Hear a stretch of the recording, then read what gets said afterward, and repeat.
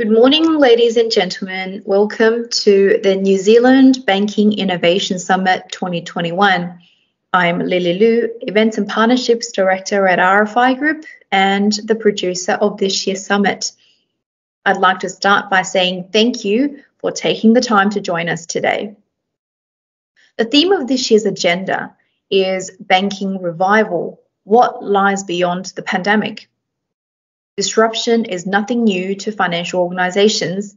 In the last decade, traditional providers have weathered a global financial crisis, new entrants, and robust regulations. However, in the road ahead, the current pandemic warrants a fresh response.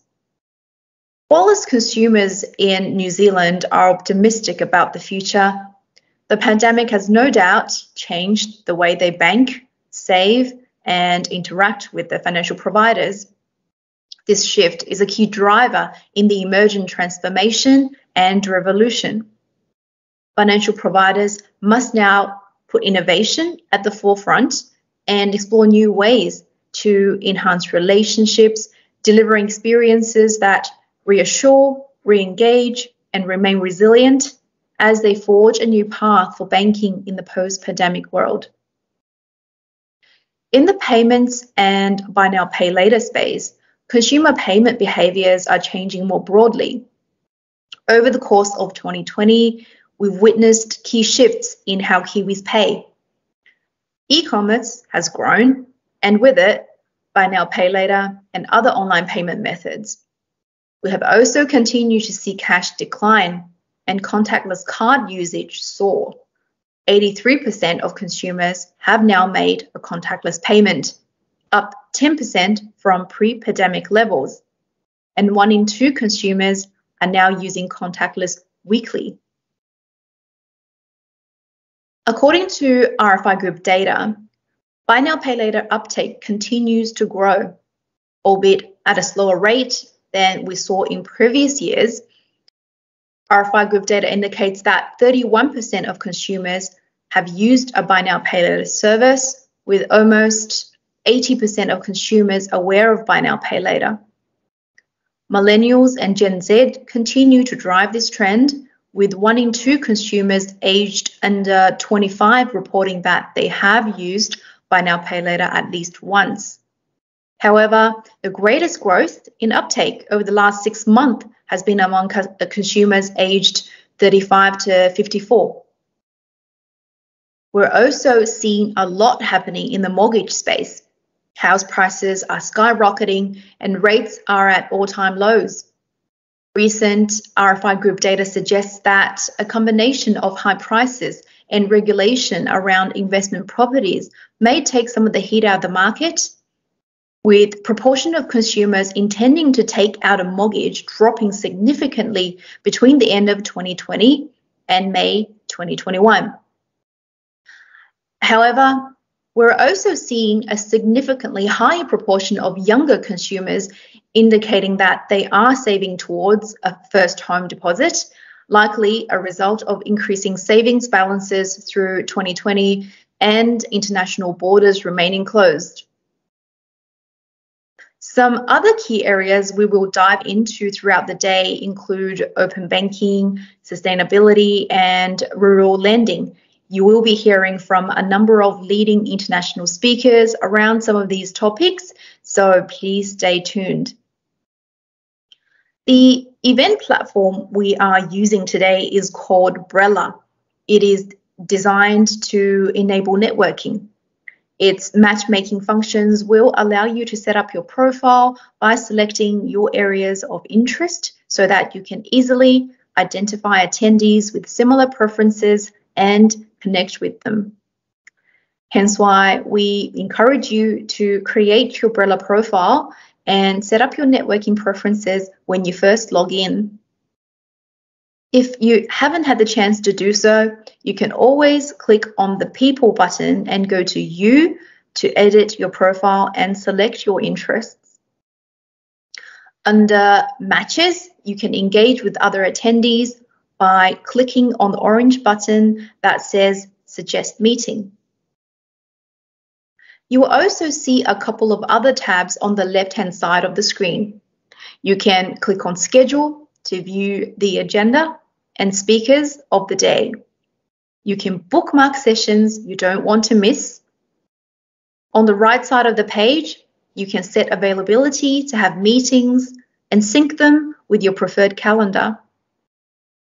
Stream is where we are currently in right now. This is where all the speaking sessions will be taking place. And you're welcome to ask questions in the chat panel on the right. To see a list of all the speakers and their bios, simply click on the Speakers tab. Some of them will be online today to answer questions live in the chat panel during their sessions in the main stream. Alternatively, the RFI team will take note of questions asked by the audience and provide answers to them after the event if the speakers are not available. We also encourage everyone to click on the exhibitor tab to visit the exhibition booths where you can, you know, find more insightful content, you can view videos, download reports and ask for live demos when you're chatting with the exhibitors. And if you have any questions or encounter any technical issues during the day, please head over to the RFI group uh, booth and find um, our staff members who will be able to help you. Finally, I would like to thank our event partners, CoreLogic, nCino, and FinTech New Zealand for their support in making this event happen. I would now like to hand over to the chairman of the day, Julian Wilson, Managing Director, Australian and New Zealand RFI Group. Thank you, and I hope you enjoy the day. Good morning, New Zealand. Uh, my name is Julian Wilson. Uh, I'm Managing Director for RFI Group for Australia and New Zealand, and welcome to the New Zealand Banking and Innovation Summit for 2021. We uh, unfortunately had to cancel last year's event um, for obvious reasons, um, but we're back, uh, and we're back virtually. Uh, we wish we could be there, um, enjoying all of the treats of uh, Auckland usually, uh, and obviously uh, networking with all of you. but we're here virtually, but hopefully next year we'll be back again in a physical format. A big thank you to our sponsors for today, CoreLogic, nCino, and FinTech New Zealand, who've been great partners this year.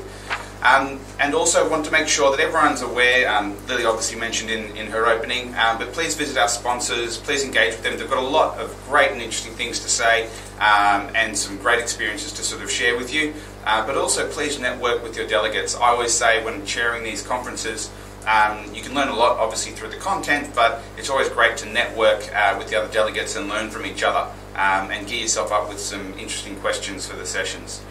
Um, now, the first two uh, sessions will be coming up very shortly, um, but just quickly, look, RFI Group's been very busy over the last uh, 12 months. I think just in the Australian New Zealand uh, area, we do over 570 presentations to our clients. So uh, we've discovered that our data and insights are, are really, really important these days.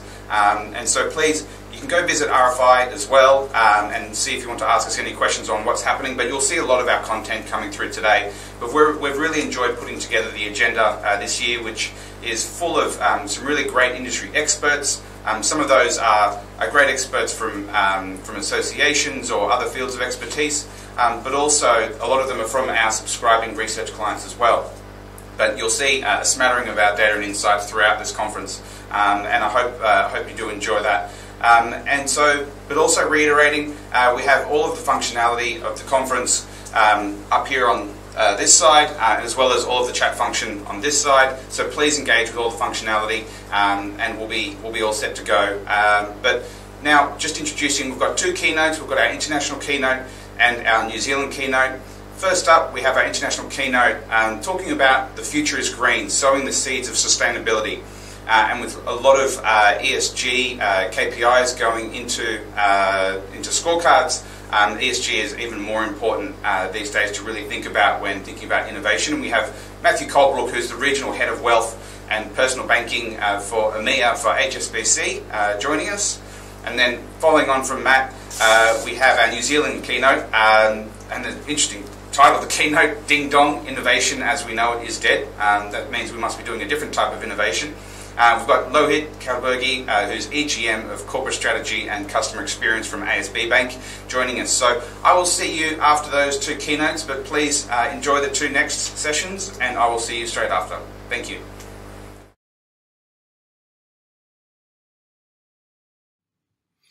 A very warm welcome from Dubai. Actually, it's a very warm welcome because it's about 46 degrees here today and humidity at north of 90%. My sincere thanks to the team at RFI for inviting me. My name is Matt Colebrook and I'm the Regional Head of Wealth and Personal Banking for HSBC for the EMEA region. I have the privilege of leading 12 countries for HSBC across Europe and the Middle East. I'm delighted to be addressing you today, albeit virtually, given the new world that we find ourselves in. Most importantly, I hope you, your family, and friends are well in this unprecedented time. This past week has been absolutely extraordinary for us here in HSBC. We won six global awards from our partner Visa for service quality. We launched our first global money account in the Middle East for our international customers, a mobile first multi currency account that allows our customers to manage, hold, send, and receive 21 currencies digitally and to make payments instantly for free, five clicks. And most importantly for this presentation, we launched our first green mortgage, first in the group here in the Middle East. So that neatly brings me into the presentation of what I've been asked to speak to you about today, and a subject which I think is very close to all of you and indeed to my heart, and that is to answer the question of why now is the time to focus on sustainability and ESG. So let's take a moment and have a look at what sustainability means, because it's broadly defined as meeting the needs of the present without compromising the ability of future generations to meet their own needs. I think it's a really beautiful statement. And I read a quote over the weekend which said, You do not inherit the earth from your parents, you borrow it from your children. So I think it's quite profound. All of us are aware that the UN's 17 Sustainable Development Goals, which are a blueprint for us all to achieve a better and more sustainable future for all, and if you then add to that the Paris Agreement of 2015, which is to limit global warming to below 2 degrees Celsius, and we all collectively have a huge task on our hands. This generation has a huge task. So over the last two years, we've seen more and more companies and large corporations, such as HSBC, make pledges to transition to net zero. And this is because there is a recognition that this effort is required on a big scale and cannot be achieved without working together as one community. The global pandemic, in many ways, has shown us or forced us to live in a very different way, to commute less, to fly less, to cook more. And with many of us spending lots more time at home, the global pandemic has triggered a deep reflection about how we can change the way we live. The impact of COVID 19 has been very visible across a number of different areas, from cleaner air quality due to less pollution to the really difficult economic circumstances for so many of our vulnerable communities. We've also seen governments and companies transforming the way they behave in an effort to build back better. Now that we have experienced new ways of living and working, it would be a real shame to go back to our old habits where we came from. Instead, society is moving towards embracing a more sustainable lifestyle. Whilst COVID 19 has disordered our lives and disrupted the world's economies and financial markets, numerous reports have shown that companies with better ESG environmental, social, and governance credentials as a whole have exhibited real resilience in the downturn. We are now seeing firsthand the benefits of living sustainably, not just in our personal lives, but also for publicly limited companies and corporations. Have a look at this.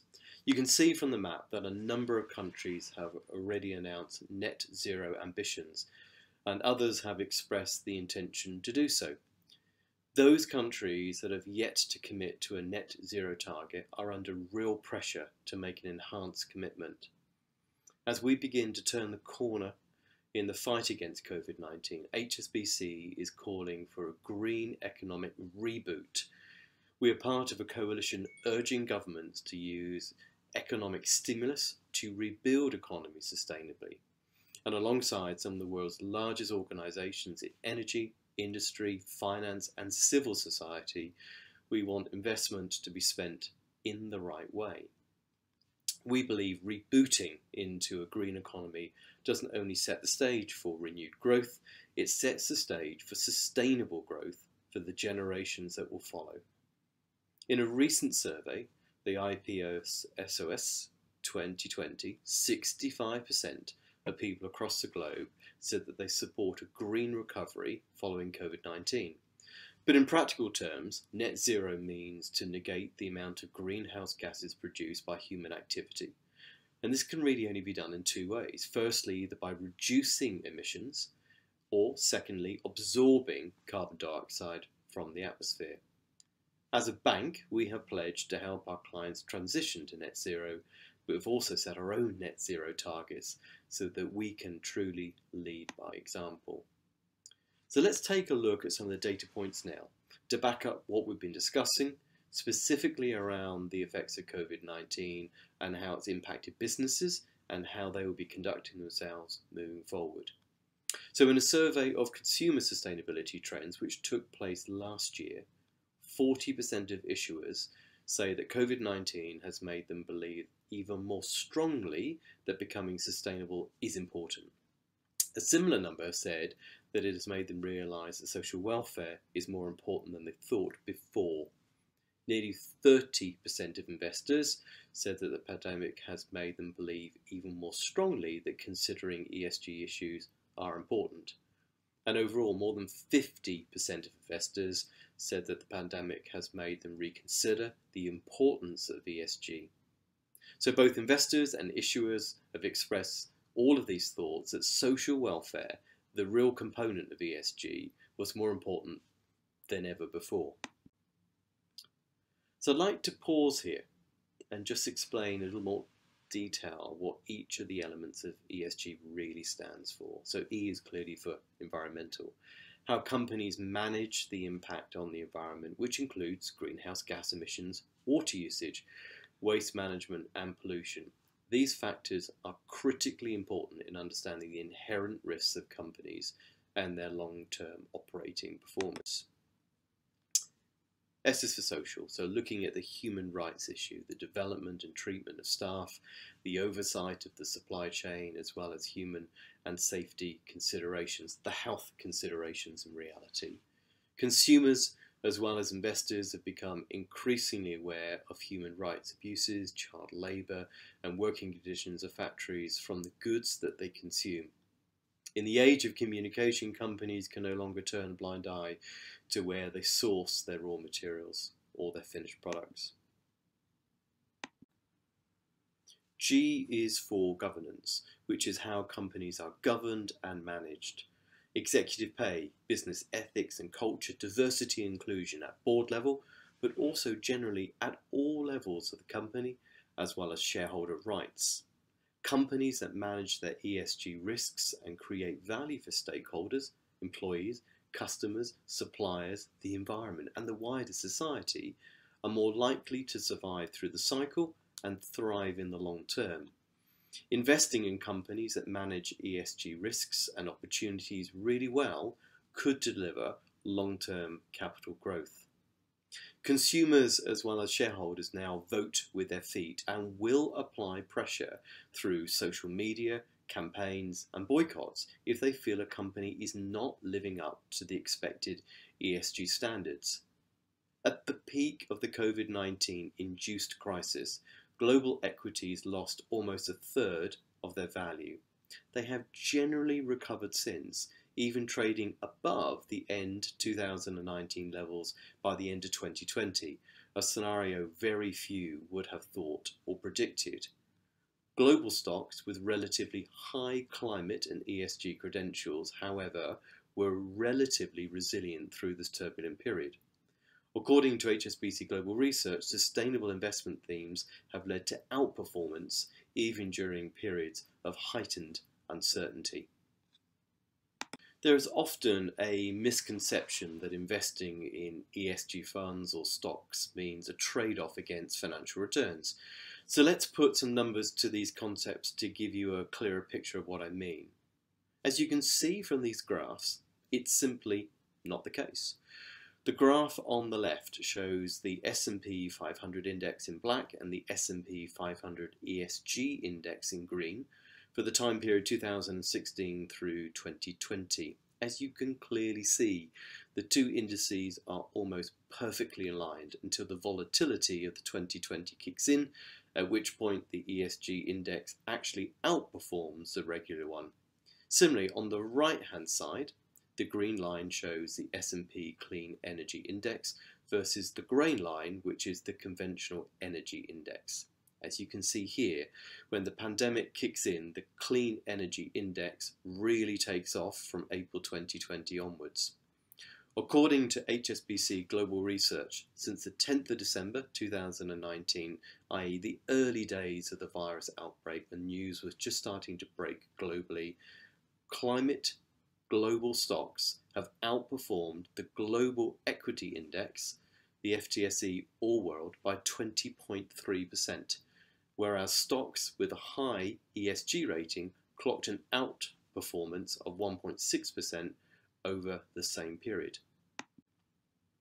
If we look at the COVID-19 pandemic through the ESG lens, 2020 has emerged as a breakthrough year for global climate stocks. As the global crisis seems to have changed the trajectory of ESG trends and accelerated investors' interest towards sustainable investing. As demonstrated in my two examples, the price performance of global companies with high climate and ESG credentials also just suggests that sustainable investment themes can lead to outperformance. And the pandemic seems to have heightened the importance of integrating long-term ESG factors into the investment decisions, making huge progress. This has been further collaborated by strong inflows into global ESG and SRI equity funds in 2020, whereby the ESG SRI equity funds recorded total inflows of circa 35% of total assets under management. This is in comparison to global equity funds posted a net inflow of circa 1% over the same period of total net, net assets. In fact, actually flows into ESG and SRI equity funds have outpaced global equity fund flows by a wide margin over actually the last five years. The financial services sector has an important role to play to help enable the transition of the real economy and to help countries address climate change whilst achieving prosperity and managing future climate risk. At HSBC, we seek to support our customers with between 750 billion and 1 trillion over the next 10 years in financing and investment to unlock the next generation of climate solutions. We clearly don't have all the answers, but we do believe that we have the scale and the reach to truly deliver change. We seek to work with our customers and policymakers, regulators, and the financial system as a whole to lead by example and also help with the wider economy. I believe that each of us has a part to play in this, and it is only by working together that we can tackle what is arguably the biggest challenge of our generation. We need to educate our customers and support them in making the right choices. And at the same time, we must be transparent about our own sustainability performance. We must mobilize capital, the capital required to finance the transition of our customers. And this applies equally to individuals as it does to companies. I'd like to thank you for your time today and to RFI for inviting me to address you. It's a huge topic. It's a huge topic to tackle, and I hope that I've managed to do a little bit of justice in the time I've had today. I hope that you found it insightful and you've learned a little something here and given you some food for thought for the rest of the conference. So my thanks again and my very best regards from the Middle East. Take care.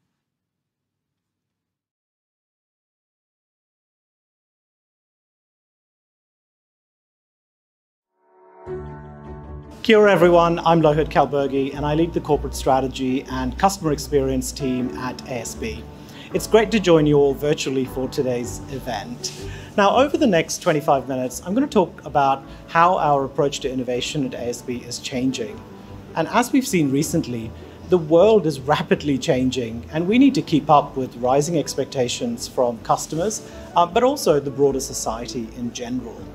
Um, so we believe that while big hero innovation uh, will continue to have its place in our strategy, what we're really focused on dialing up now is how our people can innovate each and every day, regardless of their role or where they sit in the bank. So, you know, context is everything, and we've learned a lot over the last 18 months. Um, at ASB, as with many organizations, we probably saw 20 years of acceleration occur in just the last 12 months. Um, we've all uh, gotten used to working remotely, and at the same time, as a bank, we had a critical role to play in really helping our customers through what was probably for many of our customers the biggest financial challenge that they've faced. I was so proud of how our people came together and delivered so many great innovations for our customers. For example, we committed to no mortgagee sales for those customers who worked with us to resolve any challenges that they may have faced and this runs to the end of the year. We also used our sponsorships in a really creative way to give Kiwi businesses a much needed boost. With Borrow the All Blacks, we loaned the All Blacks to help promote hundreds of small businesses. And with Borrow Eden Park, a Kaikoura based family owned fish and chip shop called Cooper's Catch enjoyed the naming rights to Eden Park for the second Bledisloe Cup Test match of 2020. What we also found was we were in daily contact with the government and regulators, working with them on different ways to support the economy. While ASB has strong innovation credentials and big aspirations in this space, um, I'll speak to that shortly. Um, one of the biggest takeaways for me from the past 18 months is that innovation doesn't always need to mean big tech. It can be really, really simple. Two innovations that we rolled out, for example, were our priority line in our contact center for customers aged 65 and over, and a dedicated priority hour for these customers in branches. These were two very simple tweaks to our customer service offering, yet the feedback that we've had on these has been outstanding. I'm going to talk a lot today about simplicity. You know, our strategy at ASB is to be simple and easy every day and really brilliant when it matters. And everything we do is in service of our purpose, which is to accelerate the financial progress for all New Zealanders. And actually, this is just as relevant now um, as we navigate our way through a global pandemic as it was when we first opened our doors in 1847. ASB has a proud history of innovation and technology adoption. Back in 1969, for example, we became the first bank in New Zealand to operate an online real time computer system that linked all our branches back to a central computer. And in 1997, we were the first Kiwi bank to offer online banking. But in addition to these large scale technology innovations, we're also equally focused on dialing up the hundreds of smaller ways that our people are innovating every single day and building a culture of innovation at ASB. But first, what does innovation mean to Kiwis? ASB's research function, which sits in my team, um, we did some work recently on this question. What we found was that while number 8 wire was still fundamentally underpinning our innovation mentality, Kiwis are really interested in the idea of social innovation and solving a problem uh, for all New Zealanders, um, even if it's something you know quite small. And as a small nation, we love it when Kiwi innovation shines on the world stage. So you can see why local innovations such as Allbirds wool sneakers, the Air New Zealand Economy Sky Couch, and the dish drawers from Fisher & Paykel have been so successful. At ASB, we watch the introduction of innovations across multiple industries. So the introduction of the priority hour and the dedicated phone line that I mentioned earlier, so they came about because we were watching how airlines manage frequent flyer queuing, for example. Back to ASB and the shift to digital means that banks today have an ever increasing number of new technology competitors. So think big tech and fintech so it's really important that more than ever we continue to bolster our digital capability.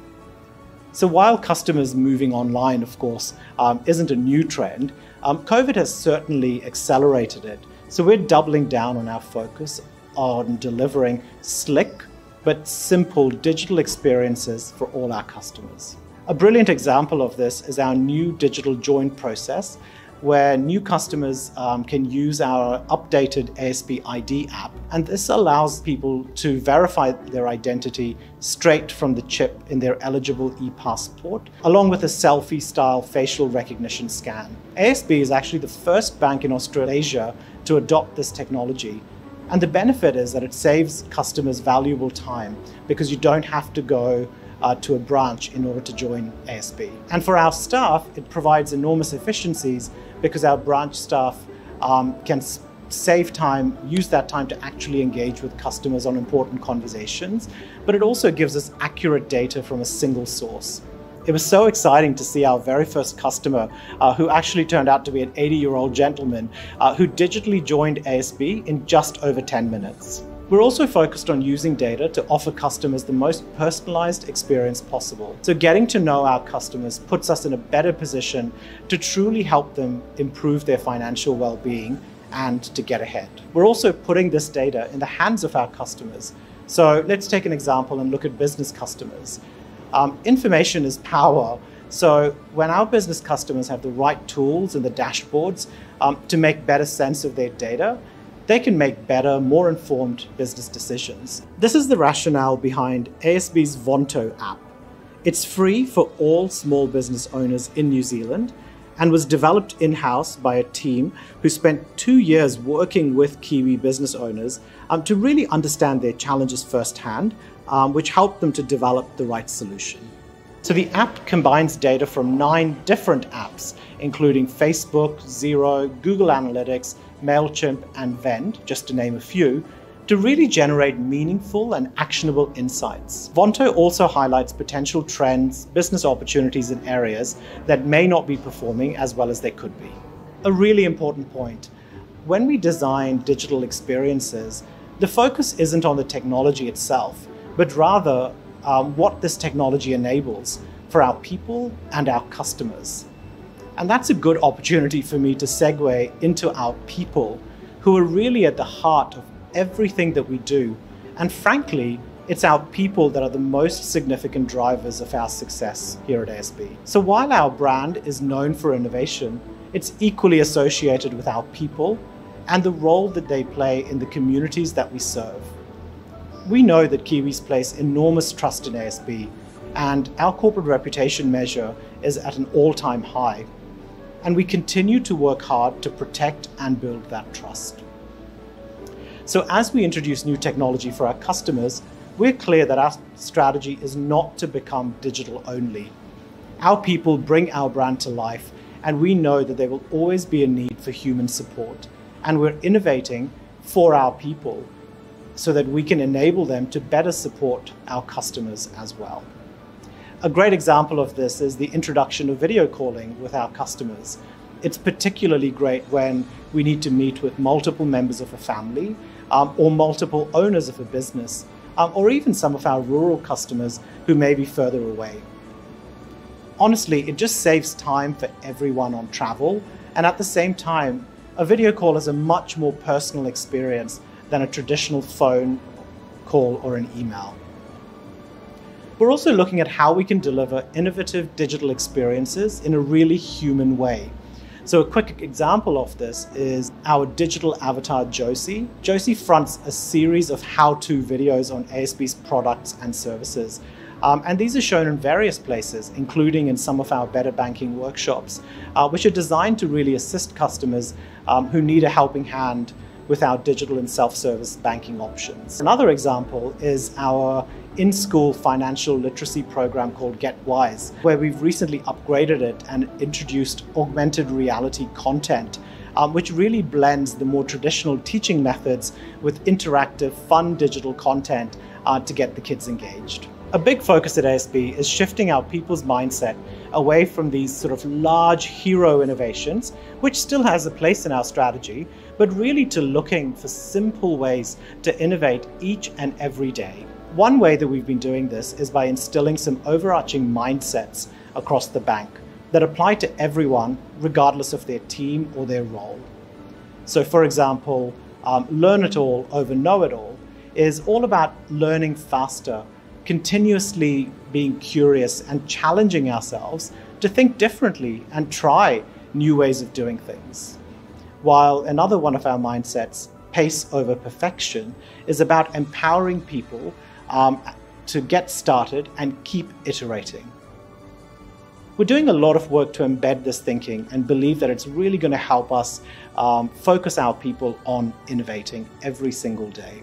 We're also investing heavily in developing future fit skills, such as human centered design. Now, this is all about thinking outside in, putting yourself in the shoes of the people that you're designing for by truly understanding their needs and really building empathy for who they are and what they go through on a daily basis. So we see this as a critical skill that's really relevant to all our teams, irrespective of whether they work on customer facing initiatives or not. And in fact, our world class design thinking training is bespoke to ASB and sees participants get immersed in solving uh, a real life design challenge. So it's really practical. And the feedback that we've had from the hundreds of people that have taken part so far is that it's been an excellent program and it's been really exciting to see them start to apply their learnings to their day to day work. The other big part of this has been changing the way we work. So in December, we stood up what we call our PACE operating model and ways of working.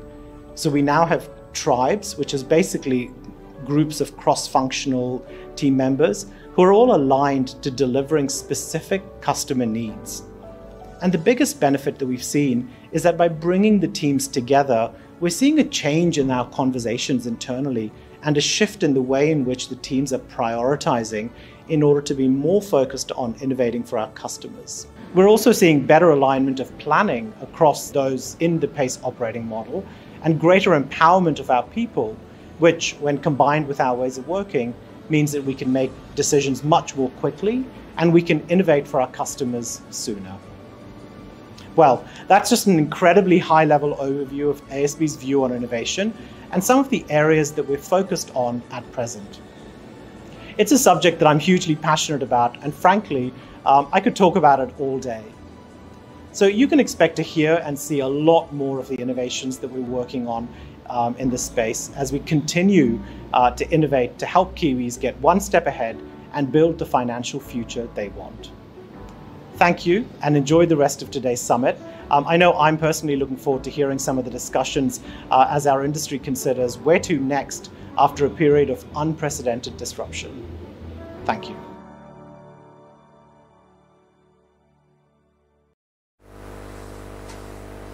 Excellent. Well, thank you very much, uh, Matthew and Lohit. Um, two really great keynotes um, that are great scene setters for um, obviously understanding what's happening uh, within innovation, but also what's happening globally uh, and what's on the priority list for um, some really key global businesses and global banks um, and obviously a very key uh, local bank. So up next, have you had your coffee? Because we're about to get into some real heavy data. Um, we've got some great presentations coming up that are just loaded with lots of data and insights. First up, we have Alan Shields, who's the COO and co-founder of RFI Group, uh, presenting on uh, innovation at the forefront, but building trust in a post-pandemic world. And that's really looking into what are consumers thinking and understanding about what's being put in front of them um, from an innovation and digital perspective, and really are they trusting it? And then moving on straight after, we've got Nick Goodall, who's head of research for CoreLogic New Zealand, um, and he'll be giving us a great update on the property market. So hopefully you have your pens ready, uh, ready to write down some key facts and figures uh, to take back to your businesses. And then after that, um, we'll be going into the morning tea break, but I will see you straight after the presentations. Thank you very much.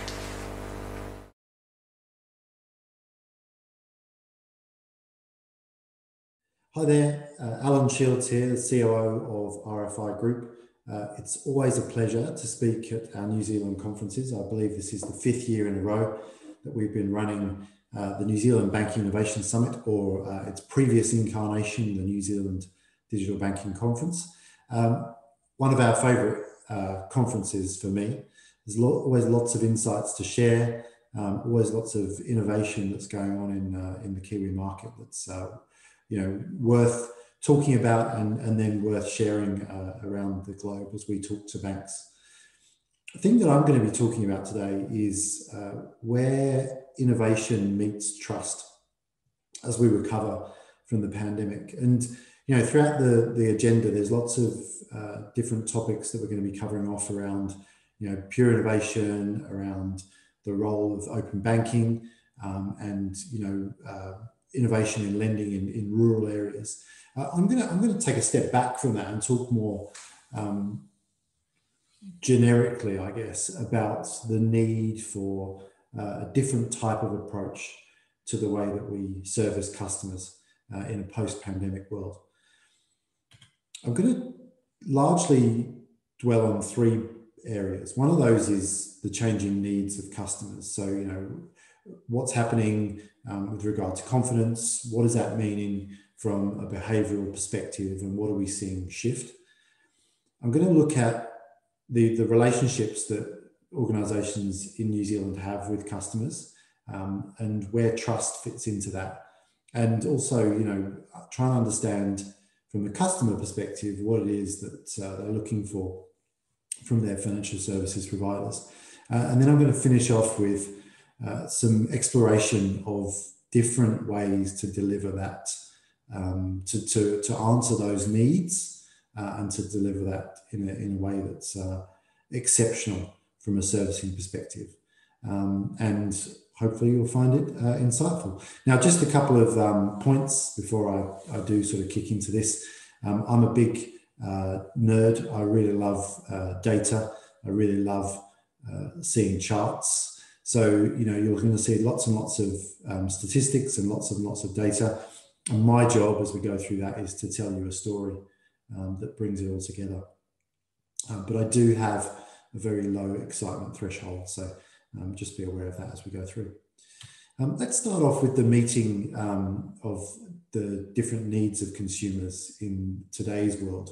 Uh, I think it's, you know, uh, probably a massive understatement to say that we live in a very different uh, economy and environment in uh, June 2021 than we did um, in June 2020 or, uh, you know, uh, March 2020. We've come through an awful lot um, in the last 15 months. Uh, and that's probably then no surprise that we've seen consumers reacting to that uh, and behaving in slightly different ways. One of the, one of the best kind of um, indicators that I like to look at whenever I think about how consumers are changing is uh, a sort of measure of their confidence. Uh, and what you can see here is the Westpac McDermott Miller New Zealand Consumer Confidence Index, um, the blue line on the left hand chart um, which basically charts out how consumer confidence has changed uh, over the last um, 12 years or so. Uh, and effectively, what it shows is that you know as we as we went into 2020, um, confidence was uh, not uh, a, a, historic high or anything, but it was um, relatively good coming into the the, the pandemic. Um, and what we saw as we went into the pandemic was it was a very very significant drop uh, in consumer sentiment in a very short period of time. Um, and then as we sort of moved towards the end of 2020, uh, New Zealand did pretty well um, from a pandemic perspective.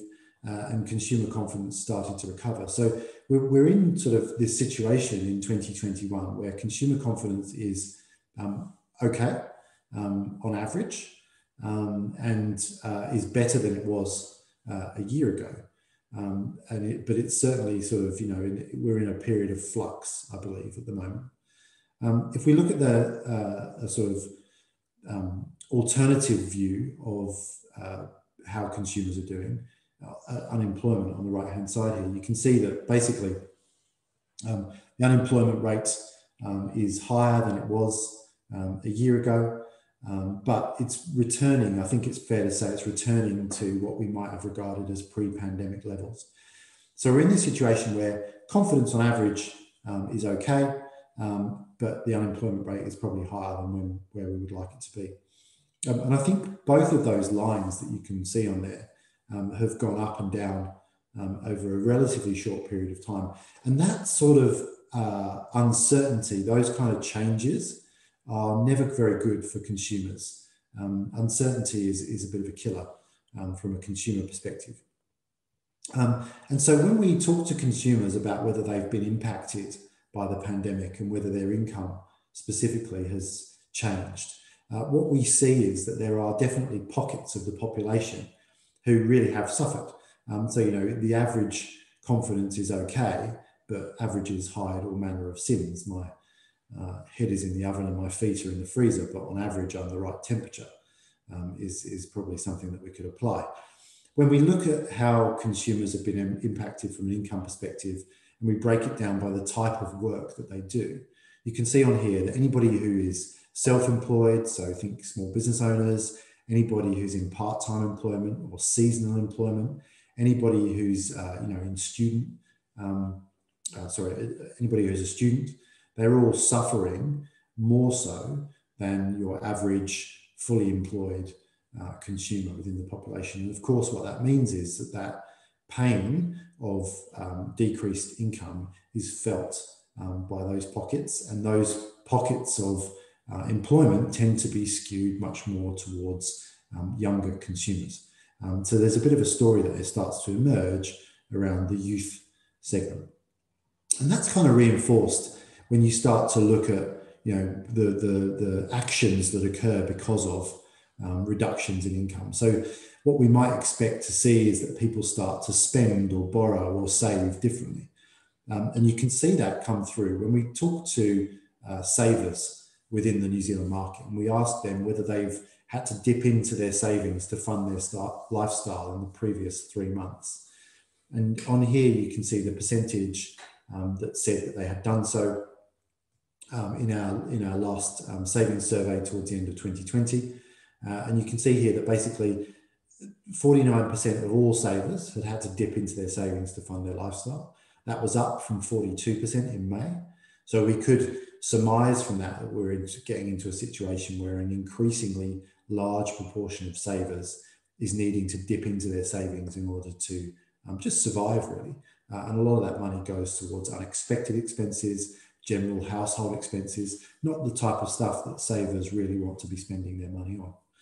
Um, and it's also fair to say, when you look at the chart on here, that the impact or the need to use that savings is much greater amongst younger consumers. So if they're under the age of 35, more than half um, are, have been dipping into their savings in a three month period to fund lifestyle. And if they're under 25, it's almost two in three in the latest data. So impacts obviously being felt uh, across the nation. Um, as a result of that, when we talk to consumers and we ask them uh, to tell us, as a result of the pandemic, have their attitudes or behaviors toward, towards certain areas of financial services changed. And the things that we see uh, most commonly uh, when we look at this, this type of a response are that, you know, um, we've got more than um, 60% of consumers saying that they're increasingly looking for ways to save money. So, you know, a larger and larger proportion of savers being forced to use the money in their savings uh, an increasingly large proportion of people generally thinking about how they save. We've got a similar proportion of consumers saying that they are paying more attention to the prices that they're, they're paying when they make purchases, um, and uh, a similar proportion saying that they're trying to shop locally in order to support smaller um, local businesses uh, within the New Zealand economy. So we're, we're seeing effectively then the um, results of the pandemic uh, impact on consumer attitudes um, and behaviors um, within the economy. Uh, and that sort of can be shown quite neatly with this slide here, which basically just looks at um, a nationally representative group of uh, New Zealand consumers over a, um, a year, one year period here. And we've got the proportion of consumers um, in the three charts here that say they will do more or less of spending, borrowing, and saving. Uh, and effectively, um, there's a couple of things that sort of jump out here. One is that the proportion of consumers saying they were going to try and spend less um, had uh, increased between December 19 and November 2020 by almost 20, 20%. So it went up from 26% to 45%. At the same time, the proportion of consumers that say they're going to save more increased from 41% to 59%. So, you know, the, the overwhelming sentiment amongst the New Zealand population is that they want to put some money aside um, because, you know, they don't know really when they're going to need it and they want a buffer. And that's, that is uncertainty in action that we're seeing come through there. Um, the other kind of um, interesting trend that we're seeing uh, from a spending perspective is buy now, pay later. Now, I think you probably have to uh, have lived under a rock uh, in order to be unaware of buy now, pay later at the moment, um, particularly in Australia and New Zealand, where, where the category is, um, has, has, is, is a lot more mature than it is in, in some of the other markets that we deal with. Um, but you can see on here basically that almost 40% now of um, consume, sorry, uh, almost uh, one in three uh, consumers uh, in the New Zealand population has used a buy now pay later service of some kind, um, and the usage of buy now pay later skews much more towards younger consumers. So, if they're under um, 35 years of age, almost one in two uh, consumers has used buy now pay later. So um, you know, there's, this this theme of younger consumers being impacted more from a decrease in um, income perspective coming through. You've got uh, younger consumers significantly more likely to have needed to dip into their savings to fund their lifestyle, um, and uh, younger consumers significantly more likely to have um, used buy now pay later. Um, and buy now pay later is obviously you know it, it's now a significant enough payment mechanism within the local market that it's beginning to have an impact on more traditional payment methods. This slide here is, is quite an interesting one. Basically, what it shows is that if we look at buy now, pay later users who have a credit card, um, the blue line, versus um, non buy now, pay later users with a credit card, you can see that the proportion of those consumers that use their credit card in a typical month um, has changed quite significantly over a a sort of three year period. So we go back to April 2017. If you're a buy now pay later user um, who used, um, sorry, of the buy now pay later users, 58% were using a credit card um, in a typical month. Roll forward to November 2020, and that proportion had fallen to 37%. At the same time, um, you know, we're not seeing a necessarily a, a huge decline amongst the non buy now pay later users who use a credit card in a typical month. So it's not that there's necessarily this sort of um, overwhelming decline in credit card usage amongst the, the whole population. It's definitely um, more prevalent in certain pockets. Uh, and I think what's interesting here is A, we shouldn't fool ourselves into thinking that buy now, pay later users are not credit card holders. Um, but B, um, we're actually seeing action there around how a new category is impacting on a more traditional um, payment category. Now, why do I talk about buy now, pay later? Why is that interesting in the context of what we've been talking about with regard to consumer uncertainty and behavior? Um, well, effectively, the reasons that consumers use buy now, pay later uh, fits in with this overwhelming sentiment of consumers in the market and their, their sort of desire to do things in a smart way. Um, so when we ask buy now pay later users why they choose to use buy now pay later, um, you can see here number one response 57% of those buy now pay later users um, means that you know not having to pay for the purchase up front um, meant that they can make better use of their money. So they're using their money in a smarter way. Um, then you've got you know sentiment around um, it's a way of avoiding interest. You've got 45% of consumers saying it helps me budget. Um, you know, that, that, that kind of, those three things fit very much into the psyche of a group of consumers who uh, is worried about their personal economy, um, is worried about what their savings are going to be able to do for them in the future, and is looking for smarter ways to spend and to save and to borrow. Um, and that kind of that factor, I think, for buy now pay later means that it's the, the right um, payment mechanism at the right time from a consumer sentiment perspective. I also think, and I should say before I go off this slide, one of my one of the um, the statistics that keeps jumping out to me, it doesn't matter what market we look at buy now pay later in uh, around the world, there's a decent chunk of consumers who are using buy now pay later just to give it a try. They've seen the brand, it's there at point of sale, or it's there when they check out online and they just want to give it a go.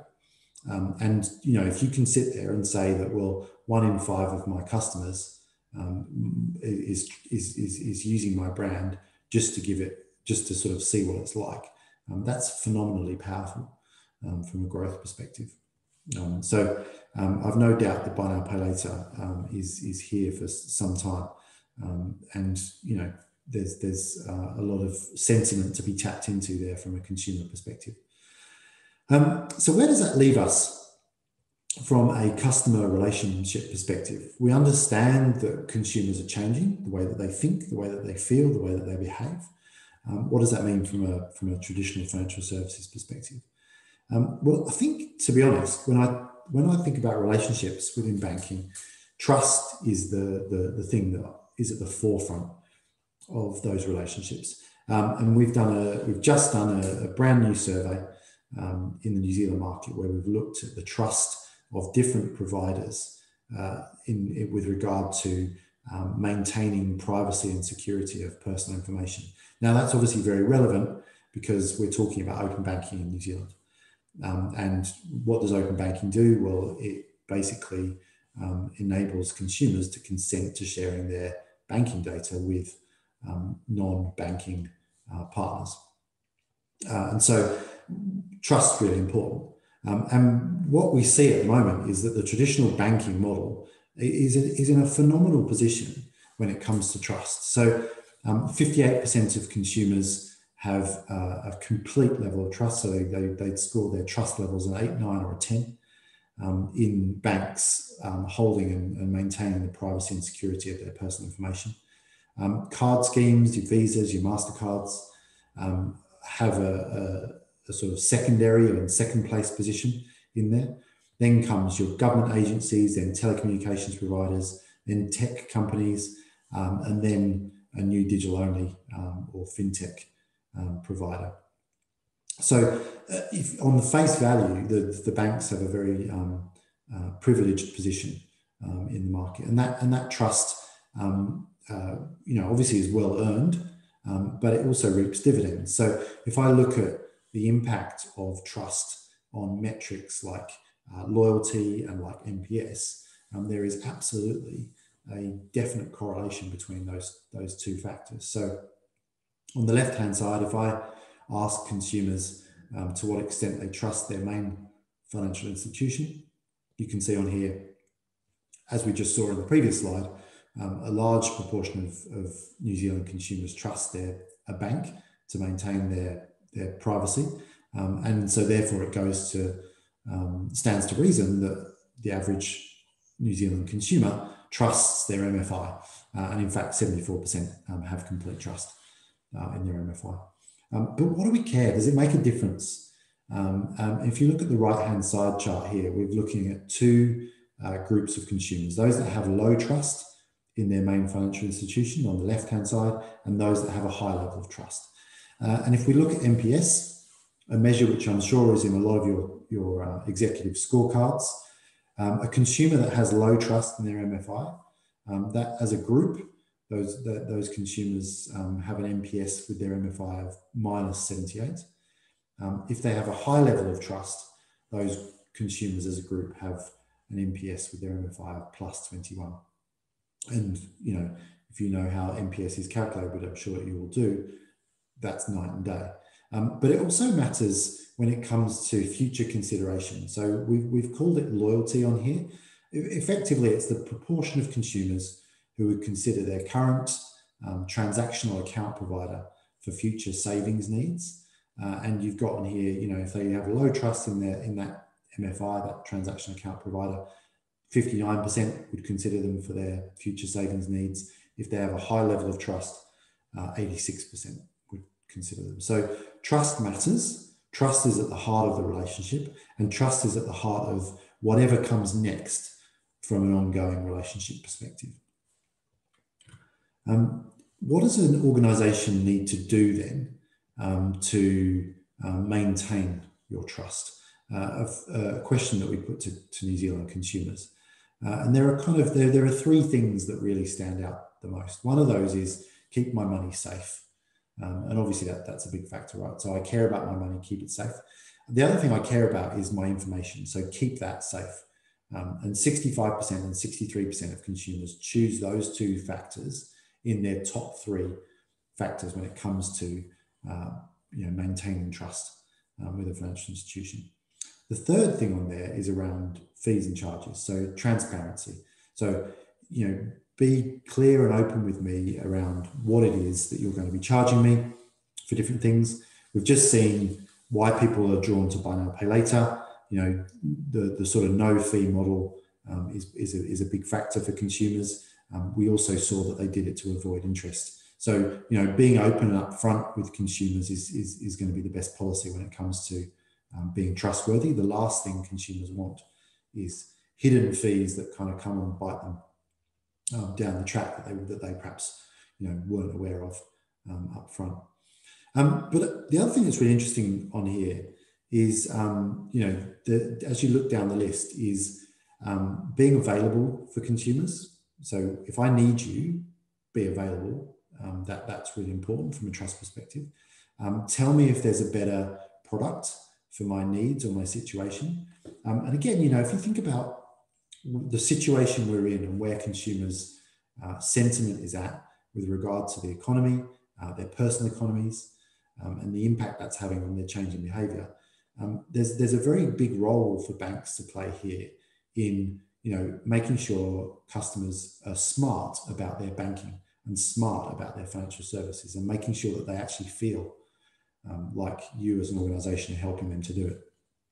Because when we look at um, whether consumers have a good understanding of banking and finance generally, we actually find there's that a large proportion of consumers um, are, uh, you know, fully prepared to admit that they do not have a high level of understanding of banking and finance. So on this chart, the light blue uh, segment at the top of the columns is the proportion of consumers that have a high level of understanding of banking and finance.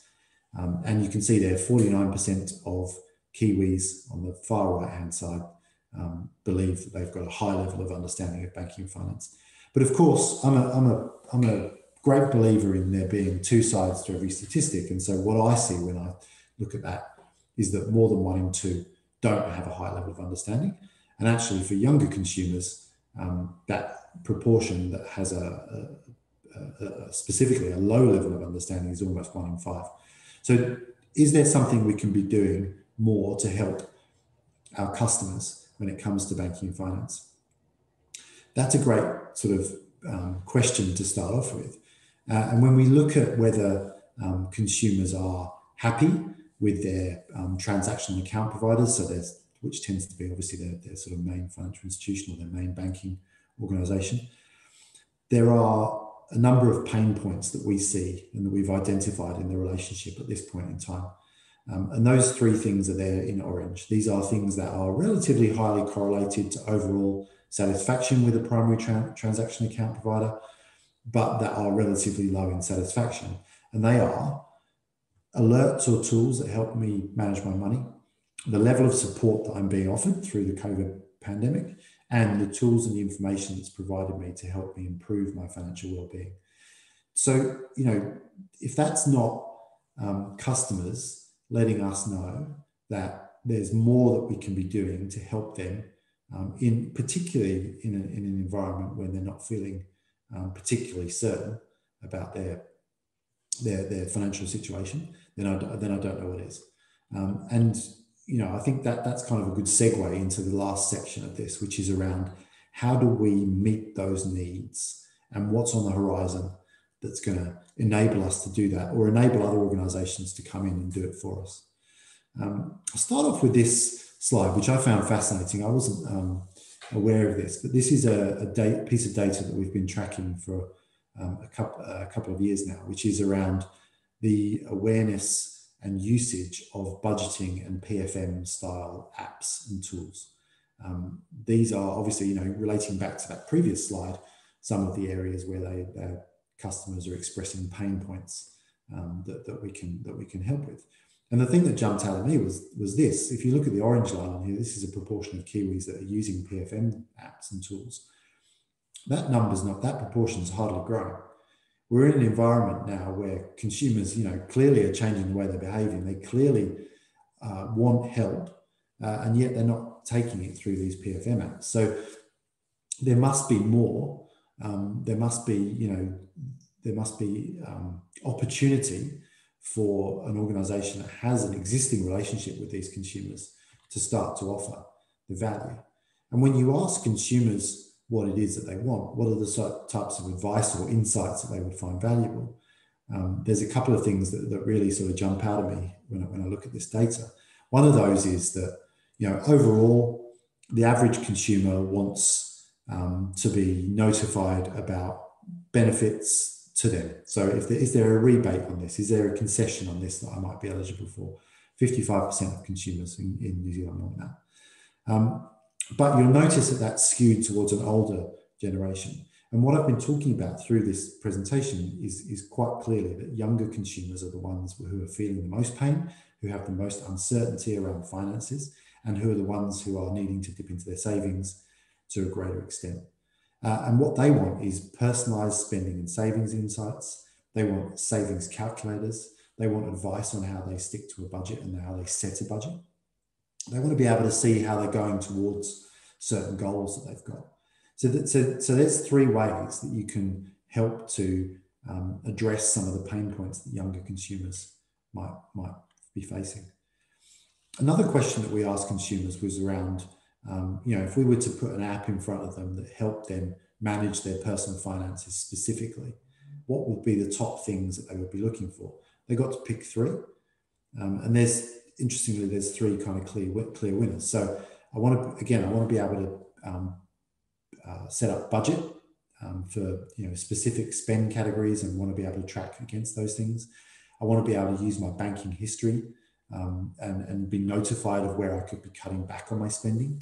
Think um, smart spending um, from a customer perspective. Um, and I want to be able to track my spending patterns uh, over a specific period.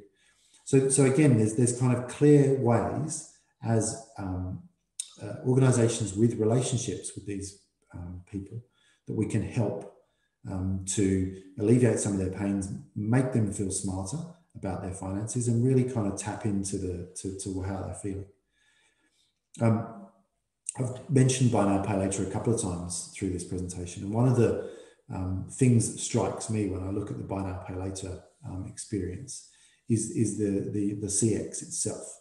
Um, and so this chart here just shows you for a, a few of the different um, buy now pay later brands in existence in the New Zealand market, how satisfied are customers on the left with those um, services when they've used them. And on the right hand side, how likely are they to recommend them?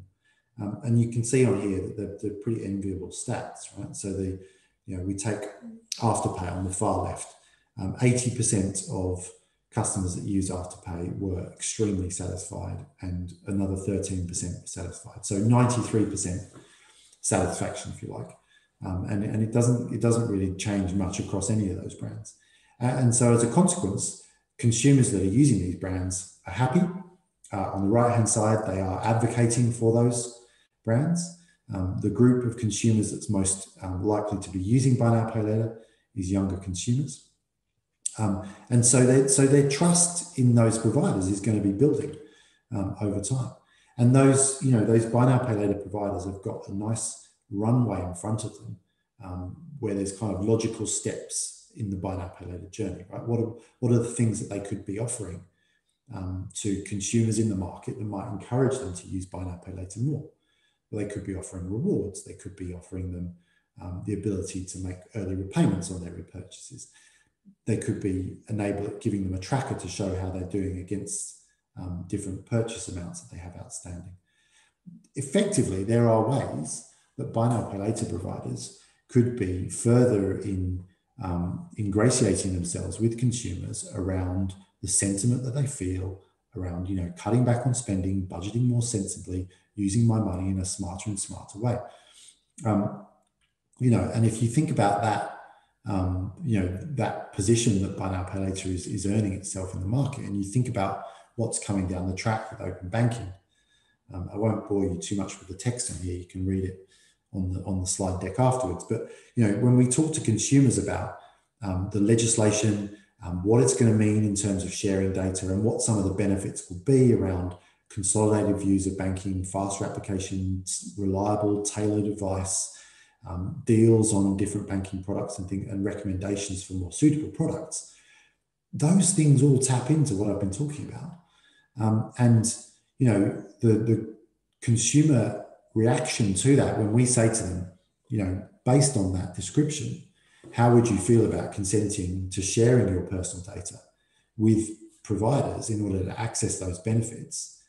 Um, sure, I'm not going to sit here and say 90% of consumers say they'd be, you know, wildly enthusiastic about sharing their data. But what I can tell you is that nearly 20% are interested right off the bat. Um, about half of the population is not sure, but you know, wants to understand more about the benefits.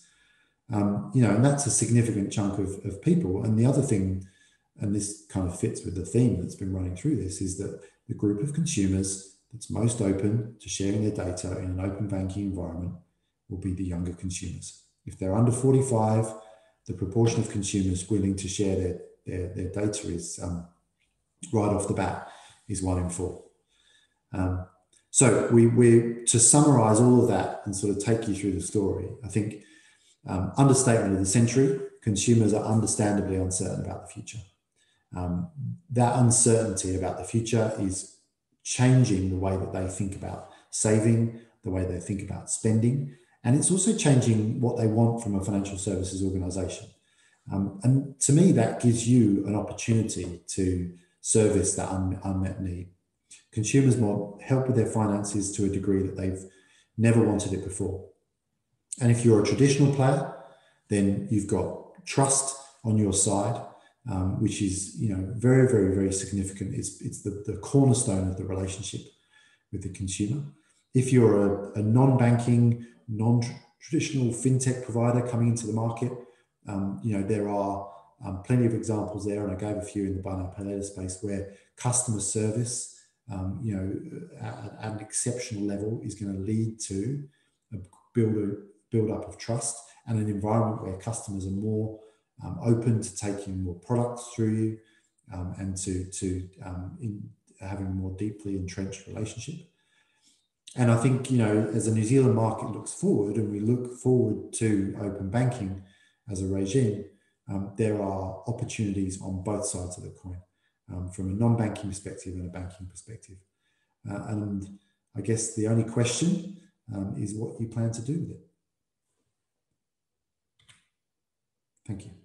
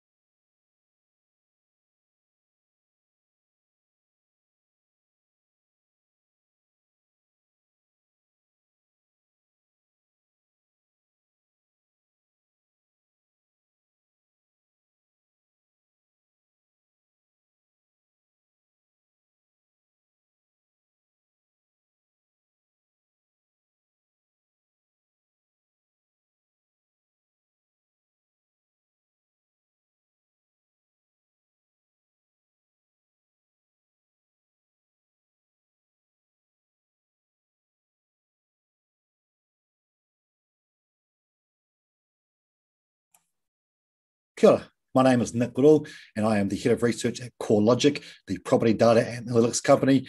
And we support the banking and finance, real estate, government, utilities industry, really trying to get them the information and data they require to make better decisions and enable people to build better lives. So today I'm going to take you through a market update on where the market is at and where we believe things are heading to for the rest of 2021. A key focus being what have the government changes announced on the March 23rd had to the market uh, so far in the, in the, few months of data that we have available to us today. In terms of what we're going to talk about, I'm um, really going to cover the recent economic and property data to sort of set the scene of where we're at at the moment. Talk about, of course, regulation and everything else that we're watching that will influence the market. And then, of course, talk about what lies ahead, what we think is going to happen for the rest of this year and into next year as well. So first up, it's worth saying that the economy is, of course, performing very, very well, much better than anyone could have anticipated a little on a year ago. And you know, the property market off the back of that certainly continues to grow. First up from economics, I suppose you know the key thing here is that we sort of talk about being in a potential phony economic recession. You know, we could have been much worse right now. We know that things still aren't performing 100% because the borders are still closed, but generally doing much better than anyone thought we would be. And certainly when you put us in an international context, we are doing very, very well. You can see part of this from our GDP figures, which have bounced out of that uh, negative turnaround last year. We may have also seen a second negative GDP figure come through in Q1 once we get that data. But with the bounce back we've seen in the last couple of months, when we look at the activity index, which is put together by the likes of Reserve Bank, Treasury and Stats New Zealand. It does look like things have bounced back quite well, though we do have to be cautious around this. As it's an annual measure, and comparing to this time last year, of course, is fraught with danger given the fact that we were just coming out of lockdown, weren't performing at uh, anywhere near the levels of 100%, which you'd expect our economy to, to be in any normal environment. When you look at other measures such as unemployment, again, when you look back just over a year ago, expectations were that unemployment could lift it to anywhere of 10 to 12%. We are nowhere near that. And We've probably gone past the peak of unemployment at just over 5%. We've now dipped below that in the most recent read of data as well. So, very positive signs here. And according to any other uh, economic sort of measures as well, you can see our economy is performing very, very well. Again, especially when you put that into the economic context as well. Of course, off the back of this, we've seen a very strong property market. Um, you can see very strong sales volumes over the last six or seven months. And the latest data, you know, we're still seeing very strong sales volumes. And the interesting thing here is that sales volumes have likely even been held back further than they could have been if we had more properties available for sale. And this is certainly one of the main factors that has seen the strong rise in property prices because there's just so very few properties available for sale at the moment. And that means that with strong competition, not much supply, we're seeing prices increase at a very fast rate. We do also expect that these strong sales volumes have sort of, you know, no doubt with the regulation coming up, such as loan to value ratio restrictions, we know that people probably brought their purchases forward, and that could also um, move forward into a situation where we see a sales lull later on for those sales that would have otherwise occurred and were brought forward will now not occur later. And so that dip away in sales volumes we're likely to see as we come through into the winter months, which is typical every year, could likely be exacerbated. Um, so we do expect the slowdown in sales volumes to occur as we move through these middle winter months before we get into spring at the end of the year, where we may see some part of the market come back. But it'll be interesting to see where the market's at at that point, where we might have had a few months of, uh, of a slowdown in terms of volumes and even from a sales values perspective as well. If we look at sales values or we look at you know the property price index to see how things have tracked in the last wee while, look, I mean, it's pretty clear here. You can see the strong tick up in values across pretty much the whole country. This chart on the left-hand side shows us uh, the main centres, and you can see the very strong growth across every single one of them. There are times where, you know, month to month, we do see a little dip, as you can see in Tauranga's house price index here. But of course, then things took off after a very short lull, and everywhere you can see a very strong growth upwards. Uh, the chart on the right hand side does, however, show that the strong momentum that has certainly been in the market may have started to dissipate with that quarterly line, the dark blue one, starting to now show some signs of sort of faltering, I suppose you'd call it, before we're likely going to see a bit of a downturn in terms of the quarterly rate of growth. the annual line there, the light blue line, does show that things are continuing on up. This is what affected by what we call base effects. The fact we didn't see much growth in the market a year ago is still affecting that annual rate of change. And so it takes a while for that momentum to slow down when you're looking at an annual basis, but certainly that quarterly. And even when you look at the monthly measure, which isn't included here, and the most recent sales data that we're looking at, including unconfirmed sales data in the CoreLogic database, we are starting to see the performance of um, many areas starting to slow down on the strong performance that we've seen throughout 2021 and certainly at the end of last year as well from this perspective as well, and when you look at who's been active in the market, um, you know, there's been no sort of secret that mortgage investors, investors have been very active in the market over the last couple of quarters. But you can see this is the light blue line on the left-hand chart here. You can see that so far in Q2, we have seen a slight dip away in the activity of investors, especially those using a mortgage.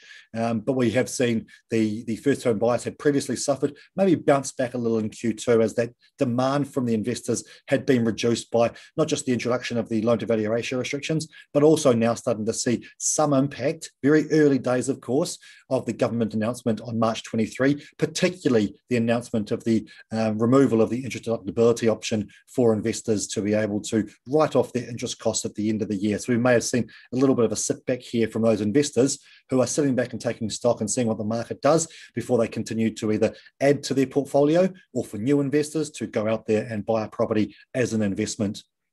When we look at those types of investors as well, the chart on the right hand side breaks down all investors by how many properties they own after their most recent purchase.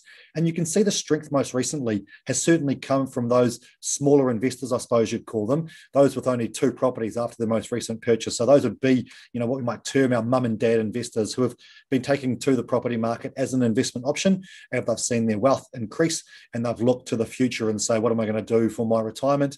Property market's been very solid, of course and we've seen many people continue and buy uh, investment properties because of this.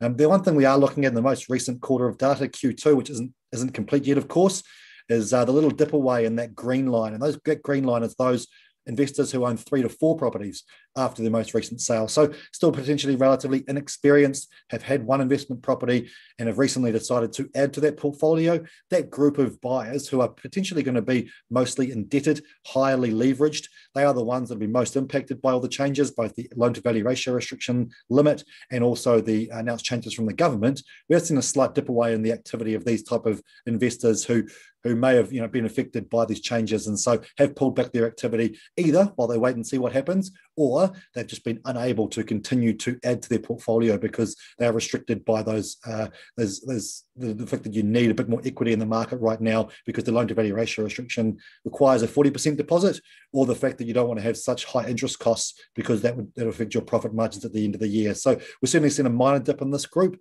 as well as the slightly bigger group, the five to nine properties. But again, it is only one sort of quarter um, and, only, and only a part quarter at that of data, so we don't want to call it too early. But certainly there's signs of a change in terms of who is active in the market right now. Um, and as I said, you can sort of see that from the lift in first home buyers coming back so far in this quarter as well, and be intriguing to see how this plays out when we get a month or two's more data to really see what's happening from an activity perspective anyway. In terms of first home buyers, look, we most recently uh, released the CoreLogic first home buyer report. In this, the big addition that we um, we included this time around was some joint data with Equifax to understand the age of first home buyers. And the one really interesting thing here was that the age has actually remained quite steady at 34 years old for the last couple of years. And this is a bit of a surprise to us mainly because we thought with unaffordability so difficult and getting harder for people that we might see people having to save for a little bit longer before they can get in the market. And we expected that to impact the average age of those buyers, but hasn't really turned out when you look at the data. And I suppose the key thing here is the fact that KiwiSaver balances have been getting larger and larger. More people have available, greater funds available to them in those KiwiSaver pots. And it's enabling them to sort of keep up with those prices for now, or they had done previously. Um, but also the fact that we've seen many first home buyers compromise on the location of the property they buy, the types of properties, switching more to those townhouses um, as opposed to those nice single unit standalone properties. And that's also enabling those first home buyers to mostly keep up with the market, but they are having to adjust their expectations as well. Um, and we also need to note that there are the um, speed limits outside of the requirements for the loan to value ratio restrictions, where not all first home buyers require that 20% deposit. There is a, a, a certain amount of all owner occupiers, 20% of all owner occupiers can be outside that speed limit. And we certainly see first home buyers take advantage of this more than anyone else um, to continue to buy properties, especially um, you know, using it to buy new properties as well, where you, you only need typically a 10% deposit, for instance. So we're certainly seeing that activity keep up, keep pace with the market. And uh, those first home buyers age staying at 34 one of the other key things that was really intriguing from this report, and this is the second time we've released this one, was to see the average price or the median price paid by these first home buyers. And typically, it's, it's generally pretty accepted that first home buyers buy properties at the lower end of the market, you know, typically around what's called the lower quartile price.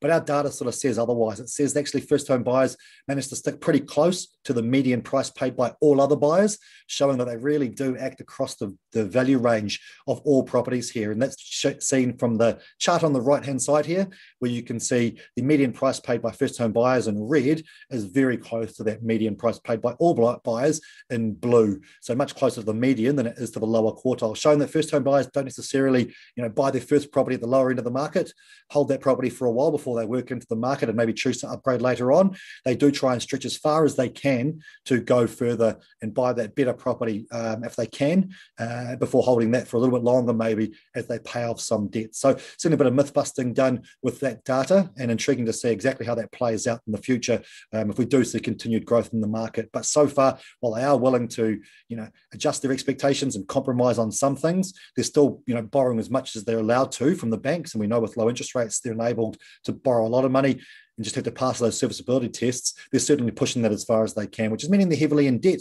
and something we'll talk about shortly and something that need to be considered when we're looking in the future, especially at the prospect of increasing interest rates, which will, you know, start to affect the bottom line of those first home buyers who are stretching as far as they can just to get into the market. But of course, we need to talk about today the fact that regulation has obviously got tighter across the board. And the government has sort of not been ashamed to say that they want to slow down the market. They don't want to necessarily see prices drop, and they do want to see um, the balance switch more from investors to certainly to first home buyers. And so we've now got a couple of months since that big date of March 23 when the government brought out a pretty bold policy in terms of not allowing investors to write off their interest cost at the end of the year. Um, so now that we've got a little bit of data here, it's not, of course, fully complete and we're still getting much more sales information to understand the impact of the market. We've got enough data through different sources to see if we have seen any sort of change in behavior of those investors uh, or across the market as well.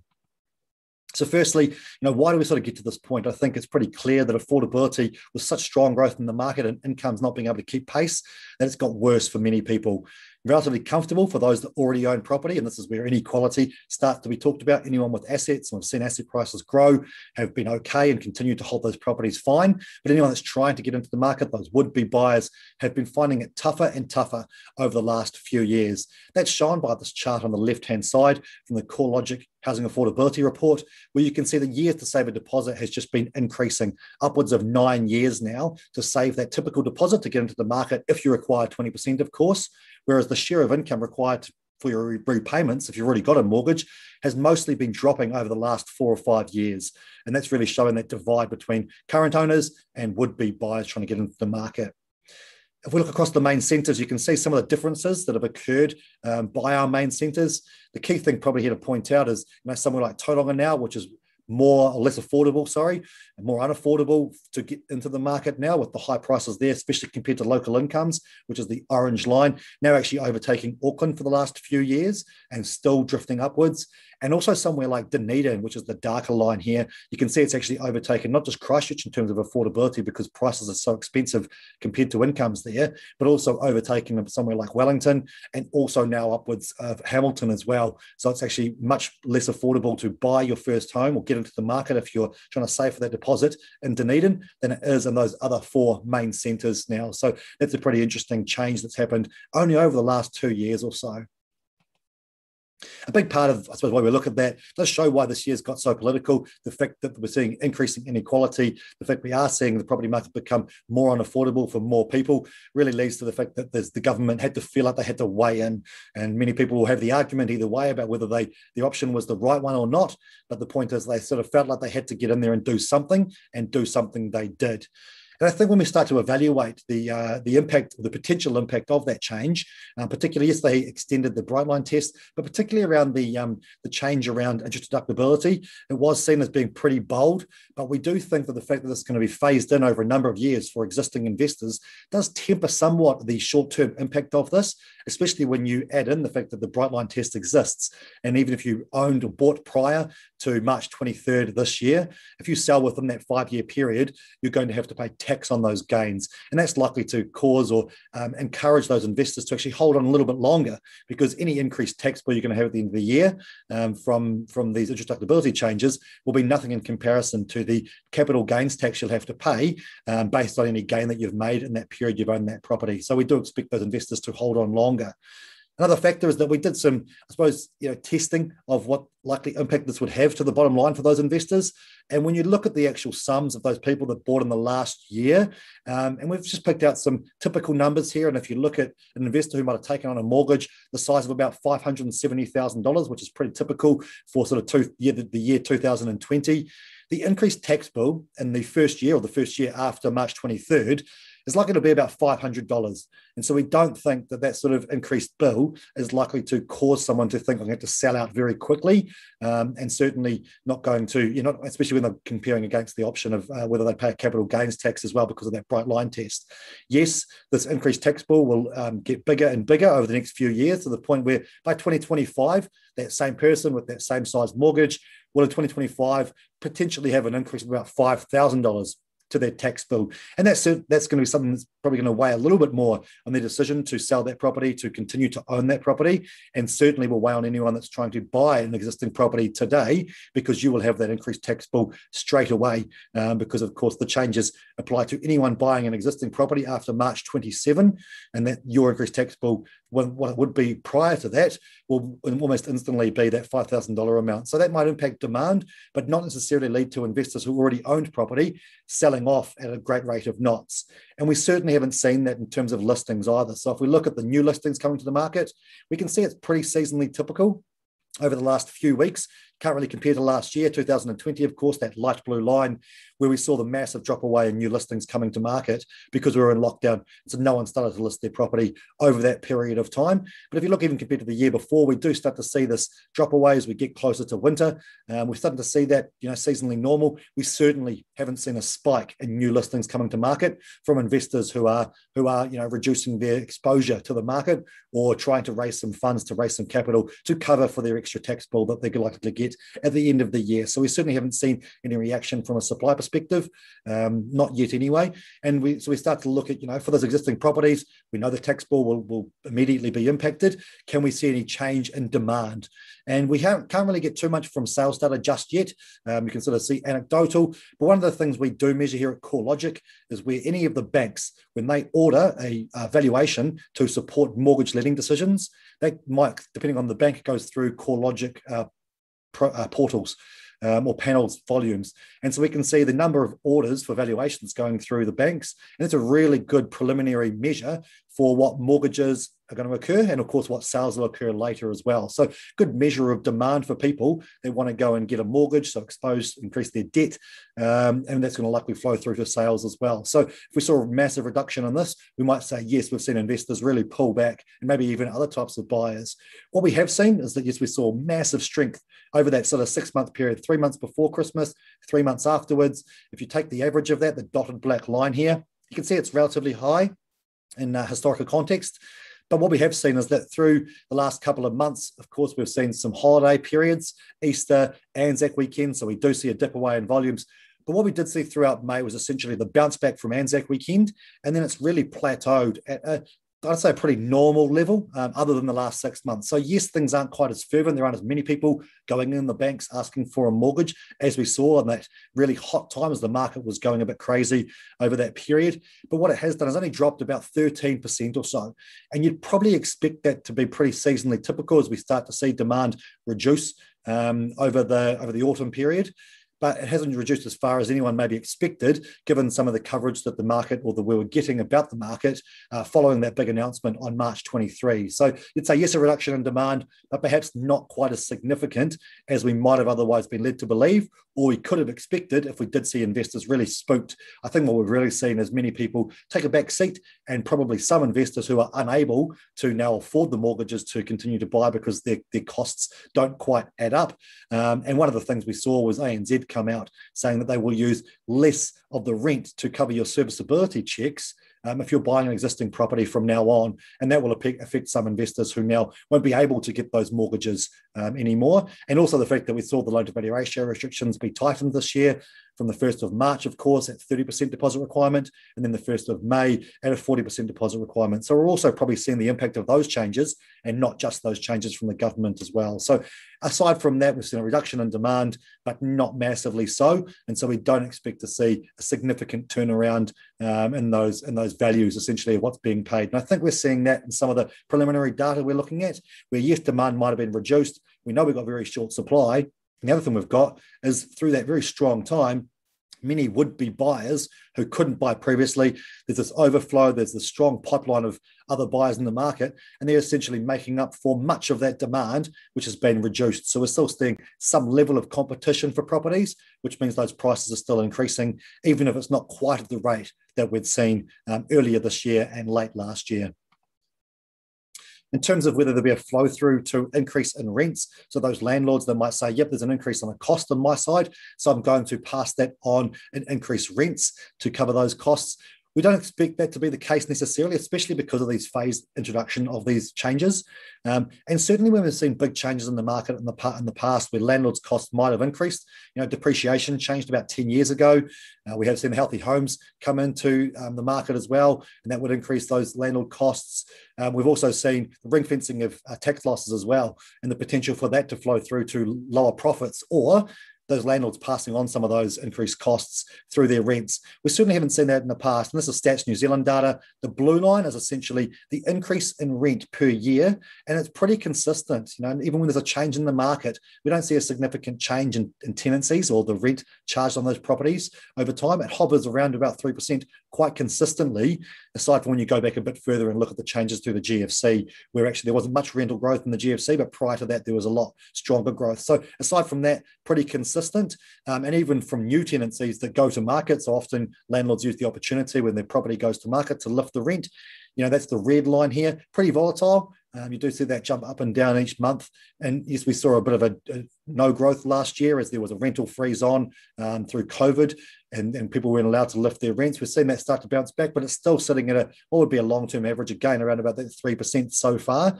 Um, but you certainly, when you look back in the history and you see big changes, you don't see that necessarily flow through to a lift in rents. Um, so we don't expect that necessarily happen this time either.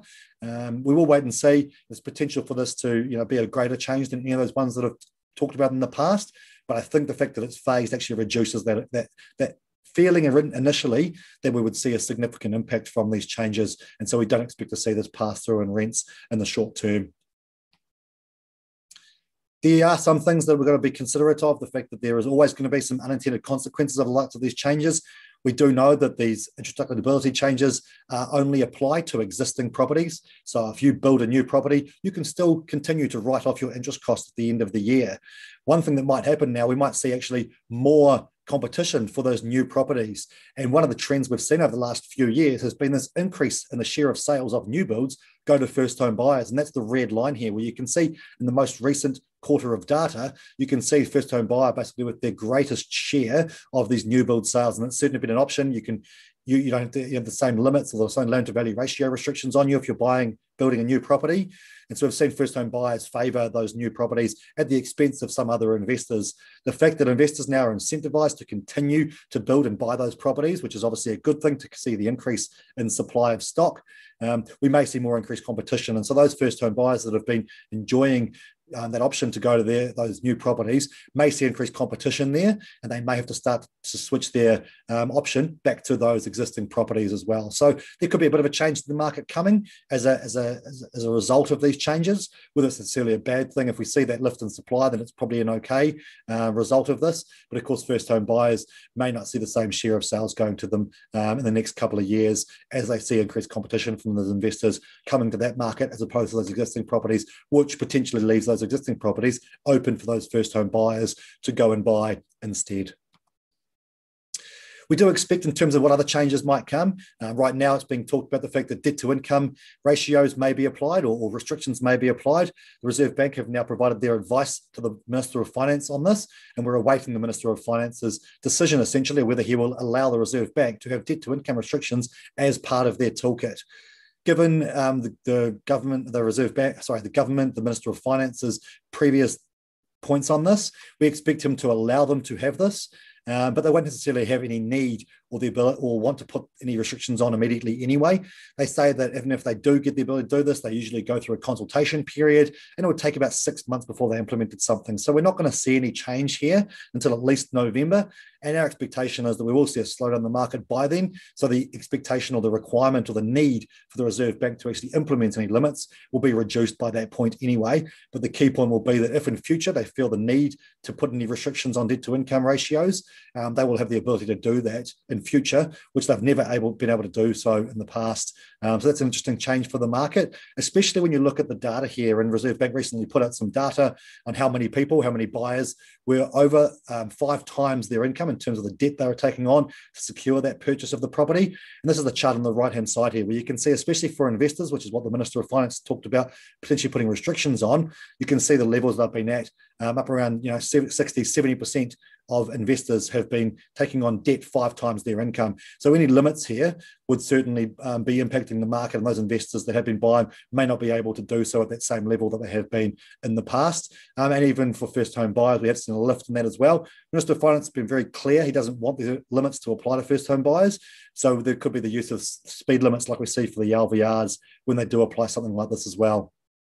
The left-hand chart, just before we move on, shows the amount of investor lending that was done above a 70% LVR, so less than a 30% deposit in the last year without those restrictions. We can see they certainly made hay while the sun shone, but that's been restricted back right down below that speed limit now that the LVRs have been re-implemented by the Reserve Bank. And so we expect their, um, their continued or their future activity to be limited because they don't have the ability to go outside these limits anymore.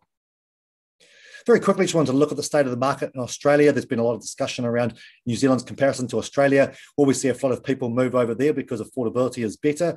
Well, some of the headline data does show that property values in New Zealand are worse comparable to Australia. That's the chart on the left-hand side in terms of the average value in New Zealand compared to Australia. And the home ownership rate is greater in Australia as well. You can see that change on the top right-hand chart as well. The occupancy rate is also much um, higher in New Zealand, showing that you know not only do we see lower home ownership but we also put more people into those homes. But I think the chart of most interest for me is the chart on the bottom right here, which basically shows that we need to account for the fact that our stock is very different across the two different countries, especially when you look at it city by city, where you can see somewhere like Sydney may have a lower average value than Auckland, but you're typically getting a much larger share of units, or mostly apartments in this case, where 40% of units or, or, dwellings in Australia and Sydney are actually units or apartments compared to Auckland, which is only 24% are those smaller type units, apartments, townhouses, terraced housing, things like that.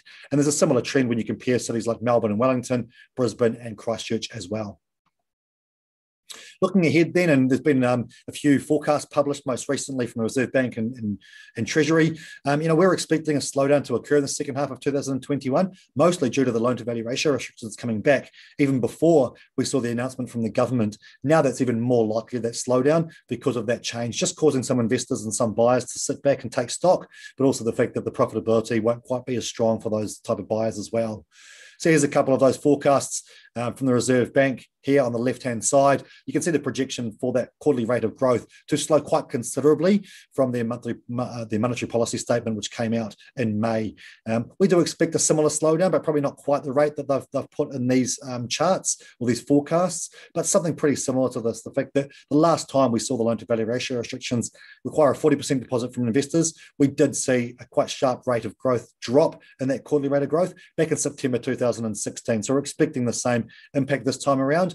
Add on the fact that we've got these changes from a tax perspective, and we do expect that slowdown to occur as we move throughout 2021. We do now, of course, when we're looking a little bit further ahead, have to consider the impact of the increasing interest rates. And in the most recent uh, monetary policy statement from the Reserve Bank, we can now see the OCR forecast, the official cash rate forecast, come back once again. And now the next move is likely to be up as opposed to be down, which it had been, you know, so much over the last year or so, where there was consideration for the OCR actually moving into negative territory. Um, now that's not really the case expectations are for those interest rates to increase. So we do need to factor this in. And many people who, you know, have bought since 2010 have only seen interest rates drop mostly. And so those people who have seen their mortgage payments drop away now need to start to consider the fact that what will they do? How can they afford to hold that property if interest rates start to increase and their payments start to increase as well? So we do need to factor this in in terms of a tempering of those expectations of continued growth in the market if people are expecting those interest rates to start to increase. And we're seeing this expectation now flow through to longer term interest rates by the banks. Those three and five year rates have already started to inch up. Um, and so we're already starting to see this flow through to the market where expectations are changing on what they were even three or four months ago. So really, just to summarise this this uh, this presentation today, we really do feel this has been the year of property politics. We've seen so much intervention from the government and Reserve Bank, but we do feel like now with all these changes, we're at or close to um, a turning point in terms of sales volumes and price growth as well. We're not saying price growth is going to stop completely or drop away in the short term, mostly because we've got such short short-term supply on the market. Also long-term, of course, from building uh, not enough over the last decade or two. Um, but we don't expect prices to drop away because of that. So we'll see a slowdown as opposed to a drop. In terms of our forecast of sales volumes, we are expecting sales volumes to drop away this year compared to last year, and potentially even see a slowdown further into 2022 as the interest rates start to affect the market, and we um, and we still see this continued burden of the fact we don't have um, our, our borders open for migration and also for tourism, which which will slow our GDP rather than where it could have been previous to that as well. So, um, you know, we need to consider that longer term effect, of course, and we don't expect those borders to be open anytime soon, especially until we see the sort of vaccine rollout really ramp up, which we don't expect to happen until the latter half of the year. And expectations of that happening by the end of 2021 are probably a little bit optimistic. Probably going to see that occur through to 2022. So, um, you know, certainly we're expecting the slowdown, not quite the rate that we've seen from the official forecasts. Um, but we're not going to we're not expecting prices to drop in the short or medium term either, just because we're seeing um, demand relatively hold up quite well, and we don't we haven't seen this this supply um, any change in that. We don't expect any change in supply to come anytime soon either. It's a very slow moving beast, and so that's really going to see some competition for property, which means those prices, or the very least, hold up over that short term. So that wraps me up for today. Look, thanks very much for your time. Um, I know we don't have opportunity for questions today, but certainly um, very happy to you know pick up questions at any stage following today's presentation. Available certainly via email uh, on LinkedIn. Feel free to LinkedIn as well, and available on Twitter. So, and we'll, we'll send these slides around for digestion at your uh, own own leisure. And do feel free to get in touch with us. Also, don't really miss an opportunity to plug our podcast. Uh, my CoreLogic economist and I, we have a weekly podcast where every Monday we get together and we chat about the most recent data that's come out and the impact it might have on the market. So anyone sort of involved in the uh, market professionally um, certainly pays to be attention, pay attention to that and see what's going on. So if you're a podcast listener, please do go check us out. Uh, we call the New Zealand Property Market Podcast, um, and we appreciate to hear your thoughts on uh, any feedback you got on that as well. So look, thank, let's say thanks once again for um, for paying attention today, and uh, feel free to get in touch following today's presentation. Otherwise, I will leave it there and say thank you very much, and we'll see you again sometime soon. Bye. Excellent. Well, thank you, Alan, and thank you, Nick. Uh, two great presentations full of some really interesting and important data and insights. Um, we're off to morning tea now. Uh, it's time to go network with our sponsors and network with the delegates.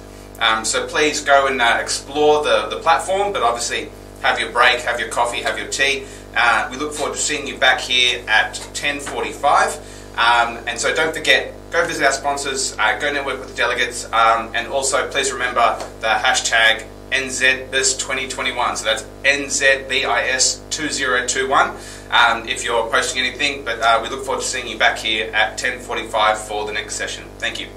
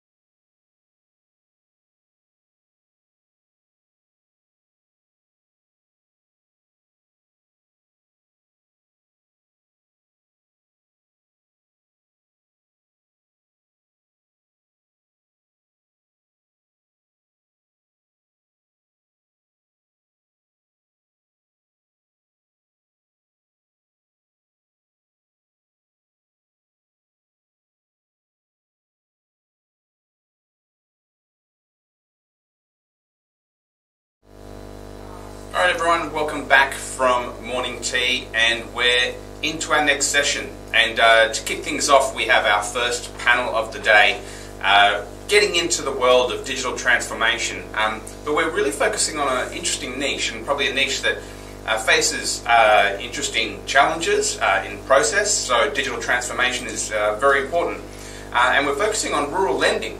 Um, so really interested to hear uh, this panel uh, and waiting really interested to hear what sort of solutions that exist for, for such a specialised area. Um, just a quick reminder, please click on the stream um, side of things so you can actually uh, see the chat occur through the sessions. I know that there are a few people who are watching the stream um, in the sort of main lobby area, but um, in that way you would have missed out on the chat functions. But um, yes, so please click on the stream so you can see all of the functionality. Um, but yes, looking forward to this uh, next session. Um, great panel hosted by Mark Bernardi, uh, who's GM of APAC for nCino. We've got Judy Slim, who's Regional Vice President uh, for Farm Credit Systems from nCino.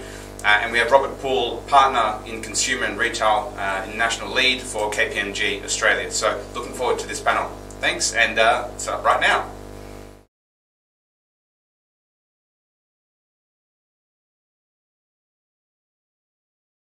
Good morning, and thank you for joining us uh, today to discuss digital transformation in rural lending. Um, access to capital in the agricultural sector is more important than it's ever been before. If there's any sector that stands to benefit from the advances in digital engagement, it would be the farmers um, and getting the ease at which they can engage with their lenders. 2020 presented further challenges as they were forced to operate under COVID 19. And looking forward, there seems to be more change to come, whether it's change from risk and environmental compliance, changes in geopolitical pressures, or changes in land and commodity prices. There's a role for lenders to play in supporting the farmers in both New Zealand and Australia. Before we get into the conversation, though, I would like to just share our safe harbor statement. There will be some forward-looking statements in this uh, presentation, and I would encourage you to read through this um, so that you can be fully informed um, around some of the risks and uncertainties that relate to some of these forward-looking statements. I'm pleased to welcome Robert Poole um, and Judy Slim, who will be joining me in the conversation. Robert is a, a, partner for the consumer and retail sector at KPMG, where he's been there since 2017. Robert comes from a, a farming family uh, in country Victoria and has been uh, extensively involved in agribusiness and food supply chain. He has used this experience to successfully build an incredible um, food and agribusiness practice at KPMG from scratch uh, to be now the number one, well, KPMG is now the number one professional services firm in the Australian food and agri-business sector. Um, I'm also joined by Judy Slim, um, a colleague of mine from uh, nCino in the Americas. Uh, Judy has over 25 years of experience in the financial services industry and has spent over the last past decade working with US Farm Credit. So thank you for joining me, uh, Robert and Judy, and looking forward to the conversation. So Robert, well, let's dive straight into it. I think before we kind of talk about, uh, you know, technology and uh, nCino, um, I'd love to, you know, welcome you to share some of the experiences and observations that you've made about the agri sector in Australia and New Zealand. Hey, thanks, Mark, and uh, good morning, everyone. Uh, yeah, it's a it's a really uh, interesting time for agriculture, food and fibre production uh, we're looking at a period of, of growth. We're looking at a period of global population growth, middle class income growth. And I think from a farmer's point of view, it's been one of the best periods of being a farmer for, for many, many years. Yes, we have we have challenges, but um, just a general sense of excitement around farming and agriculture, I think, is um, as strong as it's been for some time. Um, so, however, on the flip side, that comes, as I say, with challenges that we've got to overcome. And uh, we've seen uh, geopolitical trade challenges emerge in, in the last uh, 12 to 24 months. Uh, there's pressure on us to farm more sustainably than we ever have before, and that, that's true in both Australia and New Zealand, where there's there's pressure on us to use natural resources and protect the environment um, in in more ways than ever before. Uh, access to labour, Mark, is a is a significant issue.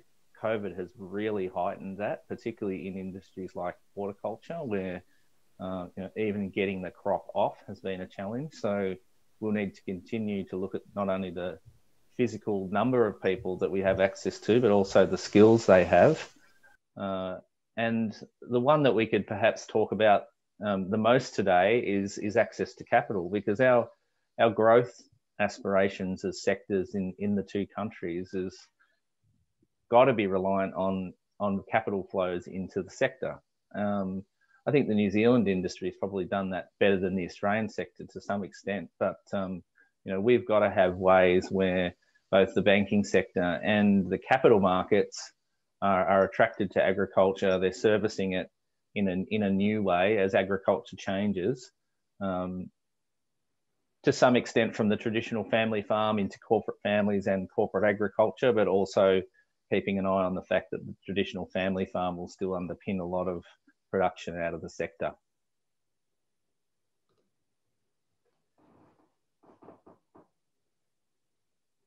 So we wrote this report, Mark, um, Talking 2030 um, for the Australian industry. Um, it's something we're very proud of because I think what it did was change the narrative uh, in Australian agriculture from a sector that was maybe um, not seen to be a modern sector and seen to be a sector under pressure turned it into into a sector that was had a had a true growth ambition. And I know working with my um, colleague Ian Proudfoot in in KPMG in New Zealand, he does a he does a very similar thing. In fact, he does a better job of it than me probably in terms of setting the vision um, for agriculture in New Zealand and setting the the challenges and issues um, that uh, we have to address to be part of that. So if you just flick to the next one, Mark, I think uh, credit to the ANZ, they did a piece of work um, called Greener Pastures back in 2012. And what this figure of $600 billion of capital required to not only transition from the baby boomers into the new, into the uh, next generation of agriculture, but also to grow it to this 100 billion. Um, it just shows that you know there's huge amounts of capital required either through the traditional lending system um, or through the uh, you know through the new flows of capital through through the wealth sector and um, the pension fund superannuation sector. Um, but you know, I think I said to you in preparing for today that you know maybe if you said Robert, what is the most important thing for growth in agriculture, uh, then it probably is access to access to capital. So you know th- this just cannot be underestimated as a absolute critical feature to, to us achieving the growth ambitions that we have for the farm sector. Uh, so, you know, maybe maybe the the final point to say is that, you know, how, do the, how does the banking sector prepare for this? Um, how do they make sure that all those key moments that farmers have when they're dealing with them are as efficient as possible? Um, how can they grasp the power of the data uh, that they're going to have for the benefit of their customer uh, and for their for their own management as well. I think they're really big issues for the banking sector to deal with over the next sort of uh, few years. And, and Robert, I think you know when we were chatting uh, previously, um, what really um, stood out to me is I, I, guess your your background of actually being from a family and running a farm um, you know, what's your personal experience been when it comes to actually trying to access loans or apply for facilities? You know, like what does it feel like to be the person on the ground looking for that support? Yeah, and as you know, I was also a, a rural banker myself for a while, so I've, I've sat on both sides. I've sat on both sides of the fence as, as a lender and, and, and as a customer.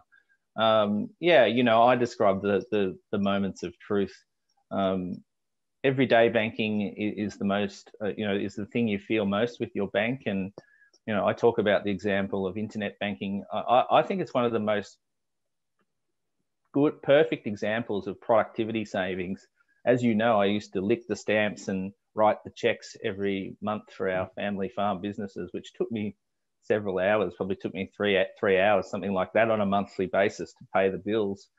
Uh, I think internet banking took that down to maybe 30, 40 minutes of effort. So, you know, internet banking, just as a simple digital example, gave me back two two and a half hours a month.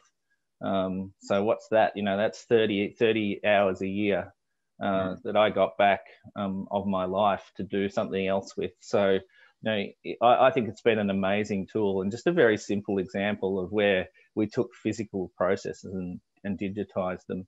And that flows into then your, you know, your monthly accounts and your, uh, your tax management of your tax position, etc.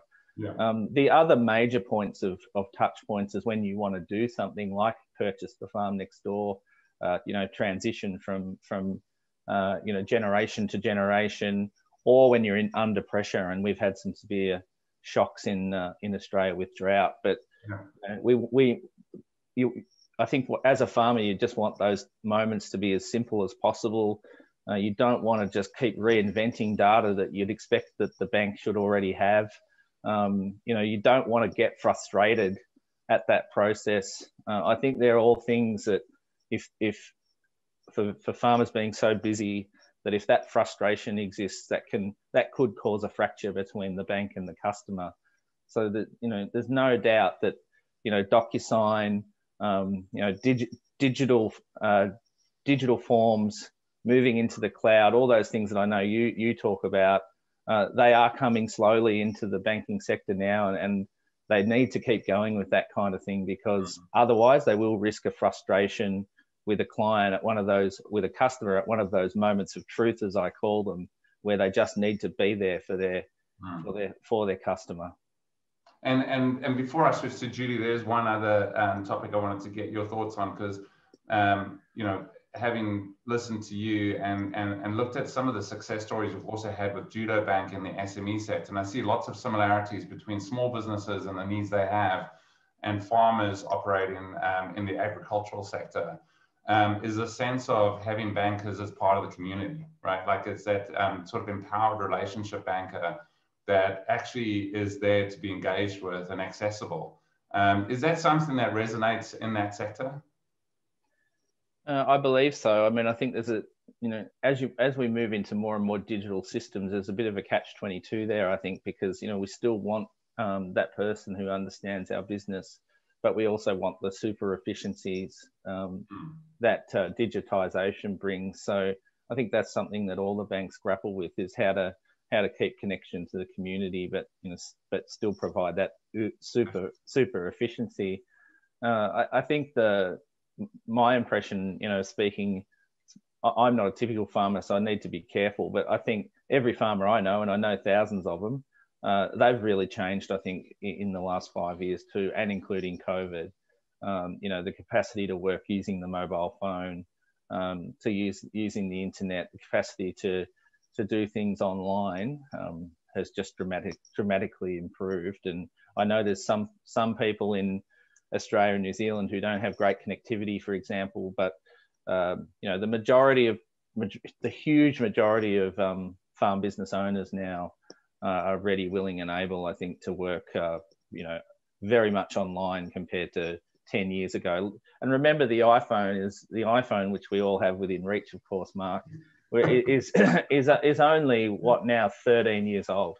Yeah. So you know, it, it's a what this has done to our lives is both incredibly scary but incredibly um, exciting, and yeah. you know, the capacity to collect data and provide data uh, into the into your lender um, there's no doubt we can do that now. It's just a matter of how you want to design the system to do it, what mm. data you want to collect, and what you're going to do with it. So, you know, making sure that that's trusted and it's there for the right reasons. But um, certainly, every human being on the planet now is ready to participate yeah. in their lives and businesses through through something like a mobile phone. Hundred percent agree, and I, look, I definitely think that um, you know bankers still have a role to play. They just need to change the nature of that relationship, right? From much like you shared the story about, rather than becoming data uh, manufacturers or rekeyers, to actually um, spending more time having relationship-based discussions. So that's a great segue, um, I think, uh, to to Judy. So Um, we, you know, we've heard, I've certainly heard about the US Farm Credit System, but really as only a result of being at nCino. Um, for our audience in uh, New Zealand and Australia, it'd be great to just learn a little bit more about what is the US Farm Credit System and, and, and maybe also a little bit about what nCino's been doing uh, in this system.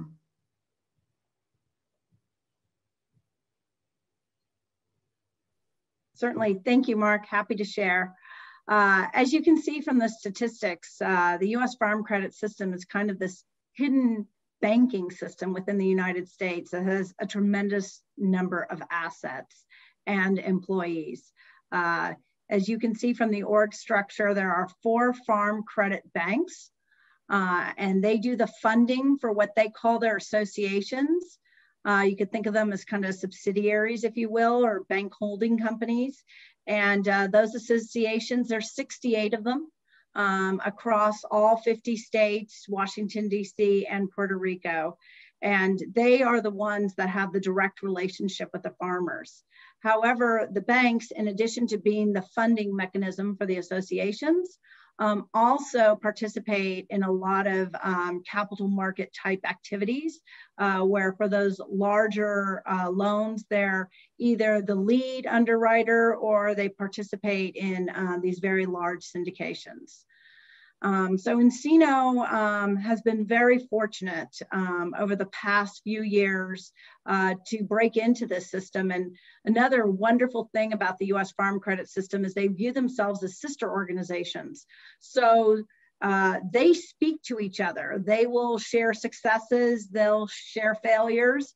And when they find um, a vendor where they're having a lot of success, uh, they like to share those secrets. Um, and so at this point, uh, nCino is fortunate enough to have the majority of the farm credit system as our customers. And we have about 13 right now live on nCino, and then the vast majority are still in project. But even though they're still in project, uh, with the world changing so rapidly in the last few years, uh, even those that are in project found ways to really maximize their investments in nCino. And one great success we had is in the United States, I'm sure you heard about our PPP government funding program um, to try to stimulate uh, the economy. And so all of a sudden there's this massive rush on traditional banks as well as farm credit banks uh, to take this money available by the government and to put it in the hands of their customers. It was specific to small business. And nCino was able to uh, what we call spin up a solution in a matter of a week. Uh, and bring that to our banking customers. Five of our farm credit customers utilize that and we're able to rapidly uh, put through these loans. And in the United States, that was super important because it was just a finite amount of money. So it was first come, first serve. And so obviously to all these businesses and farmers, it was super important. The other thing that we saw with COVID in the United States is, as Robert was alluding to earlier, this massive push uh, to digitally uh, communicate with your customers. And so another success we had this past year is uh, one of our uh, farm credit associations or banks, as, as you might think of them, uh, was able in 15 weeks from start to finish excuse me though that was 17 weeks not 15 i wrote it down and i misspoke. 17 weeks start to finish um, was able to utilize our online application process to uh, allow their customers to apply for loans uh, to exchange documents with the customers, whether it be tax forms, as Robert was saying, that's often important uh, when uh, looking at loans and structures. Uh, so they were able to start to finish, spin that up, and then they had 540 employees within the bank using that so that they can analyze and communicate back and forth with their customers. Um, and, and now they're moving forward with the rest of the whole loan origination rollout journey of nCino. So it's a classic case of the crisis driving the necessary change um, of, of, card adoption, and, and hopefully that's going to continue to deliver benefits um, for, for the lenders in that system. Yeah, absolutely. Uh, you know, digital is here to stay.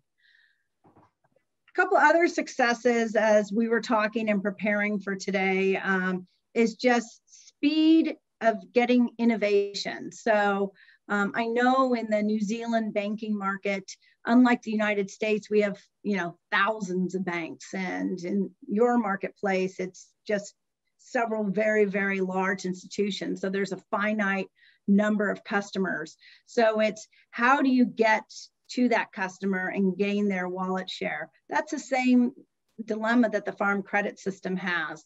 And uh, so that's another area where just speed of being able to implement. One of our customers was able to um, improve their speed of innovation by 87% um, from idea to implementation. It went from one year down to sometimes several weeks, um, again, through the use of automation and nCino. And I think the next slide has um, a really good quote from one of our customers, Texas Farm Credit. As you know, Texas is a very large state in the United States.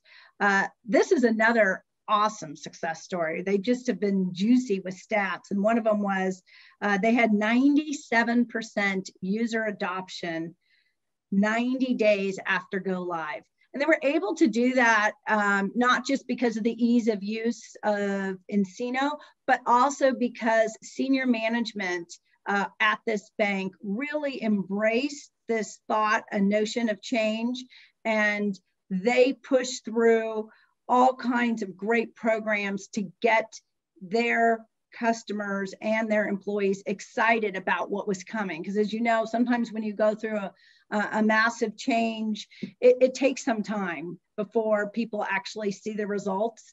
And so by getting everyone super excited about this new technology, they were able to get tremendous user adoption. Uh, they also saw 94% reduction in administrative training. So just to get their employees up to speed on a new system or their processes at Texas Farm Credit, it went down from 12 months to three weeks. And if you notice, everyone, I'm actually looking at a sheet of paper because I want to make sure that I'm stating these facts correct because these numbers are just tremendous. Um, and of course, with stories and success like that, that's really helped us through the farm credit system. Yeah, and I think I, I mean, look, it, it, it you know, often we think about the customer experience, and it's important for us to think about the customer experience because I think, as we were discussing with Robert, the farmers are looking for ways in which they can save time, submit documents digitally. But we often forget about the banker experience, right? Because there's always two sides to that relationship. And um, I know as a banker, you know, when you come in those first days, um, you're just trying to work out the 15 systems you have to interact with uh, to pull this information together. Um, and I, I, do see a lot of value in, in the discussions I've had of what we call this time to competency. Like, how quickly can I bring in someone new into my organization and start to be efficient at delivering a service? Um, and that's where I think you can't um, overstate the value of providing tools that are intuitive right, to your bankers so that they can learn quickly because we don't want to go and see someone and then go, you know, give me give me a couple of weeks to work out what exactly I need to ask from you, whether I've got the right stuff, and then come back two weeks later and say, by the way, um, we need to actually get that additional document. I didn't I didn't realize. So um, I, I, do agree. I've, I've looked at the uh, video on Texas Farm Credit, and I think the, the, their compelling story about really enabling their, their team um, is, is, pretty powerful. Um, that's that's exciting.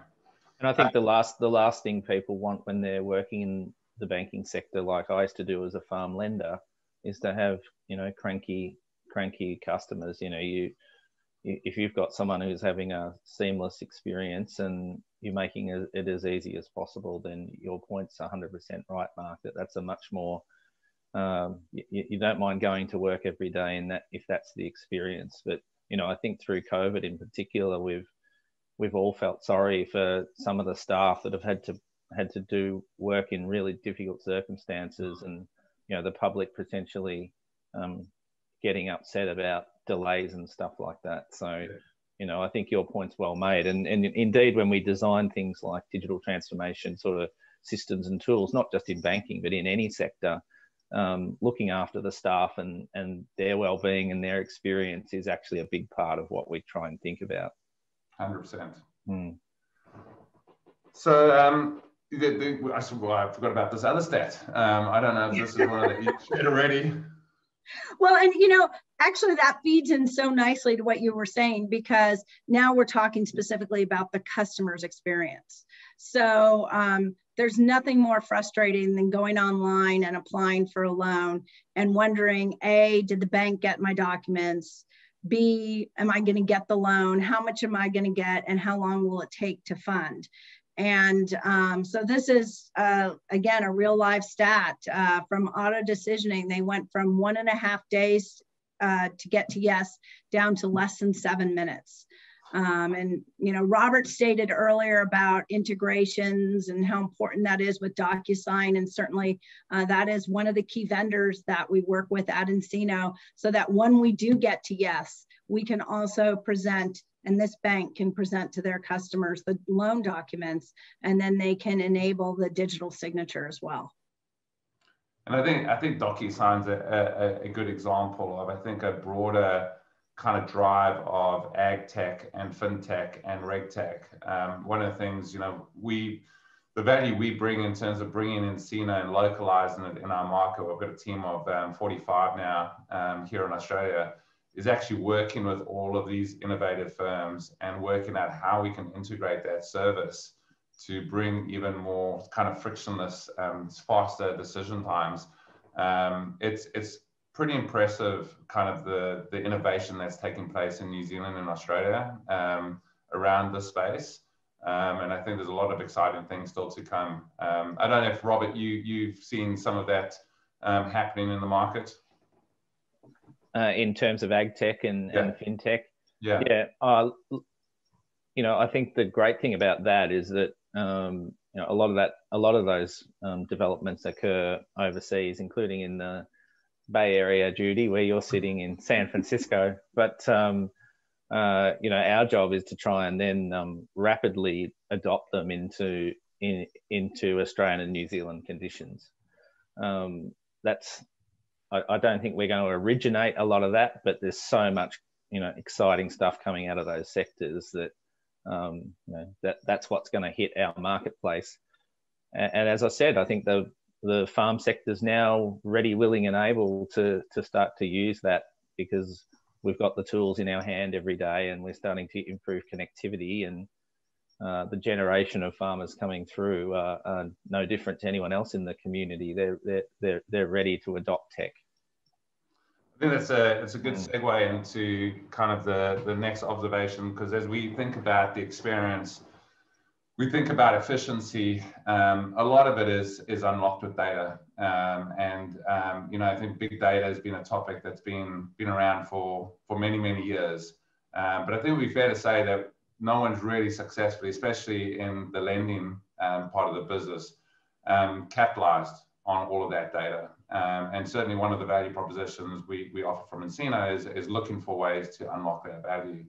Um, I know, Robert, you you and I were talking, and I think kind of related to the sort of ag tech and reg tech, um, just in terms of the opportunity for lenders. Now, if we put ourselves in the position of lenders, mm.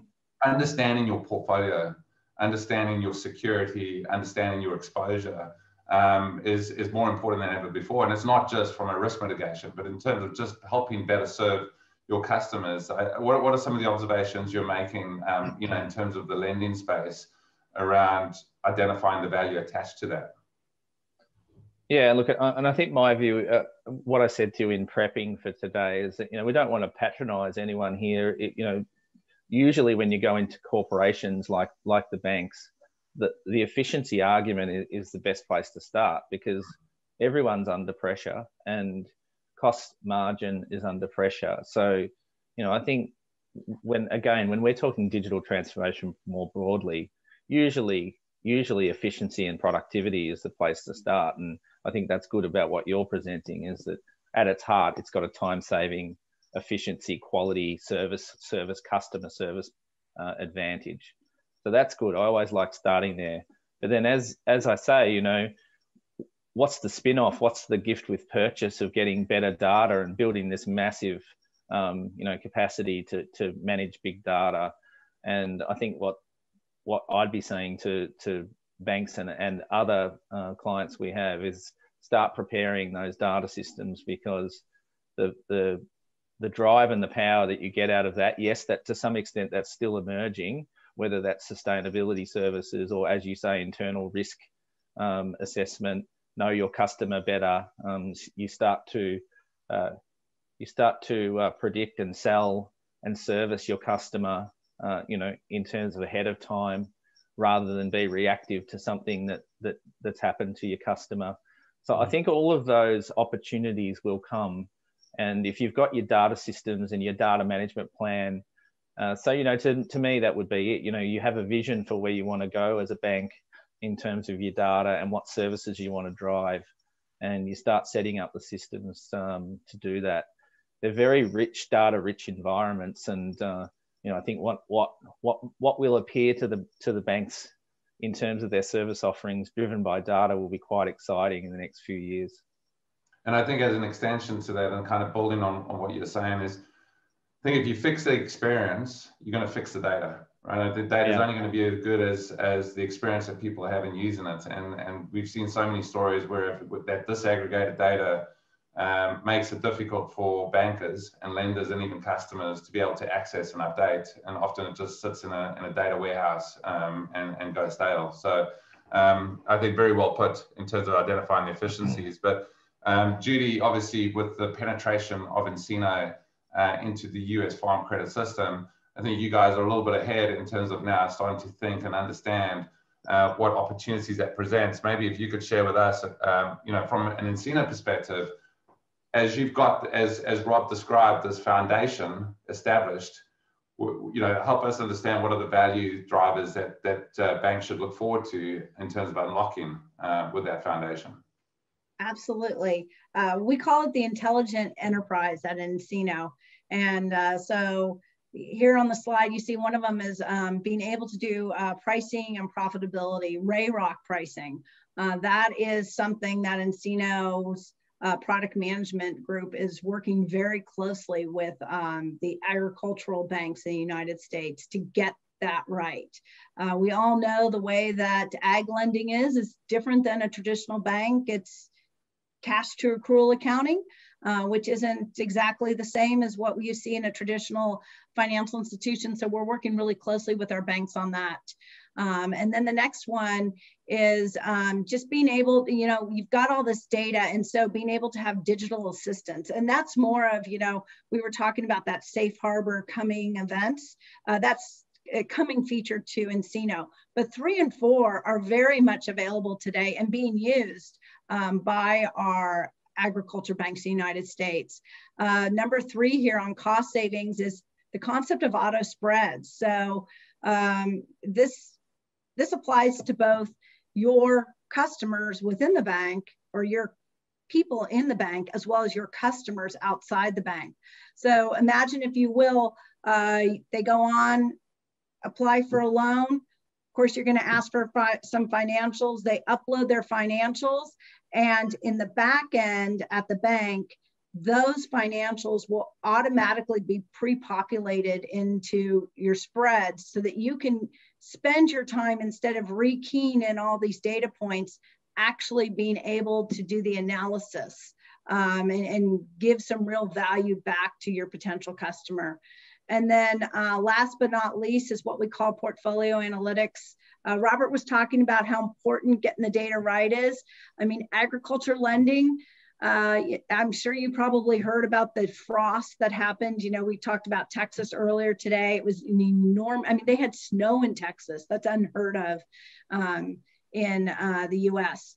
And, you know, those, those banks needed to know right away who are their farmers and what crops are going to be adversely affected by this snow. And of course, um, citrus crops were one of them. And so with these portfolio analytics, you can go in and, and mine your data portfolio. So those are just two examples that we're seeing in the United States right now of our customers using the intelligent enterprise um, to be powerful and to add value.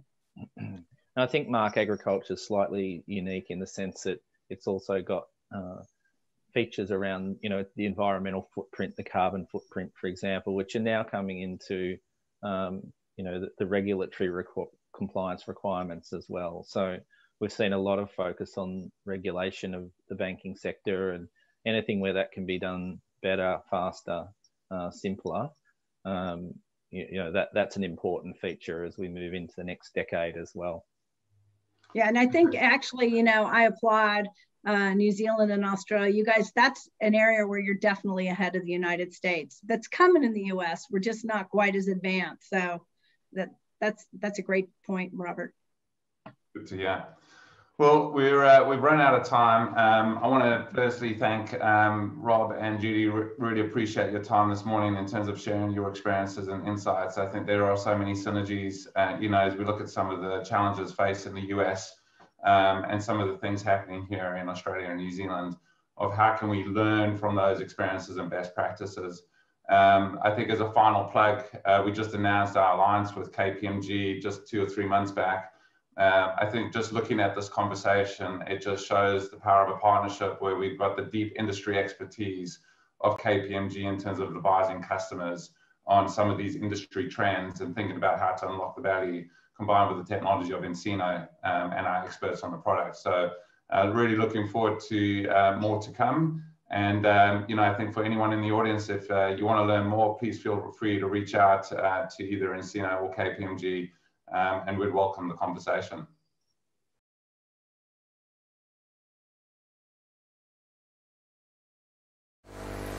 Excellent. Well, thank you for that session. Um, great session, very insightful. Working uh, working in a very interesting sector, uh, obviously having very specialised needs. So coming up next, uh, we have two sessions. They'll be back to back.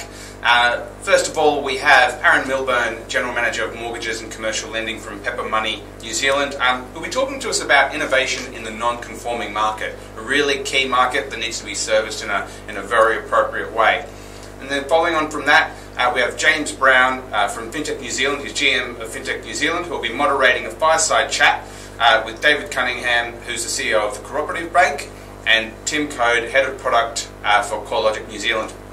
And in that fireside chat, they'll be discussing digital banking and the evolving trends, evolving trends of 2020 and uh, into permanent behaviours. And I think we've seen a lot of digital adaptation uh, occur, a lot of new adoption. Um, so I think yeah, it'll be really interesting to see what they've seen as uh, permanent uh, permanent adaptation to those digital innovations. So uh, coming up next, uh, Aaron Milburn, and I'll, after that we'll see you uh, for the lunch break. Thank you.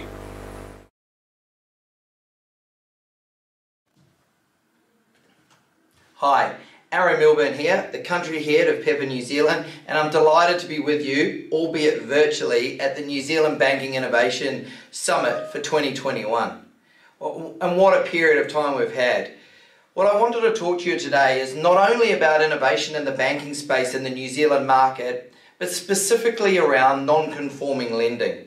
I want to take you on a journey of what we have found as Pepper New Zealand as we entered the market post-COVID and the innovation that we're looking to introduce and challenge the industry so that more Kiwi families can avail themselves of home lending now and into the future. So, why did we come to New Zealand? Well, we came to New Zealand off the back of one fact, and that was that in 2019, our research showed that 23% of Kiwis that had applied for a home loan had been declined. That's a really big statistic. So let's think about that.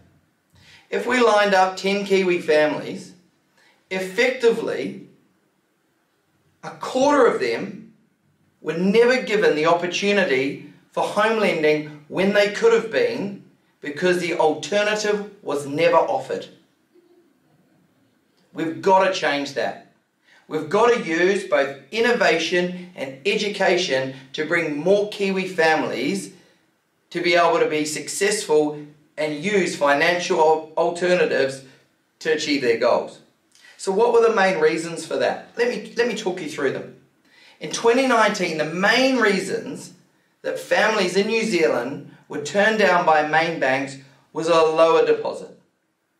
There was unusual income, a lot of self-employed income, where main banks were unable uh, to use that income to help families achieve their goals. Debt consolidation. There was a number of customers that flagged to us that when they went to their main bank, tried to consolidate debt, be it from life events or just accumulation of debt over a period of time, they were turned down. And finally, poor credit history. And a number of those families, it wasn't due to going to the racecourse and losing uh, all their money in their pay each week. This was because they had undertaken a life event. One of their family members had become ill. They had taken out credit cards that had to stop working to care for that family member. When that family member had recovered or was in remission and that other party had gone back to work, they had that debt that they needed to consolidate to get back on the ladder and no one was there to support them. Almost 40% of those who were rejected were never made aware of an alternative. So let's think about that. 40% of the families that could have been offered an alternative to get into a better position were never offered the opportunity. Now, that is an opportunity for us. That is an opportunity for us as an industry to change. That is an opportunity for us to come together as an industry to try and help those families succeed where currently they are not being offered that option. And again, it's irrelevant whether we talk about Pepper New Zealand or any other lender. I come at this from an industry standpoint where it's up to us to help them. Now, three in ten of those people waited at least a year to try and get lending. A year. Now, I don't know about you, but the market moves a hell of a lot in a year. And that then further puts pressure on those families that are looking for solutions. And just over 1 in 10, they never had the courage to come back and try and apply again. Why do I use the word courage? A big part of my job in New Zealand is to talk to those families who were never offered an alternative. And what they say to me is it took immense amount of courage for us to go and ask for help for our bank. And when we were turned down, we were embarrassed. We didn't know where to turn, and so we did nothing. And that's something we need to change and work together on. So, so what's happened since? What's happening now? What's happening today? Well, the 2021 New Zealand RFI data, not REFI data, RFI Council research shows 12% of people currently this year that have applied for a home loan have been turned down that were in that survey group. That's from January to April. 12% have been turned down. And the reasons have changed. The reasons have completely changed. So, the number one reason that those families now have been turned down is because the property did not meet the criteria of the lender that they chose. The second is unusual income, and again, self employed. Now, I don't know about you, but when someone takes the courage to go and be self employed and follow their dreams and aspirations, they should be supported. And what we're seeing in the RFI research and the data is that they are not when it comes to home lending. The third was an insufficient deposit. And the fourth was they intended to service the mortgage themselves. So the reasons have changed. But what are some of the other findings? What else are we seeing out in the marketplace at the moment in New Zealand? Well, borrowers now are considering up to 3.9 lenders when they look for home lending solutions versus just two and a half six years ago. And you might say, well, that's a fantastic stat. Thank you for bringing that to our attention. What does that actually mean? Well, what it means is that there's far more consumer choice in New Zealand than ever before. There is more product. There is more innovation. There are different ways and different lenders like Pepper New Zealand who are entering the market to offer new solutions and technology platforms that simply haven't been available before. So there's more choice. Non-conforming borrowers, and again, let's not confuse non-conforming with credit impaired. If we look at Pepper Money, over 80% of our borrowers are completely clean credit. Non-conforming means non-conforming to the standards of main bank credit policy. And the elasticity of that policy determines the size of the non-conforming market in any jurisdiction that non-conforming is held. So non-conforming borrowers specifically are more likely and more comfortable to look outside of their main banks when they look for home lending.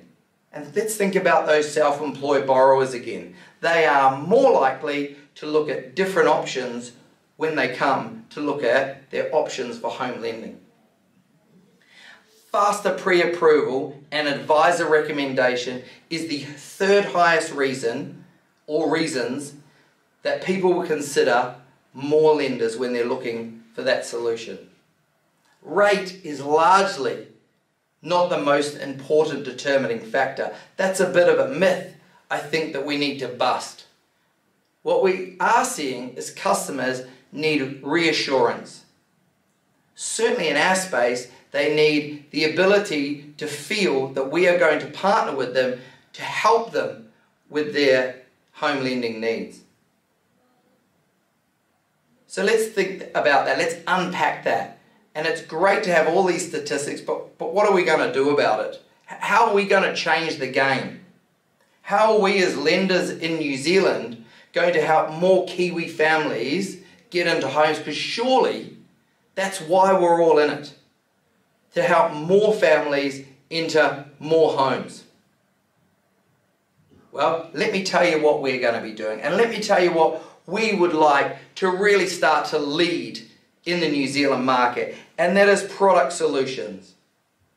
We are putting a lot of effort into working with different consumer groups in New Zealand to create new products that solve for the needs of the market for today. And still, we still see mortgage products being sold today that we sold to, albeit at different rates, for those that you who will know, uh, but the same product, largely. You know, true innovation is still lacking in our industry, not only in New Zealand, but across the Tasman Sea into Australia. Product innovation is lacking. We're going to change that. We are undertaking a global search for new product initiatives and ideas that we are going to bring into the New Zealand market for New Zealand families. We're also going to use those insights and the studies around that to ensure that the target markets that those products are designed for are right. We're going to look into culture and make sure that we're solving for the needs of the different cultures uh, within New Zealand. We're also going to look at the design. We're going to ensure that the products that we are selling today are designed for the needs of the consumers for tomorrow. Consumers now in the New Zealand market are starting to change. And so we need to be, not only my organisation, but all of us as a whole, at the forefront of that innovation and change, and then the delivery. And what do I mean by delivery? Well, how does a customer or a family access that product? Because they don't want to do it in the traditional way. The data and the research shows that digital capability and technology is going to be key as we move forward in our industry in the years to come. Now we overlay that with the new compliance frameworks that are coming into place and digitization has never been more important. In fact, some are calling it the fourth industrial revolution being digitization. We saw during the COVID pandemic how digitization could be used quickly to cover the gaps when we weren't able to move around and we shouldn't lose the edge and the growth that that gave us. If we go backwards from that, I think personally we lose a real edge, uh, and that would be a shame. So, what have we done specifically? Well, let me tell you about a couple of things that we brought into the New Zealand market, again to help more Kiwi families. We bought the Pepper Product Selector. What that effectively does is take between 10 and 14 questions and helps an advisor put a customer into the right product first time. It takes literally two minutes to do that and it enables that family to feel that there's a solution available to them. It has been widely regarded by the advisors that use it as a key tool now in their customer journey and conversations. It's about helping people, and that's what's at the forefront of our digital change. We also brought the first end to end submission platform into New Zealand for advisors, and we will continue to build out in that. We'll continue to put innovation into the platforms that were first to market in New Zealand as the digitisation of the industry continues. But it needs work. We need the valuation industry to change and come on the journey with us. Valuations are taking too long in New Zealand. We need to understand how we work together to simplify that. And the more digitization we do together, the more families we can help because the, seam, the journey will become seamless. So, what else are we doing? Well, we're going to continue with that product innovation. All of us will be looking at what that means moving forward. The world's changing. The different ways of earning income, such as the gig economy, is going to drive the way we credit assess and look at credit risk moving forward. We're at the forefront of that change. We're also passionate about the education of advisors. In our opinion, the advisor percentage share is way too low in New Zealand and it's not driving enough consumer choice because consumers just don't know what that choice is if they're turned down by their chosen lender. So we're partnering with the advisors, we're partnering with the aggregation groups, and we're partnering with industry to ensure that consumers understand what advisors do on a daily basis. How important they are to the fabric of New Zealand finance and home lending. And how advisors can show you a number of options so that you aren't one of the statistics that I spoke about and you miss out and you don't have the courage to come back when you really do have a solution available to you and your family. And then we're going to improve the customer experience. We're going to continue that journey. The statistics show that there's a real wave of emotion as you go through the home loan journey. The elation that someone's able to help you and that offer letter you get from the bank. To the confusion of the process, we live and breathe it on a daily basis, but our consumers don't. They've got the boxes packed. The kids' teddy's ready to go. They know what bedroom they're moving into, and the communication breaks down, and nerves set in, and anxiety sets in. And then you move back up into elation when you get the keys. We want to we want to smooth that journey. We don't want to see that trough. We want to make sure that customer experience across the board is there, and it's paramount that it's first class. And I've got a bit of a challenge for us. I've got a bit of a challenge for us as an industry. And the challenge is to work together. And the challenge is innovation, in my opinion, doesn't need to come from technology alone. Innovation can come from change of thought. Innovation can come from the way we do things and the processes and challenging the accepted.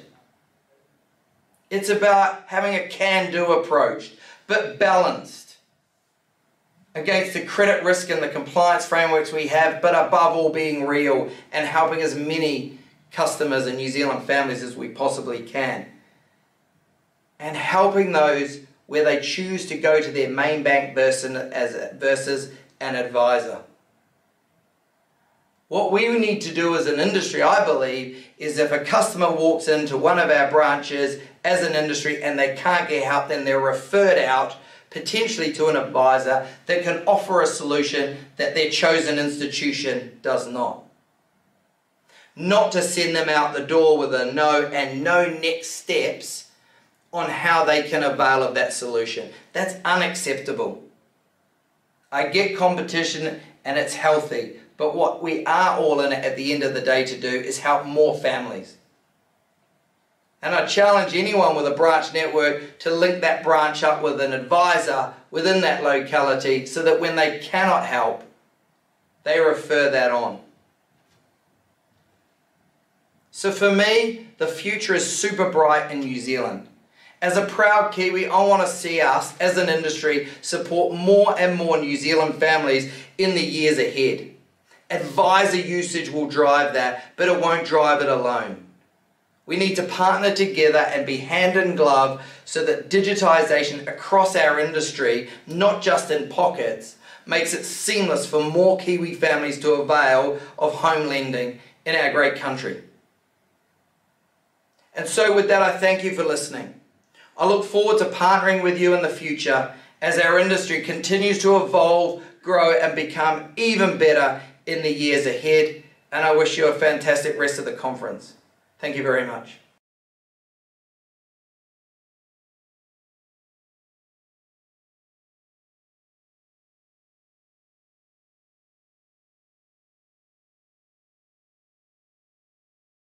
Good afternoon, everybody, and thanks for joining the session. I hope you're enjoying this conference. Uh, in today's fireside chat, uh, we'll be exploring digital banking. Uh, we'll look at some of the evolving trends of what we've seen emerge through 2020 and what might, or some of them might, become permanent behaviours. Now, we've got a great lineup for you. Uh, our speakers today are Mr. David Cunningham, uh, the CEO of the Cooperative Bank. Welcome. Thanks for joining us, David. Hi, everyone. And we've also got Tom Code, uh, Head of Product from CoreLogic, uh, who also used to be at the Cooperative Bank. Uh, welcome, Tom. Hi there. It's awesome to be here. So, just before we kick off, I'd just like to um, start by getting your views uh, around, I suppose, you know, 2020, and it was quite an interesting year for us. Um, and a lot of uh, your customers, I would presume, found themselves actually probably using more digital assets than maybe previously uh, from the years before. Uh, especially by the fact that we obviously had a, our newfound friend turn up, Mr. COVID, uh, and obviously forces into a situation where, especially things like money, um, we were no longer using or accepting checks and obviously cash, and we went into those sort of digital assets. So, David, I'll just start with you, but Tom, feel free to jump in. Just, I mean, what was the experience like from your own point of view um, as a, you know, as a as a customer? Uh, and then what was it like, I suppose, for your organisation and how you uh, dealt with that? Yeah, sure. Well, as a customer, nothing really changed because I don't think I've carried cash for something like 30 years since EFTPOS started in New Zealand. And so, you know, always try and have five or $10 tucked into the back of a mobile phone in case. But uh, so nothing changed for me personally. And I actually think that was the case for most New Zealanders because we're a pretty tech savvy country. Almost everyone has a mobile phone. You know, we've got customers in their 90s 90s or late 90s using a mobile banking app. I, I remember I was at, a, at an annual general meeting, we're customer owned. So I was at our annual general meeting, and those sort of things tend to be attended by older customers uh, who come in for the cup of tea or the free beer and cakes and so on. And I approached a customer who looked like they were in their 90s and says, Oh, which branch do you, you know, go to and belong to. And he said, Oh, I don't go. I just use the mobile app. you know, just about fell over because it wasn't what I was expecting. But, you know, so whilst I personally just continued to bank the way I've always banked during lockdown, uh, and you know used a card if we ever went to I ever went to the supermarket or whatever. Um, I think for our customers, it was actually largely the same. So at the margin, a few more people use digital banking, but you know, for us as a business, you know, we're strongly growing, and so our sign-ups to digital banking during lockdown were actually lower than outside because we weren't driven by all the new sign-ups we'd normally get. So, you know, a bit faster um, sign up. A few customers used internet banking, mobile banking for the first time, but really overall, New Zealand is so advanced in, in the use of technology that it didn't make a profound difference, in my opinion. Probably the one thing it changed most was the use of cash because almost no one used cash for that time. And so I'll, I'll perhaps talk about it a bit later. We changed how we approach cash in our branches um, as a result of lockdown but yeah, so you know, more of the same, I suppose, with a few more people, but the trend was really firmly established. Yeah, yeah, I would say it's probably, probably much the same for me. Um, I was at the cooperative bank for for you know, about half half the lockdown, um, and then it kind of finished up towards the end of the year. But it, it, you know, for me, it was um, yeah, it was using you know mobile apps, banking apps. I've got you know bank with a couple of different uh, major banks in New Zealand and, and a couple of minor ones. Um, it didn't really change for me how I approach things. Um, I don't think I've ever really carried cash around. Um, so kind of using banking apps and using, you know, contactless payment methods is just almost second nature. Um, and I, I, think, you know, for, for our CoreLogic customers, what we saw was, you know, people wanting to, you know, those, they still wanted the same information about, about their homes, about their properties. And instead of calling or instead of going into, into branches, banks were asking us how they could help do that more digitally. Uh, so we had a lot of interest um, for you know, digital mortgage origination processes off, off the back of that.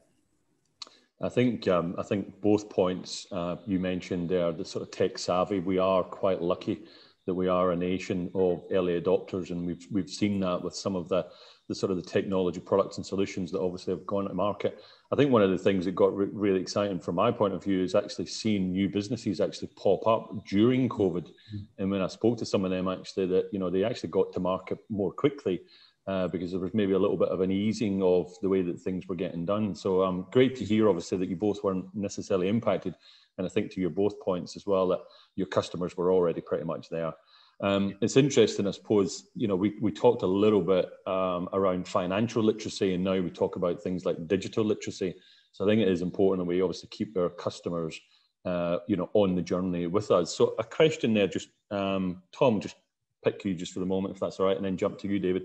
Um, how would you, um, as an organisation, then, how would you actually go about future-proofing the success, you know, with digital uh, and capitalize actually on the fact that you know we've accelerated the use of it um, certainly through the pandemic, but as mentioned uh, even before. I think what, what we need to do is make sure that we keep things simple and easy to use. I think that um, you know during the pandemic there was you know some of the opportunities weren't there to, to go in person, but so so people were using digital because they they had to potentially, um, but you know, in order to kind of future proof that, we, we need to make sure that we continue to produce simple, easy to use technologies, right? I have, I have a two and a half year old daughter, and you know, if it, it, some of them are easy enough for her to use, and you know, if it, it's almost, you know, if it's not toddler proof, then you know, it's probably not something we, we want to be rolling out to our customers. Mm, yeah, yeah. I mean, in that vein with young kids too, it's um, you know, my ten-year-old was sitting in the car. I was taking her to school, and my eight-year-old twins. One of them's got this watch. It's not an iWatch. It looks like one, but it only costs fifteen dollars. That captures pedometers and all that sort of stuff. And uh, and she was busy setting it up. I had no idea what she was doing, and it was just classic how that stuff is so simple. But a lot of that I think comes to design as well. There was something I was listening to today that talked about the iPad and you know why kids can navigate that so easily. It's because it's kept simple. There's there's no connectivity to a printer, for example, that would create all sorts of problems and so on. So you know, keeping it simple, keeping it sort of fit for purpose, and, and that. And I think that that point of simplicity is key. Like another, uh, I think it was a podcast I was listening to today, talked about MySpace. Don't know if you remember that, about 15 years ago, I think, and that was the way uh, people communicated. And along came Facebook, and the commentator was saying something along, along the lines of once they had Facebook, they looked at MySpace and said, "Oh my God, this is so complex, cluttered, and unusable. You know, I'll ditch it." And and and so you know, you become irrelevant very quickly if you don't a move with the times and and and, and b continue to invest. So i think that's the key theme is you know you've got to continue to invest. And you know a good example of that from a cooperative bank perspective is we launched our first mobile app about 2014 it was sort of leading edge at the time. You know we almost leapfrogged the, the, the marketplace by starting with a blank bit of paper but we totally replaced it last year. So it's only it was only sort of five maximum six years old and so on and we re, rebuilt it from the ground up so you know that was a you know not an expensive sort of thing to build for for a bank. We do it pretty cheaply, but you know that that was five or six years on. We were replacing something that was perfectly good, perfectly fit for purpose, but um, wasn't modern in the sense of technology and security and all those sort of things and ease of use. So, you know, involve customers in that process. So I think that insiders, you know, sort of fashion trends or tech trends change. And if you just sit on what you've got, you'll blooming quickly be left behind. Yeah, I mean, I think that's the thing, isn't it? Um, make it simple. I mean, I remember giving a presentation to a room that were, shall I say, um, slightly elder, and I asked them, you know, how how tech savvy or tech adopted did they actually feel? And a lot of them said, "Oh no, absolutely not." But then when I sort of simplified the question, I said, "Okay, how many of you actually um, fly?" So most of them put their hand up. Okay, so talk me through your journey. So there they were, obviously booking in on the app, you know, arrive at the lounge, order the coffee. And all of a sudden the penny started to drop. They're like, actually, maybe we are a little bit more tech adopted or tech savvy than we actually thought. And I think that's that easy, simple transition into that that helps that sort of that early adoption, which is great. So, I mean, from a from a point of view around, you know, customers and the, you know, dare I say, the demands of your customers, I mean, what what sort of feedback are they giving you around what they're expecting from their sort of their, their digital experience? I mean, is has that changed pre or post or during the pandemic? Uh, be interesting to just get your views. Hmm. Uh, I think it's probably accelerated what customers have been asking for, but I don't know if it's actually changed inherently the the overall ask, which is I want a Netflix like Netflix or Spotify experience from every kind of digital point touch point I have. Um, I think that you know with more turning to, co- to digital during COVID, I think we saw that speed up, but I don't think that's changed necessarily from you know a couple of years before. I think we've had these tech giants who've been leading the way internationally, and I think everyone's you know trying to keep up and, and you know, understanding that they've got some of the best experiences and that th- those experiences are what's making those companies successful, not necessarily you know data or you know the technology that's used. Mm. Yeah, look for me, I think in banking, you know, because most transact most things people do on the mobile app or internet banking are the really simple stuff. You know, pay a bill, set up an AP, check my balances, and so on. You know, look at the home loan details and interest rates. What's my KiwiSavers sort of doing? And I think banks have generally got that pretty good globally, and certainly in Australasia and particularly New Zealand. And so, I think the expectations of customers are uh, not necessarily changing a lot, they're already in a good place. But from my perspective, um, from a bank, I think we fail quite quite poorly actually from a complex transaction perspective. So think um, applying for a loan, for example, with the Consumer Contracts and Credit Finance Act, there's a whole lot of information we've got to gather. And so we go about gathering that by asking the customer to do a whole lot of stuff for us. so we ask them to tell, show us prove their income to us, we ask them to provide a bank statement so as we can look at them and make sure they can afford it. And yet, all of that information is available, right? And yet, we ask the customer to do that. And then to boot, we then ask our staff to get that information and analyze it and do stuff with it. And, you know, at our place, you know, we're not fully automated, we're working on it. But, you know, our customers, staff get highlighters out and go through looking for, you know, things like, you know, gambling sort of um, type situations that are evident from bank statements and so on. And all of that is available information that can be handled by computers. And as an industry, we don't do a great job of that. And things like open banking or open data, more particularly, where a customer enables the data to be shared with whoever they want, in this case, say us as a bank to support a credit submission, uh, enables that simplicity, that removal of friction for customers. And so I think because it's an infrequent transaction, customers put up with what is a pretty shitty experience, to be quite quite honest. And most banks are in that zone. And, and you know, the fault lies with the industry for not sharing data, making it easy to share data. Um, and you know, and, and banks and the like to, to build those processes. So I think you know, and some of that's sort of you know, we, we haven't got a, a, universal sort of approach to open banking in New Zealand, and consumer data rights is actually probably an excuse to hold things back until the government legislation tells us what to do. So for me, it's sort of like improving those customer and staff experiences is to remove friction. That's the big opportunity. And I'm not sure if customers expect that because they do it infrequently, but when they do, it should be a beautiful, simple, uh, frictionless experience. And I think banks have got a long way to go in many of those sort of areas. Yeah, I think um, you, you bring up some uh, some personal issues there, David. I've uh, gone through that exact experience uh, literally only in the last few months, where all of that information is residing with my my my bank, and all of the questions and the verification, and and you just sit there pulling your hair out. I really like Tom's uh, example there. Actually, Netflix. Um, you know, I've I've used a, a sort of a similar thing where in the olden days, you'd sort of sit with the family on a Monday night, you know, waiting for your program to come on, only to be left with a little bit of a cliffhanger.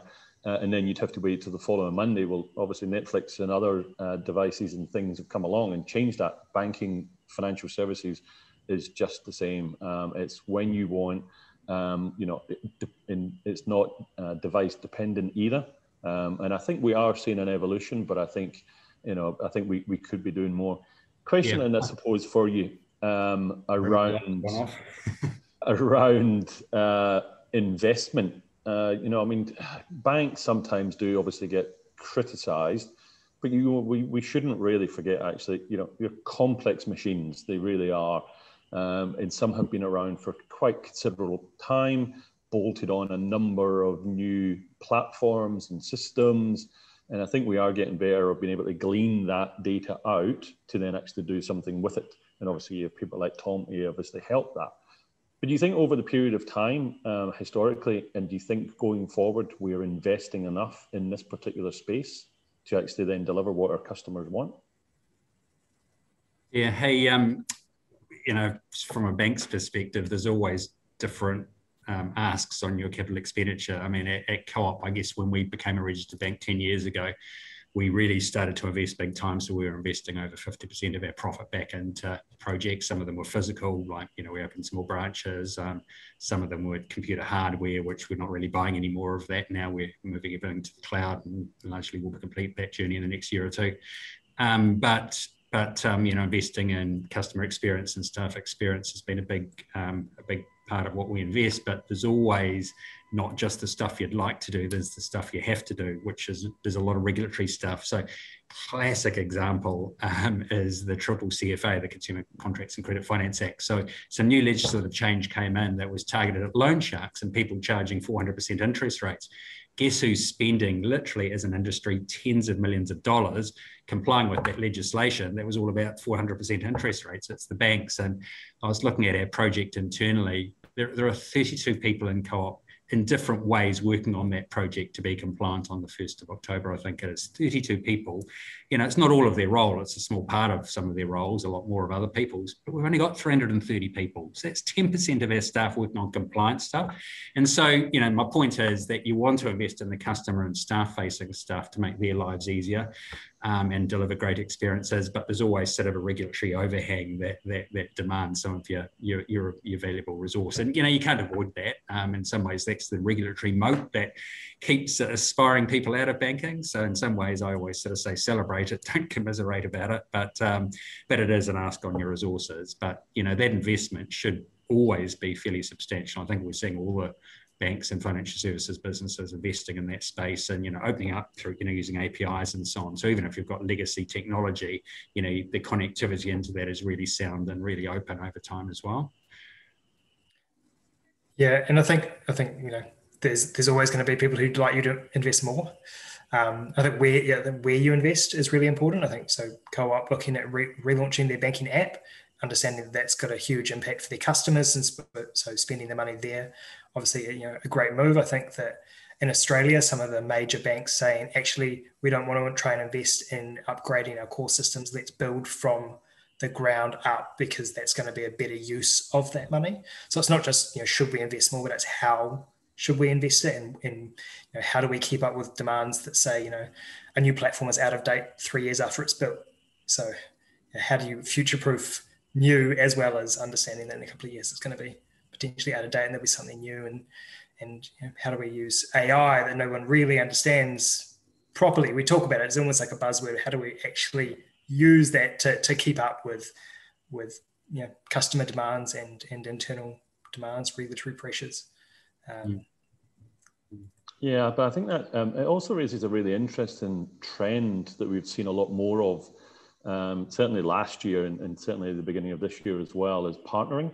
So I think to your point, Tom, it's um, there's not necessarily the need now to spend I don't know you know half a billion or a billion dollars in revisiting your your legacy systems. You can actually also partner with smaller, more agile tech companies and ultimately actually deliver a, a much better uh, out, customer outcome. I mean, mm. are you both seeing that um, from you know both sides of the both sides of the financial services? Is that something, David, that obviously the co-op is embracing? Yeah, yeah. Well, look, when we did have mobile app in the first place, you know, we we we'd had an internet banking that was year 2000. We had no mobile app in 2013, and we partnered with Alphero, which is a small Wellington, or at that time, smallish Wellington software house, and that was amazing because we delivered delivered a lot quickly. We've subsequently, in the last couple of years, brought that stuff to, into house, but that was a great relationship when we didn't have the skills in the early days um, in the frontline, front end development. Um, I think it's a really interesting sort of space in terms of fintechs. You know, you're sort of fintech NZ, um, James, but you know, I, I, sort of look at fintechs and go, I think it's really, really hard place to be because the challenge with any business is to get customers, and in financial services, banks have a hell of a lot of customers, and it's actually a surprisingly hard business to make money in um, financial services. So look at Monzo in the UK, so a neo bank startup digital only bank. Uh, last I looked at their annual report, they had 3 million customers. So by comparison, Co-op Banks has got 170,000. Their balance sheet is about three, two billion, uh, one and a half billion pounds, which is the same size as Co-op's balance sheet in New Zealand dollars. Uh, and they lost 123 million pounds last year, up from a loss of 77 the year before and you know a smaller number the year before that but they've consistently made losses whereas co-op banks you know made 25 million last year pre-tax sort of thing. And so it illustrates that it's not just about customers. How you monetize that customer relationship after you've won the customer is the challenge. And i reckon for fintechs the big opportunity is to partner with banks and financial services businesses as opposed to say, I've got a proposition, customers are going to flock to it because you can sort of say, look, all I need is 1% market share. But trust me, getting 1% market share is unbelievably difficult uh, unless something is so new and so unique. Um, and very, very few things are, and banking is a low interest sort of category. So the opportunity to partner more with um, fintechs, I think, is the real opportunity for both fintechs and banks because banks aren't don't have brilliant ideas and aren't you know agile in the way that startup businesses are, but equally they do have that customer base. And if you've got a platform that can integrate via APIs with the ideas provided by fintechs, you've sort of got a marriage made in heaven. So, you know, and then there's probably a subscription model or something like that. So I think there's, you know, that actually is probably one of the big futures for banking innovation is not to try and innovate yourself, but to leverage others in innovation. Because, you know, we're probably less entre- entrepreneurs, you know, we're more risk managers and so on at, at, at banks and customer experience managers. Yeah, I mean, I, I absolutely agree. I think that you know, CoreLogic, we'd, we'd see ourselves as a partner to major banks in New Zealand, but at the same time, we know that we we can't specialize in absolutely everything. So we actively partner where we know there are capabilities that will help us, you know, to, to grow and, and support our our customers.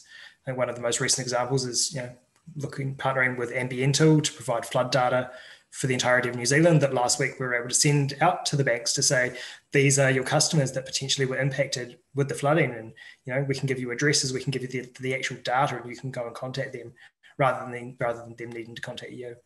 Um, but so I, I, don't know if I don't think it's just the, the large financial institutions or even the smaller financial institutions that need to be partnering. I think it's the fintechs partnering with each other to help mm. produce you know, combined solutions that are serving customers.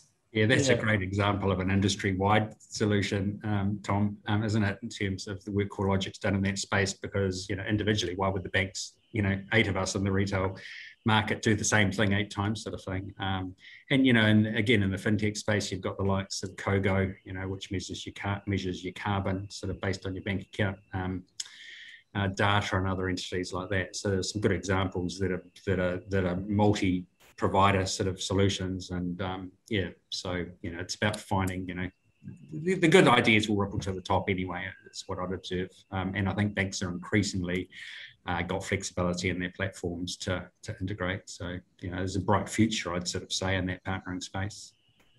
Yeah, I, I totally agree. I mean, I think um, you, you, you, mentioned the word fric- friction there earlier. I think that a number of years ago there was that sort of friction between large organizations in the techs because it's like you know you've got all the customers but you've got legacy systems and we've got this new shiny thing over here and well, we'll just build it because we've got the, the, sort of the the investment and the resource whereas you know um, you can obviously move more maybe more quickly. But then they sort of both found their feet and actually the relationship started to blossom and it's like well actually if we work together actually we'll deliver a far better outcome for, for both for both parties involved.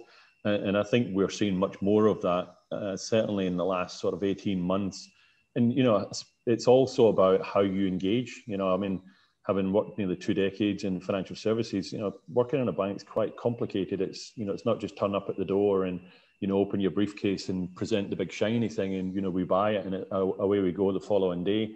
It does take a little bit longer. So, as part of our role, we're trying to help educate about the right type of approach, when to approach, how to approach, um, but being very mindful actually that there are some layers that you would need to go through before that partnership actually then came to market. Mm-hmm. Uh, but yeah, you mentioned things like CoGo. I mean, there's lots of examples now in New Zealand where we're really seeing you know great partnerships um, actually solving you know big big chunky problems mm. um, if we sort of just dive a little bit narrower just for the moment across financial services have you seen any particular trends in any particular part of the financial services sector so um, i don't know we talked a little bit earlier around like contactless payments You've seen more things happening in payments something happening in insurance is, is there any particular thing that sort of jumps out at you that you've spotted Mm. Tom, Tom or David? I'll, I'll, let you go, David. yeah, um, yeah. Uh, financial services, uh, you know, and payments has changed a hell of a lot in the last few last few years. I mean, it's sort of been interesting that things like mobile wallets, you know, so on the phone as opposed to the the card that sort of does the same thing, but brand brand sharing there. um, uh, it, it's sort of a steady progress sort of thing. It's been interesting how like we we don't currently offer mobile payments through the mobile phone and that, and it hasn't been something that we're getting the doors sort of um, you know bang down sort of a, about. So yeah, it's coming, um, but but you know it's really been tap um, that's been the big change rather than sort of swipe and so on. And you know I think with the interchange changes that are coming with the regular regular regulation of interchange sort of rates, that will probably support the acceleration. But from what I understand, something like half of all payments in our tap transactions, whereas go back five years, you know, it was, you know, 5% or less, probably zero actually in New Zealand. And I think the same is true in Australia too. So, you know, it's certainly something that New Zealand, Australia, globally has been a fundamental change. And, you know, it's almost like holding, you know, I think COVID sort of accelerated that too, because holding onto your card rather than passing your card to someone else or putting in a machine and pressing you know, pressing buttons and so on. Um, and and you know, the fact that the banks all lifted the the the payment amount to two hundred dollars before you had to sort of touch the touch the thing. You know, it's like something accelerates something that was already happening that was accelerated by COVID. That banks facilitated even more by changing transaction limits and so on. You know, um, and you know you get to hold on to your card so you don't leave it in the machine like I occasionally do and have someone say, "I thought you were a banker and yet you're leaving your card in the, in the machine." You know, um, uh, you know that that's convenience for the customer. So you know that's sort of a big change in payments. I think the other thing is in the open payment space. So uh, you know, we've seen online EFTPOS, for example, start to get a little bit of traction. I think most of the banks, or sort of several of the big banks now, along with Co-op, are offering online EFTPOS for customers, um, which is a really elegant solution and it's I guess a different way of paying from through card using the card schemes and, and so on. So you think about the likes of Afterpay and the and those guys, they're still using a card scheme card to make the payment and so on. So if online EFTPOS and, and open open payments or open banking, the payments part of that will enable better solutions. So as I yeah, can walk around the shop and point my phone or QR code or something, put my phone out a QR code and I paid for it and I can just pick it up, and pick up and walk out. So I think you know that that that removal or reduction of friction in the buying process, both online and, and physically in, in a shop will, will, will, change, you know. So yeah, in fact, there is a fair bit of change, but interestingly, it hasn't all been orientated around the mobile phone for payment because, you know, tapping the phone or tapping the card isn't too much different. Tom? Yeah, I was going to say the um, using QR codes for, for payments are um, not necessarily CoreLogic warehouse as much, but it's if I could speculate, I, I, can see that becoming a far more popular payment method. You know, in in New Zealand and Australia, I think, you know, in China especially, it's, it's massively popular, and, and that's because, as we touched on earlier, people have access to mobile phones. It's, it's really really easy to to hold up your phone and scan the barcode. And then what we've seen during COVID is that everywhere you go, you walk in, you scan your scan your phone first thing. So. Um, I, interested to see where that's going. I think open open banking, open payments is only going to help drive that and accelerate that.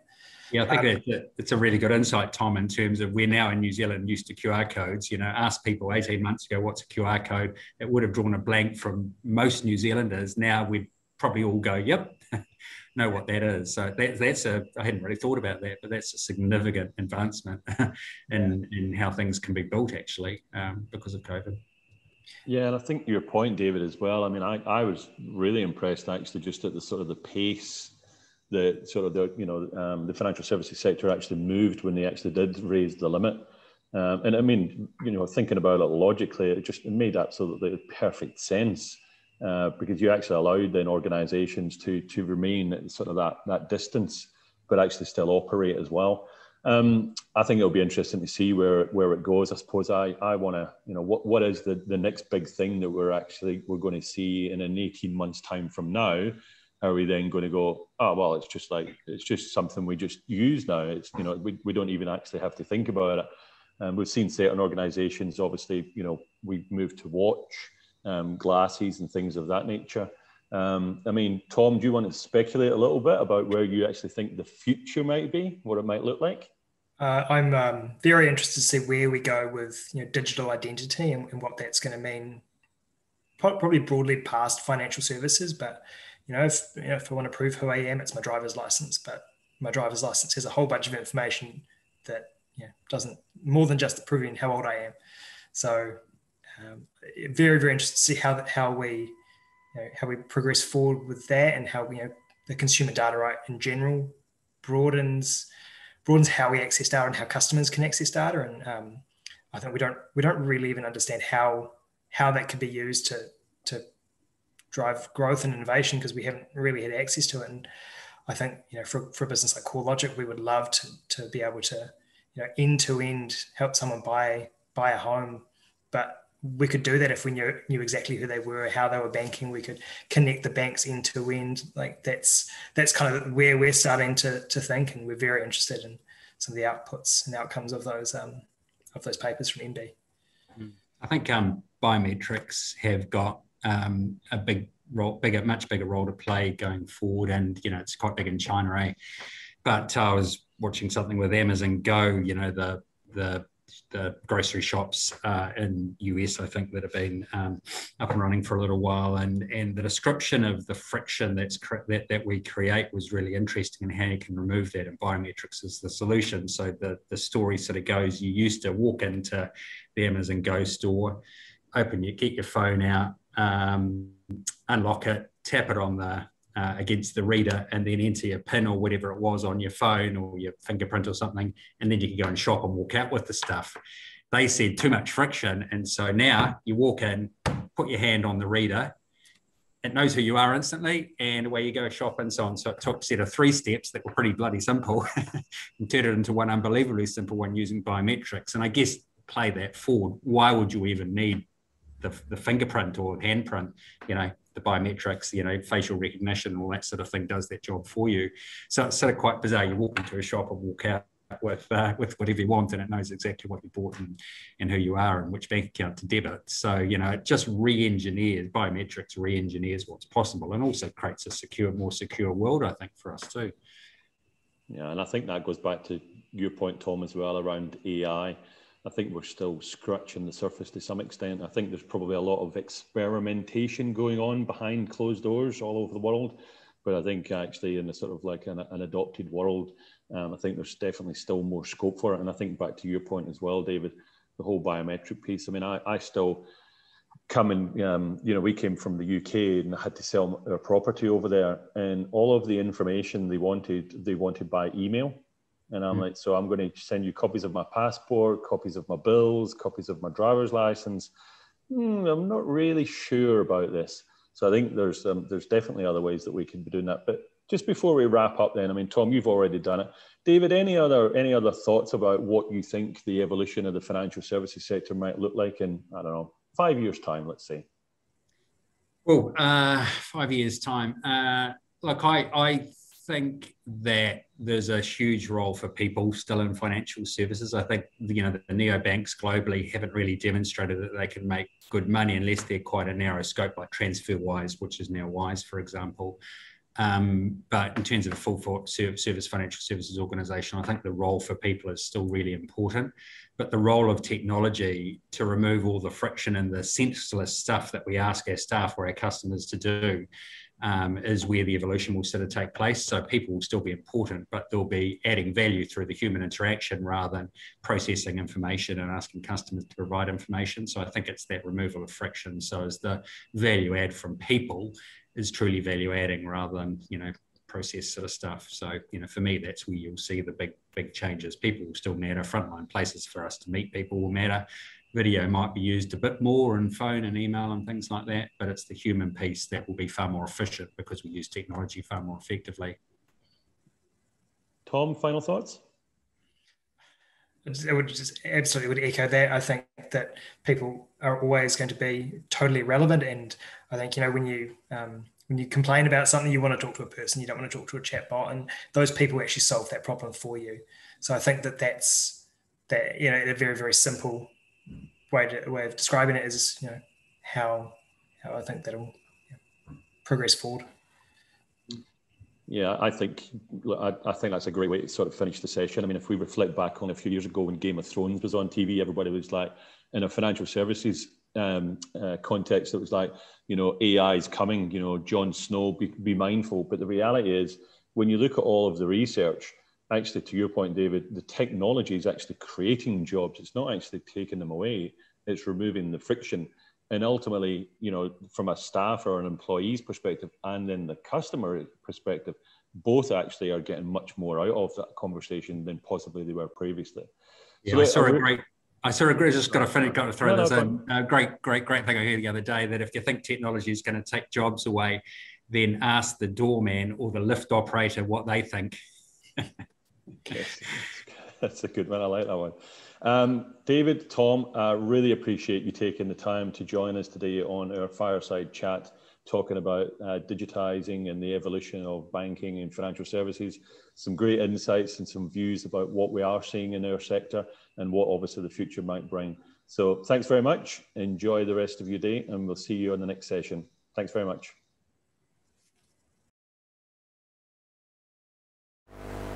Excellent. Uh, what a great uh, panel and, uh, and presentation by Aaron Milburn. So thank you very much, Aaron, uh, James, and David Cunningham, and uh, Tom. Uh, so what we'll be doing is going into the lunch break next. Um, so please go visit our sponsors, CoreLogic, nCino, um, and FinTech New Zealand. and please also go see the RFI booth and see what we're up to there.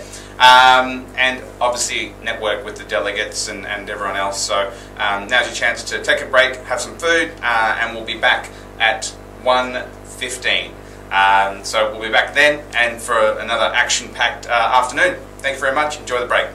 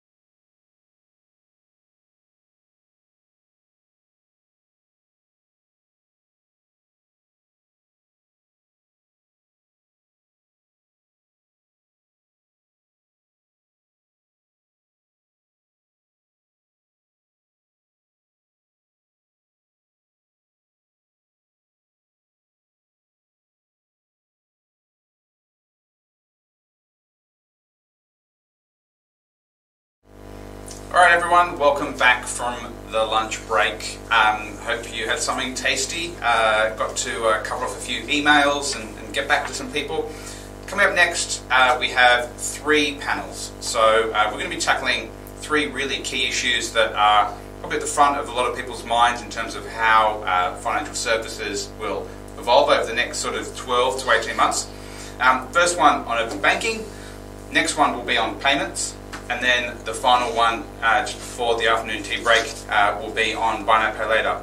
Um, but up next, uh, we have uh, the open banking panel uh, with me moderating it. Um, there's a fireside chat with James Brown from FinTech New Zealand and Jody Bullen who is head of open banking from ANZ.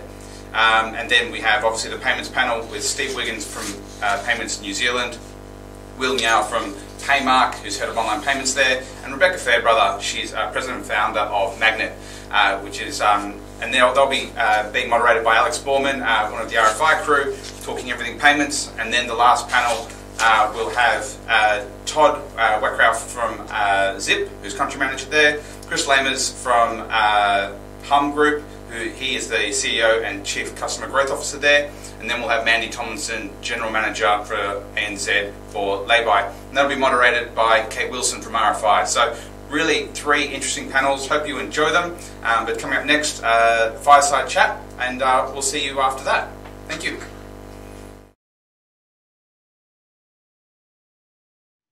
Well, thanks everyone today for joining us. Um, we're about to kick off the fireside chat on keeping banking open.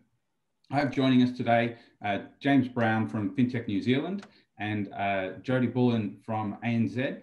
And we're here really today to talk about uh, everything to do with uh, what's happening on the horizon with uh, open banking or, or, CDR, but also talk about innovation in New Zealand uh, when it comes to financial services. Um, and one thing that's lingering and, and, we'll certainly be discussing in this conversation is around uh, what's happening uh, that's going to help the marketplace and that's going to help the participants uh, and the providers as well as consumers. Um, just to quickly quote uh, from the ministry consultation on open banking or CDR, their perspective is that it could give individuals and businesses access to a wide range of products and services to reduce search and switch costs, facilitate competition, and encourage innovation, um, and increase productivity to help the, build the digital economy. And I think that that's kind of similar to how a lot of other uh, systems and uh, governments have looked at this um, opportunity uh, in how data is used uh, by uh, institutions and also to benefit uh, consumers. There were four uh, main options put on the table uh, for discussions, and I know that discussions are still open at the moment. Um, the first option was to do nothing, let everything sort of sit how it was. Um, the next option was uh, to look at a legislative framework, uh, which would be pursued sector by sector, but not necessarily all.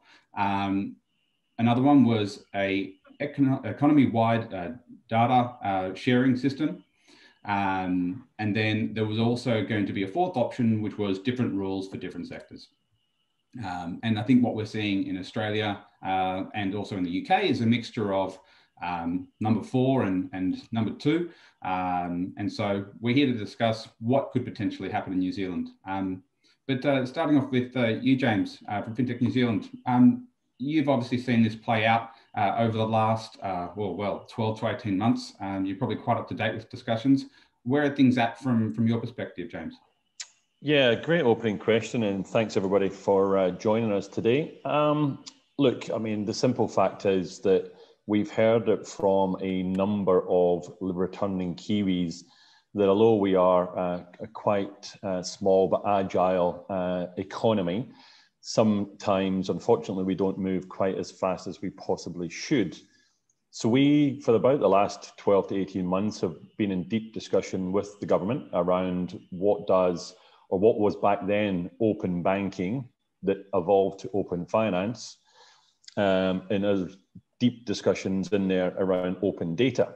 Um, so we are about to embark on an independent piece of work uh, supported by government, MBIE, um, Minister Clark and the Digital Council to what actually could it look like really for New Zealand. We are conscious that when you consider other jurisdictions around the world, uh, and even when you're actually considering uh, free trade agreements, about making sure that the regulatory landscape here in New Zealand is such that it actually helps thrive or innovation to thrive rather than the opposite. Um, so we are sort of we're we're laying the foundations, you might be able to say, um, but it's definitely been a hard journey or a harder journey than it really needs to be.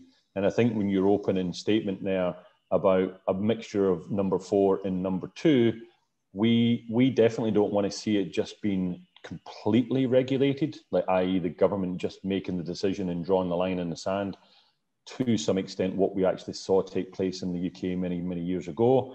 Whereas if you look at what's happened in Australia and obviously their adoption of CDR, customer data rights, um, that I think was a little bit more of a collaborative approach.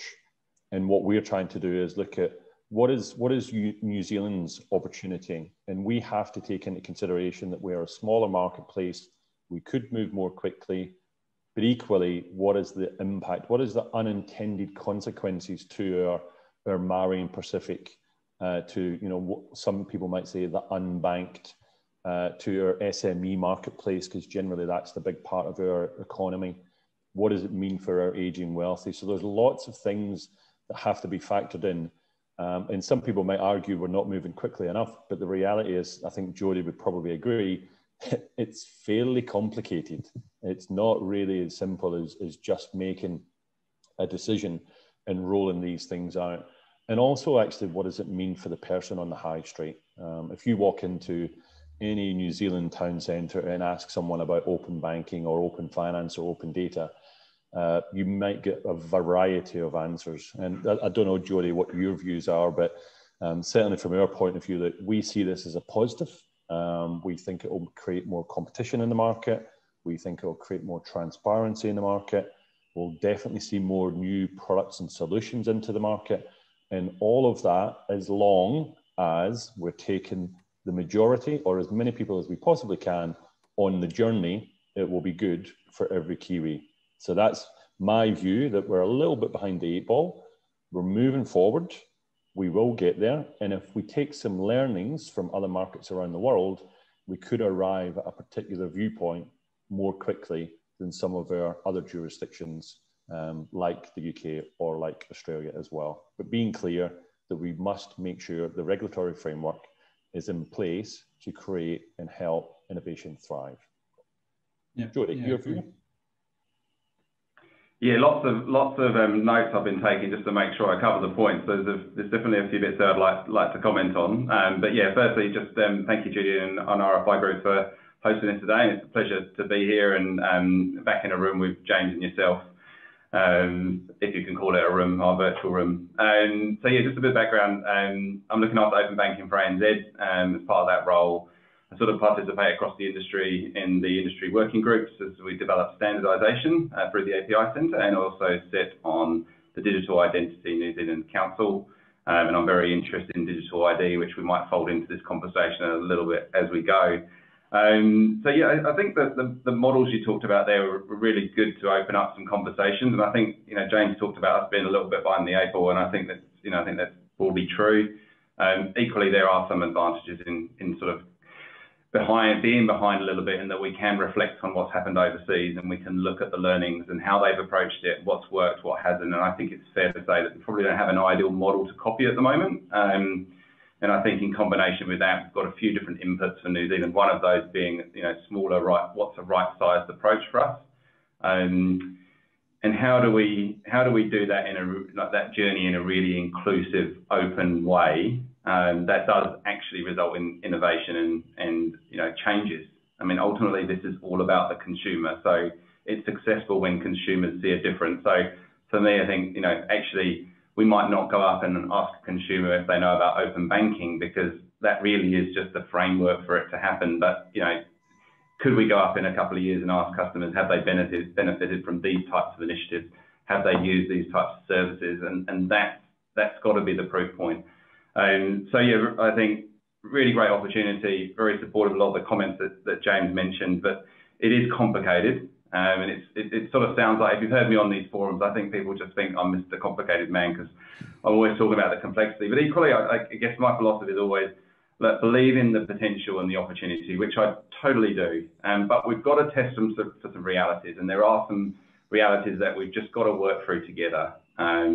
And that will take a little bit of time, but I think by doing that is where we really are going to make a difference, and consumers really will understand, um, you know, what this new thing is, and whether it's open data, open finance, open banking, or just some great new propositions that land, you know, on customers that they can can make better decisions, that they're feeling more empowered, that they're they're more in, more inclusive, that their day-to-day life has been made easier in some way. And, and that's the exciting bit for me because what open banking, open data does is it starts to create opportunities to create things for customers that they wouldn't have otherwise. And that's quite exciting because that's innovation, something that wasn't there, something that's changed, something that we can improve.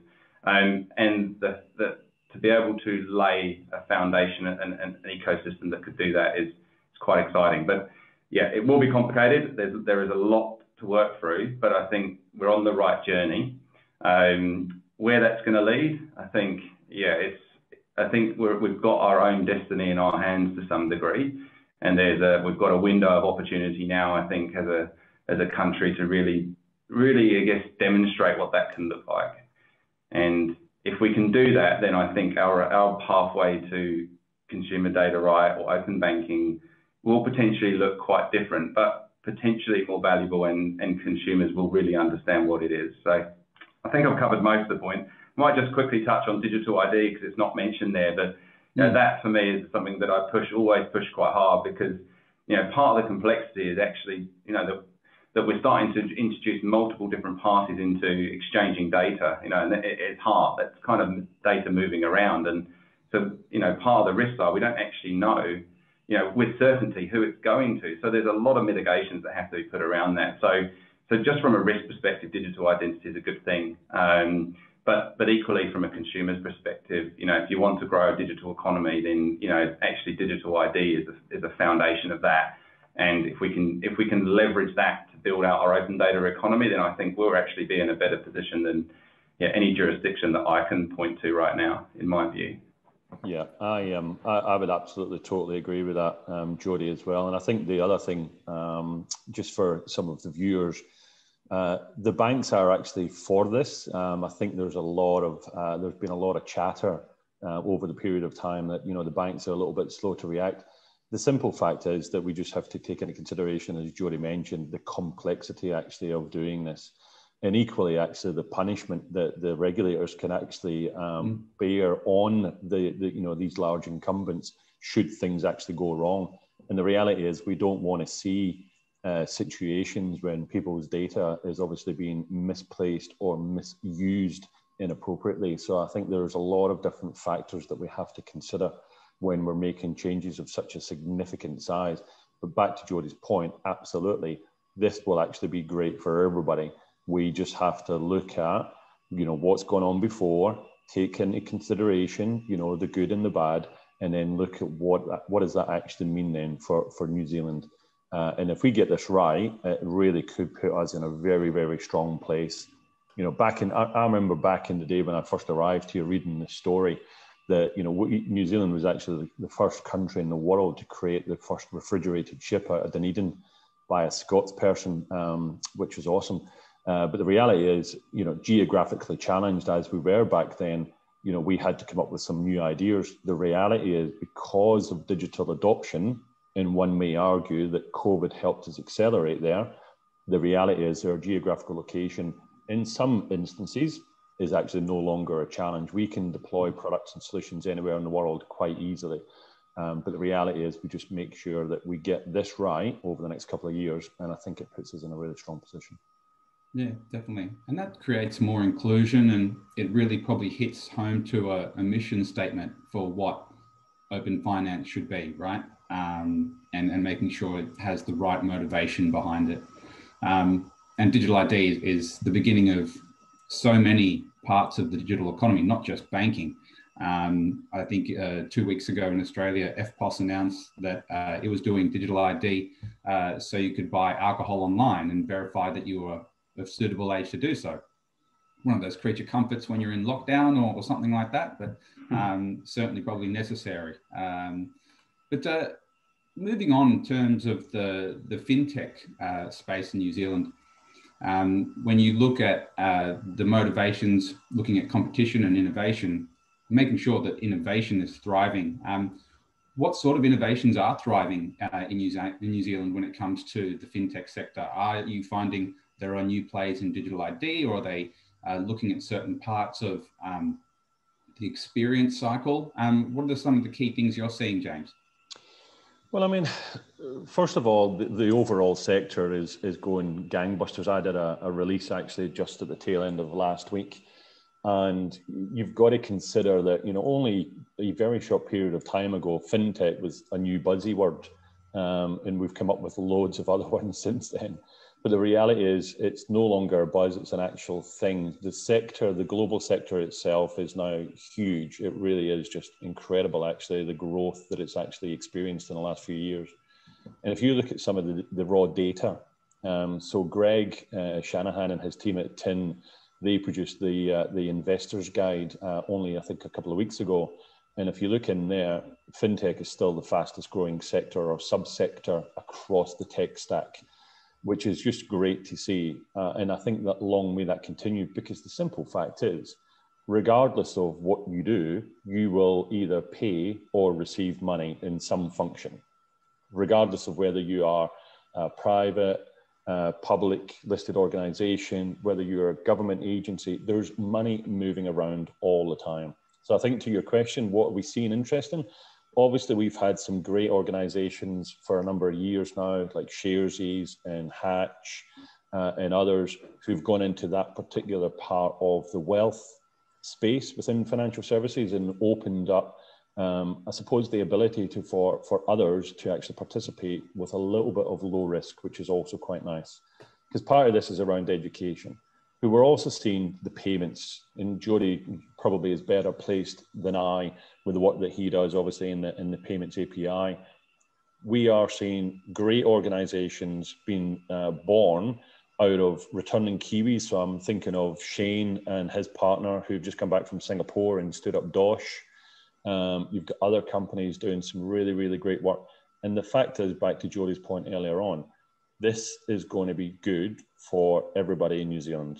Uh, mm. You know, we're going to be able to provide different options, um, and it will obviously mean that you know other people and other organisations will have to keep pace, uh, and that's why we're also seeing more collaborative projects coming out. it was a bit of a it's a bit of a hard one because a lot of people I think they, they look at large organisations and it's like why we, why are they not partnering with fintechs or insurtechs or wealthtechs? But again, back to the point we talked earlier just a moment ago, it's hard and it's complicated, and there's a lot of a lot of things you have to go through.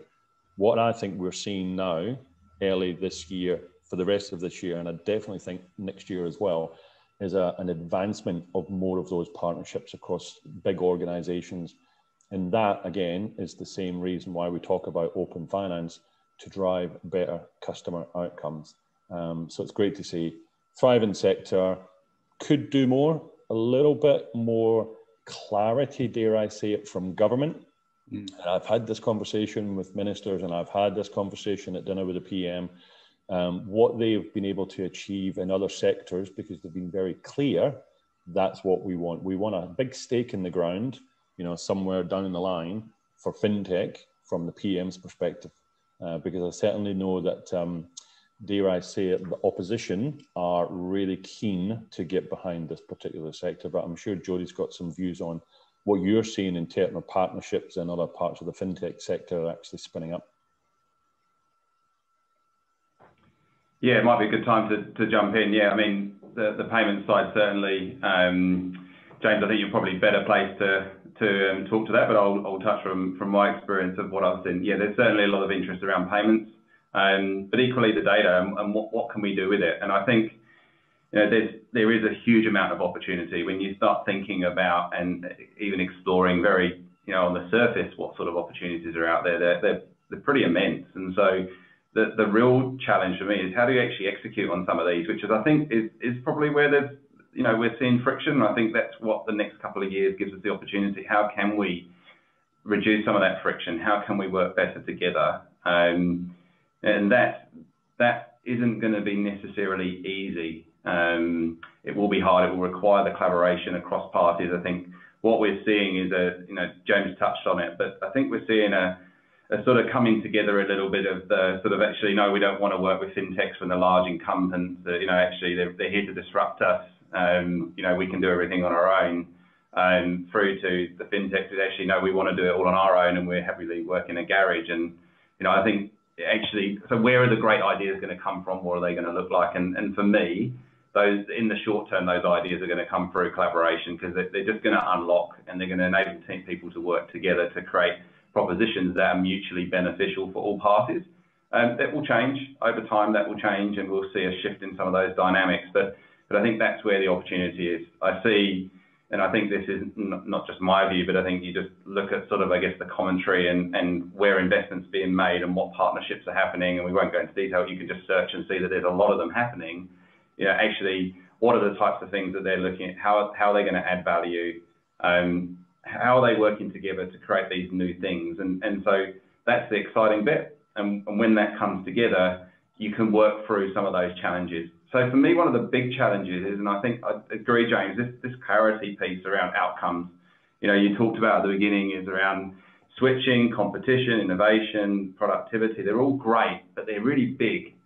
So, so like, what are the things we really want to go after? Like, what are the things we really want to see change? Because for those that have sort of been involved in, you know, building products or bringing new propositions to market, is you know, incremental, show value, you know, earn your worth, build trust, scale, scale, scale, right? And and so, you know, kind of to the opposite to that, you've got this sort of view, oh, we'll build everything and that, that will come and, and building everything for every scenario, every use case, for every type of different partnership model and everything is going to take time. So I really do think that if we can, if we can be clear on really what are those outcomes, what are the, the true outcomes that we're all going to look at and say they're the ones we want to shift the dial on, and actually rally around those as a as NZ Inc., then I think you're going to see some real momentum and.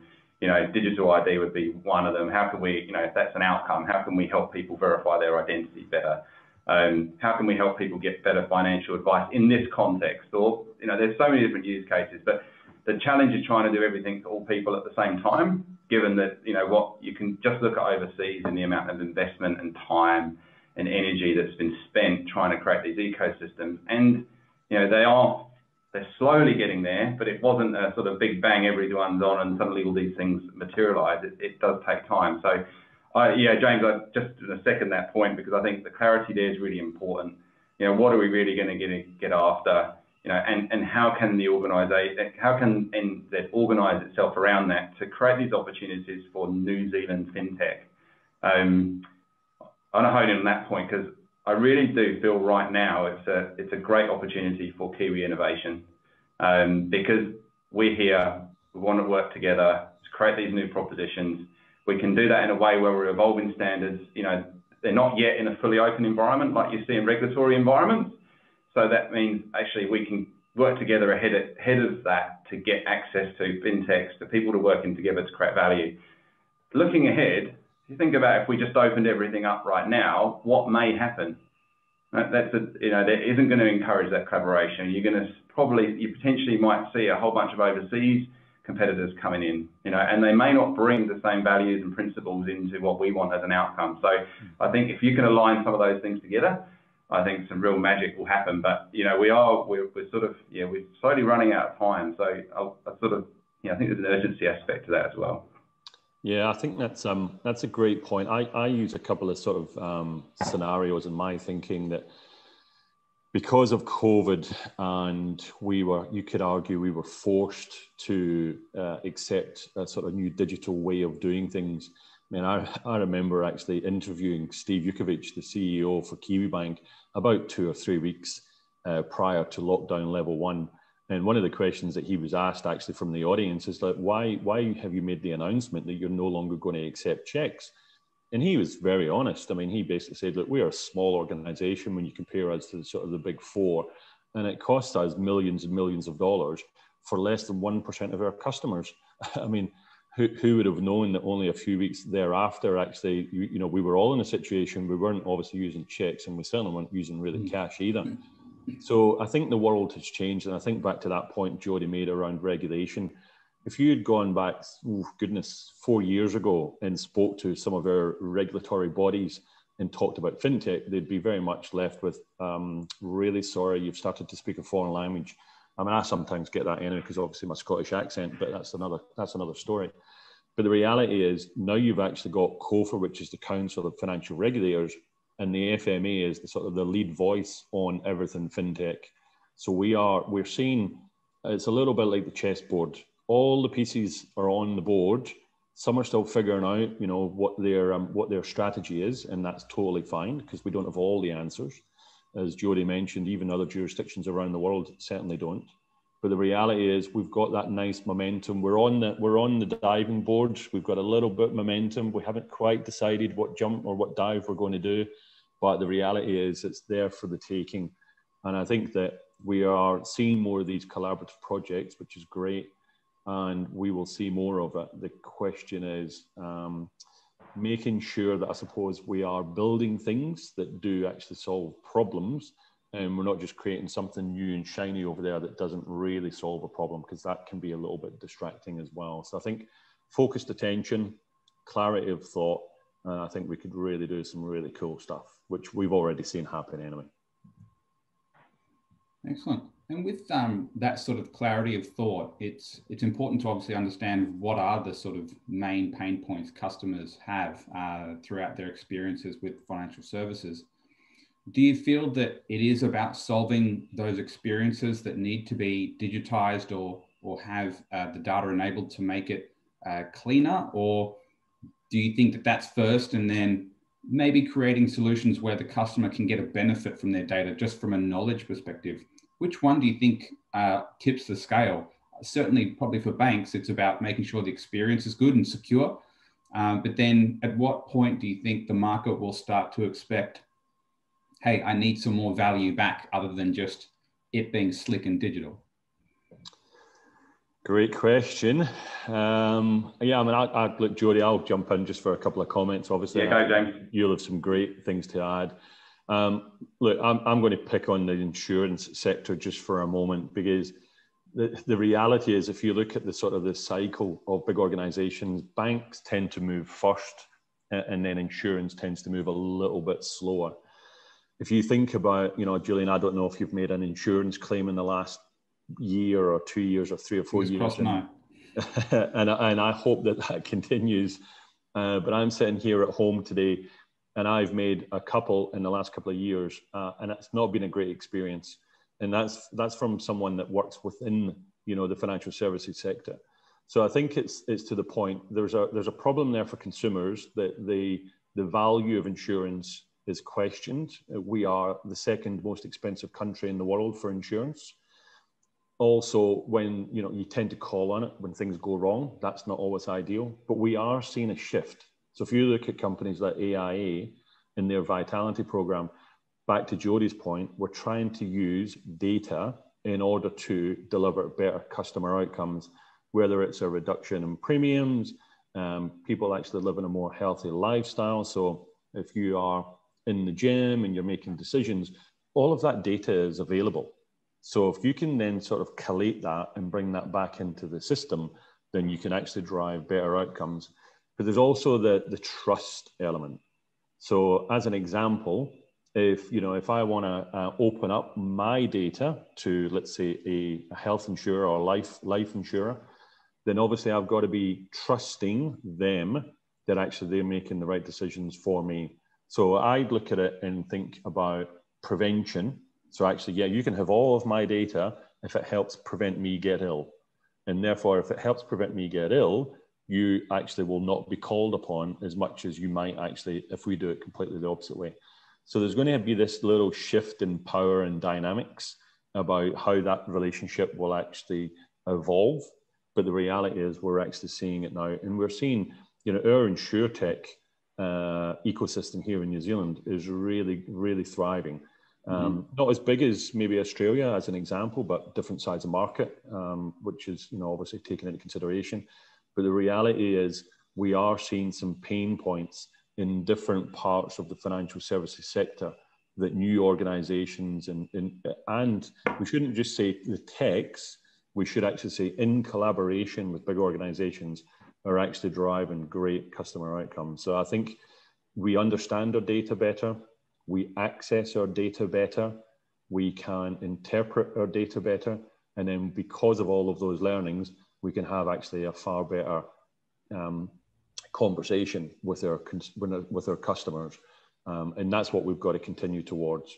And I think we'll definitely see more of that. But Jody's probably got some great examples in there as well.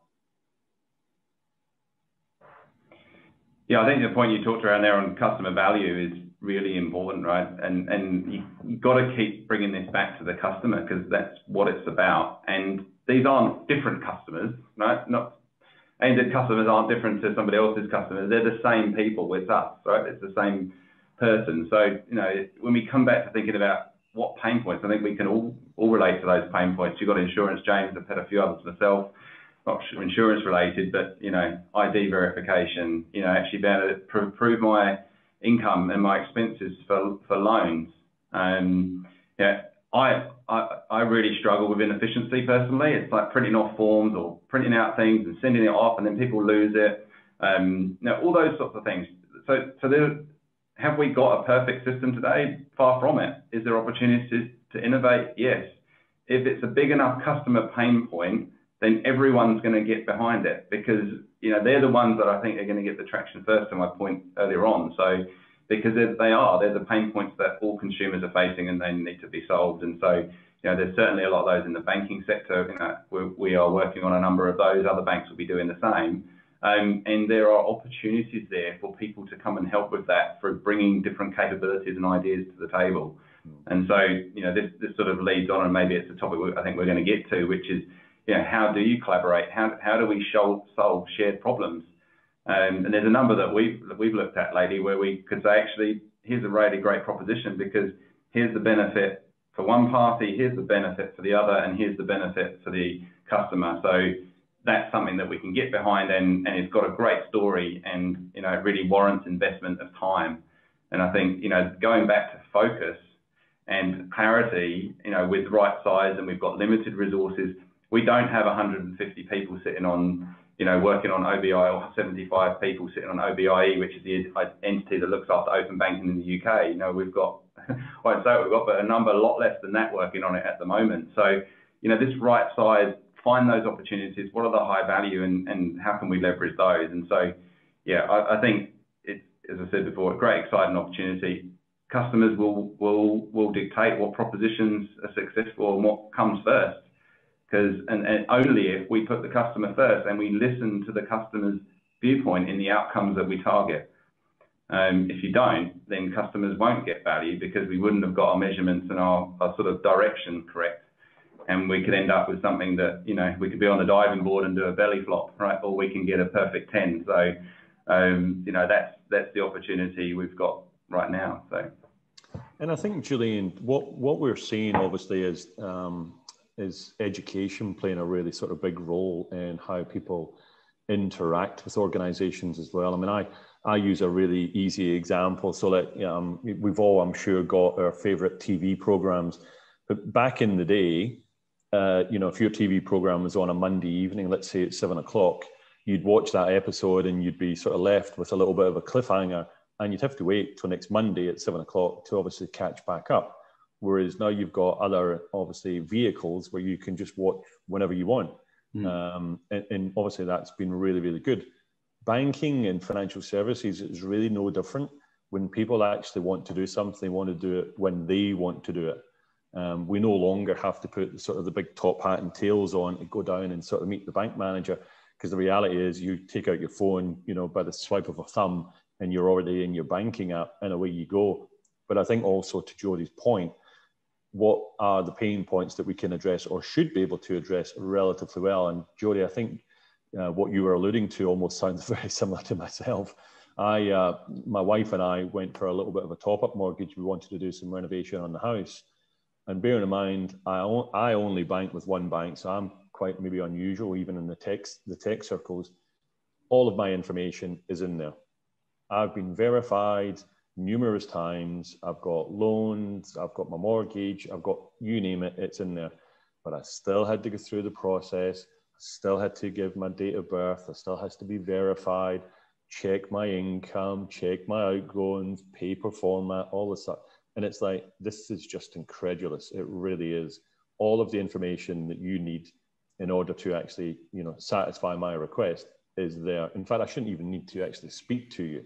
I should just be able to do it in my app. So I think we are we've moved forward. Uh, we are getting better, but I think that on demand, but equally, big organisations have a little bit of what I call the duty of care. They've got to help educate their customers, uh, especially when they are evolving a product or a solution, um, in the reasons why it will be beneficial because people move at different pace, and that's totally fine. Uh, but the reality is, you know, it can't just be uh, generally a product for just a small segment of the market. It has to be much wider than that as well. Mm. That almost touches on, I think, uh, well, a couple of years ago when open banking, and open data was being first spoken about. One of the first counterpoints was banks have enough data; they don't do enough with it already. Um, but I think we're getting to the point with innovation and fintech partnerships where banks can do a lot more with the data um, and create those, those correct solutions. Just going back, Jody, uh, to collaboration. Um, and I think we can also uh, merge this into, a, I guess, another interesting point is, have you seen some great collaborations in markets globally that you would love to replicate in your market? Um, what do you think would be the ideal, uh, the utopia? Yeah, good question because there's quite a lot going on, um, and I think it I think it does come back to individual strategy as part of it, but but but ultimately, you know, it still comes back is what's good for customers. I mean, and how is it going to help them improve their financial well-being and overall well-being? So, what are the things that can be done, you know, in that space? So. That, that's a you know and that's a big driver you know not only for ANZ speaking on behalf of my employer for a minute um, but equally, New Zealand, uh, it's a big thing that we want to focus on. How do we improve the well-being of our people? And financial well-being is a is a big driver of that. It's a big driver of your overall health. So, you know, what can we do? So, I, I, I think there's some great opportunities there. Um, you know, some of that sort of extends through to advice. Um, you know, how do you help budget? How do you help? You know, I've seen examples of some facilitating how do people get access to grants and, and support for that. So those sorts of use cases around financial well-being, I think, are really, really useful. Um, yeah, and anything that can start to make consumers' lives easier in that respect. So, yeah, I, I won't point to any particular ones. There's, there's quite a few, but but I think that for me, it goes back to those principles of what I mentioned before. For me, open banking, open data is about how do we create things that weren't there. So if you can see an opportunity to create something that's better, that's made someone's life easier, that has been made available because partners are working together in a way that they're open and collaborative and in a way that they couldn't do it before. And I think the point, the really important part about open services is that this isn't like, hey, one bank develops it with one partner and that's kind of the end of it. This is actually the, the real value is going to be when those services become, you know, open services available to all. And so, you know, for, we had a recent um, one we've been working on with Spark called View Bills, which allows um, big billers to send payment requests into customers. This is great. It sort of helps solve the problem between you know, the dilemma for billers that they want to be paid on time and have a surety of payment, and customers want more visibility and control. Historically, they've been two conflicting things. Yeah. So actually, can we create a proposition which solves both of those people's needs, and can you do it in a collaborative way that helps people make payments and have more control over their bills and and deliver some value out to customers and all parties. And you go, that's that's really exciting. Like, so where are more of those? Because hmm. mm. that's the stuff that actually millions of customers can use. And and so yeah, so there's a few there I mentioned, um, Julian. So um, but there are many more, and you know you only have to do a quick Google search to see some of the exciting sort of propositions um, that are being developed by parties working together. Yeah. I think those kinds of examples are also things that consumers will adopt quickly because there's an instant benefit um, and there's minimal risk. Um, the last thing consumers will jump into is something where, well, social media aside, is somewhere where their data is going to be used to sell them something else or, or, or, or go down that path. Um, but it's giving some benefit, some convenience. Um, yeah, and, and consent, James, we talked about before the consent piece, right? And and customer education. This is really, really, really important because hmm. if you if you can't articulate that in a way that customers understand and they feel informed and they make great decisions, then it undermines the trust of everything. And so that's again where you can work together to really understand how do you create that confidence for the customer, you know, that they, they know what they're doing, and that's it's not a single customer, one you know, is a shared customer. So how do you how do you do that? And that's really that is really important as well. Yeah, I think that's. I think you've touched on an absolute um, fantastic area around the sort of the financial health and well-being. Um, it, we we know it is an area where actually it can create some stress. You know, people thinking about their financial situation.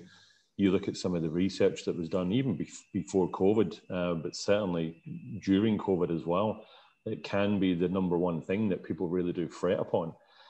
So I think to Jody's point, that sort of that, that education piece, you know, and how do we how do we uh, with these new products and solutions, how do we present them in such a way that people really just get it uh, and they understand why it would actually be good for them? And I think to Jody's point as well, it's not just a, you know an ANZ customer, you know, customer across the broad spectrum, but also actually we're talking about regulation having a role here, about the suitability and I suppose the sustainability of products now.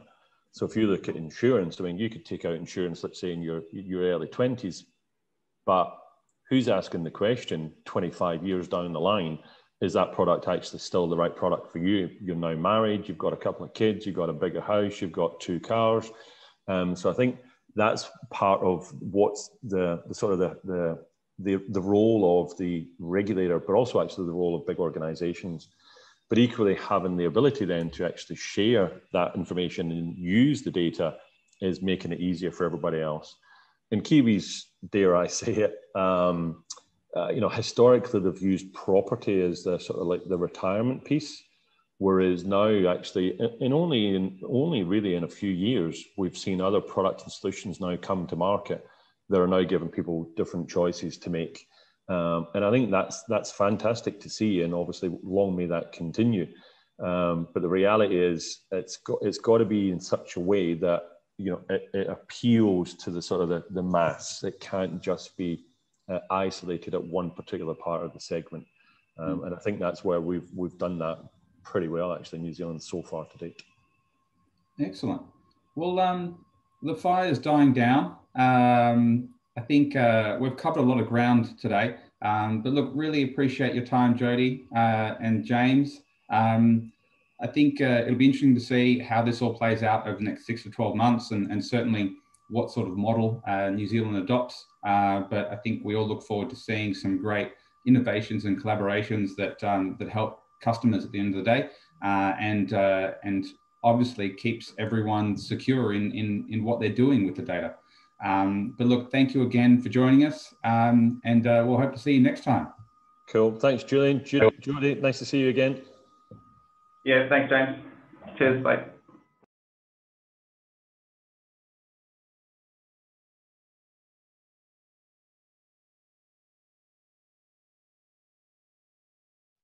Um, thank you, everybody, for joining today's panel conversation where we're going to be talking about uh, the payment behaviours and preferences of New Zealand consumers and merchants.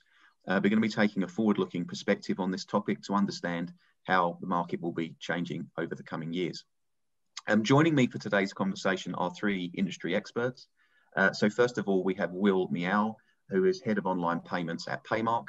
We have Steve Wiggins, who is Chief Executive of Payment New Zealand. Uh, and we have Rebecca Fairbrother, who is President and Founder of Magnet. So Thank you very much, Will, Steve, and Rebecca for joining us today. Now, I might start the uh, panel conversation just by giving Will and Steve and Re Re Rebecca just the opportunity very briefly to explain a little more about who they are and what they do. So, uh, Will, if it's okay if we start with you. Absolutely. Thank you, Alex, for having us. So I'm Will Miao, and uh, we work at an organization called Paymark. For those of you who aren't familiar with us, we started the EFTPOS, so domestic debit network here in New Zealand about 30 years ago that network is going strong and it's still one of the most ubiquitous networks of its kind in, um, in the world. So our, my role in particular is really looking at, oh, after 30 years, what can we do to actually upgrade our business from actually just running a 30 year old piece of switching technology to embracing the new open banking era and um, getting into the API side of things. And um, as my title suggests, online payments. So excited to be with you. Perfect. Thank you, Will. And uh, Steve, over to you. Yeah, Steve from Payments NZ. Uh, we're the self-governing body for the payments industry, and we manage the rules and standards how payments go through the system. So we pump through around seven trillion dollars a year through our high-value uh, clearing system and our retail clearing system. And of course, looking forward, looking at changing payment behaviours and innovation is really important to us. Sure, and thank you, Steve and Rebecca.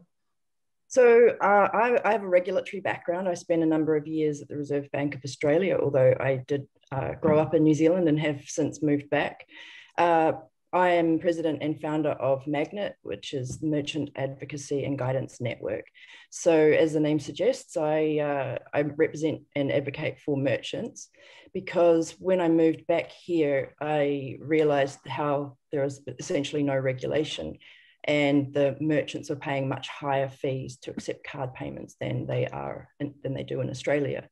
And so I saw a need there for merchants to be represented because um, industry is represented with Payments New Zealand and consumers are um, often uh, covered by a, a, lot of a consumer uh, protection as a lot of um, there are a lot of industry excuse me a lot of government support for that uh, but merchants, yeah, so they're a big part of the payment system, but essentially there wasn't a voice for them to be heard in terms of what was uh, what they needed. So I saw a I saw an opportunity there, and that's that's why I've created Magnet. So yeah. Perfect. Well, thank you, Will, Steve, and Rebecca. So um, the, my first question relates to the pandemic's impacts on payments behaviour. Now, across the markets that RFI operates in, we've seen uh, the pandemic have sizable impacts on the way in which consumers want to pay and the way in which merchants want to accept payments. So my first question really is to understand a little more about how we've seen that translate into the New Zealand New Zealand market. So uh, Will, perhaps I might start with you for any comment there. Absolutely. So non-surprisingly, at a very high level, we've seen a big jump in e-commerce transactions, but also for in-store, we've seen a lot more contactless adoption. And people do joke, right? Contactless had um, been around for 10 years, but COVID's really the push mm. that the industry's been waiting for to get people on board largely. So on the online side, uh, New Zealand Post actually put out a figure, 25% growth that is um, based on 2020. So that largely is attributable to the uh, COVID lockdowns that we're seeing here in New mm. Zealand. And um, but interestingly, after the lockdowns lifted, because of um, uh, well, we had a relatively short lockdown here in New Zealand, we still saw some of the figures sticking. So it wasn't at the end of the year as high as it was during lockdown, but certainly was much higher than it was back in uh, compared to 2019 baseline. And as for contactless, our proxy to that is what we call scheme debit. So that's basically debit transactions initiated on a Visa MasterCard um, using contactless technology. That has jumped by um, over 10% um, during the lockdowns, um, and that has largely stuck as well. So now mm. we have seen that rate being um, all transactions in store being uh, about half of that is uh, either contactless debit or credit, which could also be contactless as well. Mm. And domestic debit, which is either a stripe, a mag stripe or an insert, has declined. Mm. But I must, I think uh, one another thing I wanted to point out is hmm. even though we didn't have a lot of in-store transactions during the lockdowns, when the lockdowns lifted, it bounced right back, even without um, overseas tourists coming into New Zealand we have seen some of the highest figures, and we had another record uh, Christmas last year. So that's a mm. really good sign and of Kiwis getting out, supporting local economy, getting back mm. in mm. and, and Steve, it sounded like you were concurring with a lot of what Will said there. But any, yeah, any definitely. Um, yeah, the obvious one is around the contactless increase as well. But also, what uh, shot up was the amount of contactless enabled terminals in the market. So, uh, just pre lockdown, there was about 36% of them uh, by the end of the year, it was made up 52% of the fleet. Mm. So, so mm. that's really interesting. And also just concurring with Will on the contactless percentage overall transactions, you know, it, did, it shot up to just under 40%. Uh, year before that, it was 27%. So mm. I think the contactless one is really important. And it's obviously one of those trends that are going to continue. The other fun fact for me during lockdown was 328,000 New Zealanders signed up for internet banking for the first time. Mm. And I think that number is quite extraordinary when you think about that. So that's another big shift in terms of the changing behaviour of New Zealanders and how they make payments. So 328,000 citizens now are doing internet banking, which they weren't before lockdown. Quite extraordinary. Mm. Um, but then if you look at the other trends that are happening, I think overall the, the payment system held up really well uh, during that time. Uh, but we look at other changes that are starting to occur, maybe not in this market, but in others. the things like virtual reality shopping, um, wearables are now coming back into to uh, to play and starting to see an uptick in that, those things as well as what we're what we're observing at this end. Mm, mm, okay, perfect. And and Rebecca, any um, comment from a merchant standpoint? How how has how has the pandemic changed their preferences uh, from an acceptance? Well, in terms of um, I, my interesting the interest I have is in the regulatory changes. So, mm. uh, sorry, not the regulatory changes. The changes in interchange fees uh, by Visa and Mastercard is one interesting thing. So, mm. in August, both both schemes changed their fee structure so that um, the interchange fee for for contactless debit dropped to to, to twenty basis points, and quite quite a significant drop. And I thought that came at the end of when a lot of the banks were reducing their, uh, removing their, um, their free debit contactless rates that they had since COVID came out when ANZ initiated that. And I, I wonder if in part that's why the merchants have continued to accept contactless rather than reverting back to previous the ones that weren't actually accepting it, mm-hmm. or if it's a bit more of inertia. So as I said earlier, I have a regulatory background. Uh, so I think it's probably a bit of both. Uh, and from, from my members' perspective, there still is some resistance for accepting contactless, especially if a business has high tran- value transactions on average, because they um, obviously that if, if, if COVID was the issue as to why they were thinking about getting contactless. The reason they didn't did it was that most of their transactions were above two hundred dollars, and so therefore would their customers would have to put their PIN in anyway. And in terms of going forward with mobile payments becoming more and more um, uh, used, I know that um, both in the RBNZ and RBA have reported with their consumer studies that um, yeah, there's been an increase in the use of mobile payments. Then I think the customer is, is driving the acceptance of contactless. Um, I also know that Afterpay has just recently announced that it's moving from its QR code system to accept to offering a, a virtual card, which is a prepaid mm-hmm. card. And so any merchant that wants to accept Afterpay has to accept contactless. So one of my members has opted to not take uh, not continue because of the cost of of the contactless for her business. Um, so that's that's my um, take on it. I think I mean I do live in a small town, and I've been building out my med, my um, membership in locally initially, and so that could be skewed. I know um, when I've been to Wellington, there's a lot more contactless available, uh, and yet I've I've heard I don't I haven't spent a lot of time in Auckland, but I've heard that that it's a, not as prevalent in Auckland as it is in Wellington, which is also an interesting mm. interesting observation. Mm-hmm. So it, it sounded like there was a collective belief there that some of the change in behaviour that's been seen will stick, and perhaps some of it will revert back, at least partially, to the pre-pandemic state. Is that a fair?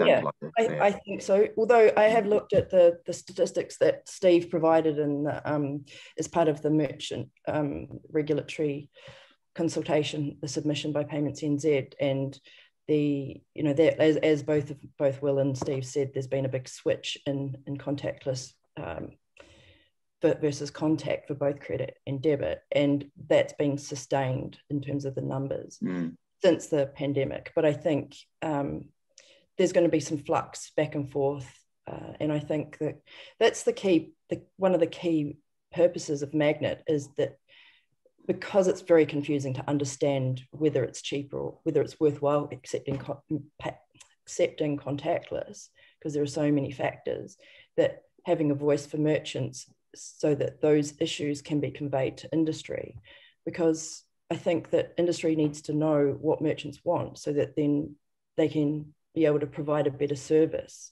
and vice versa. So we can both both sides can win. Um, because I think, yeah, I think that we're both both sides are a little bit in the dark about the preferences for accepting contactless. Mm, perfect, thank you. We, we touched on examples of innovation. So I think Steve touched on uh, mobile payments and QR codes and um, virtual reality payments, etc., wearables and the like. Mm. There's obviously examples of innovations that are emerging in the New Zealand market and have emerged, but what's your sort of collective assessment of the state of innovation and perhaps gaps versus other markets? So, Steve, you you, you touched on innovation, so perhaps I'll, I'll start with you. Any, any comments to add there? Yeah, I think the New Zealand market is, has always tended to be innovative in terms of its approach to payments. One area that we have fallen behind and the industry is is uh, sort of looking at now is the real time platform in mm. terms of that. So we've still got significant um, amount of funds that are going through either same day or in real time, but we haven't got that real time capability 24 7. And so looking across other jurisdictions, uh, obviously they have, and a lot of that is because they're they have sort of leapfrogged into that, whereas our current system is still functioning pretty well. Um, I think everyone agrees with that. So that's what the next one of the focuses of the industry is hey, when and how uh, should we uh, deliver this real-time capability? Mm, yeah, and, and Will, and any any um, yeah, any so I might be a little spicy here. My view is, I think New Zealand's been leading for a long time, but up until recently, we've started to lag in certain areas. So Steve touched on a few. Part yeah. of it is because yeah. we have led so well in the past, and we have one of the most ubiquitous domestic debit network, EFTPOS, and we have one of the highest banked populations in the OECD world. So 99% of all eligible Kiwis have a bank account, and that's among some of the highest in the OECD world, but also compare with other countries in the 60s, even less than 50%. That's staggering, right? So for but for those countries, they've actually gotten an opportunity to then kind of go, well, given that we have a blank slate, how do we actually frog the likes of New Zealand and our infrastructure and actually take a step forward?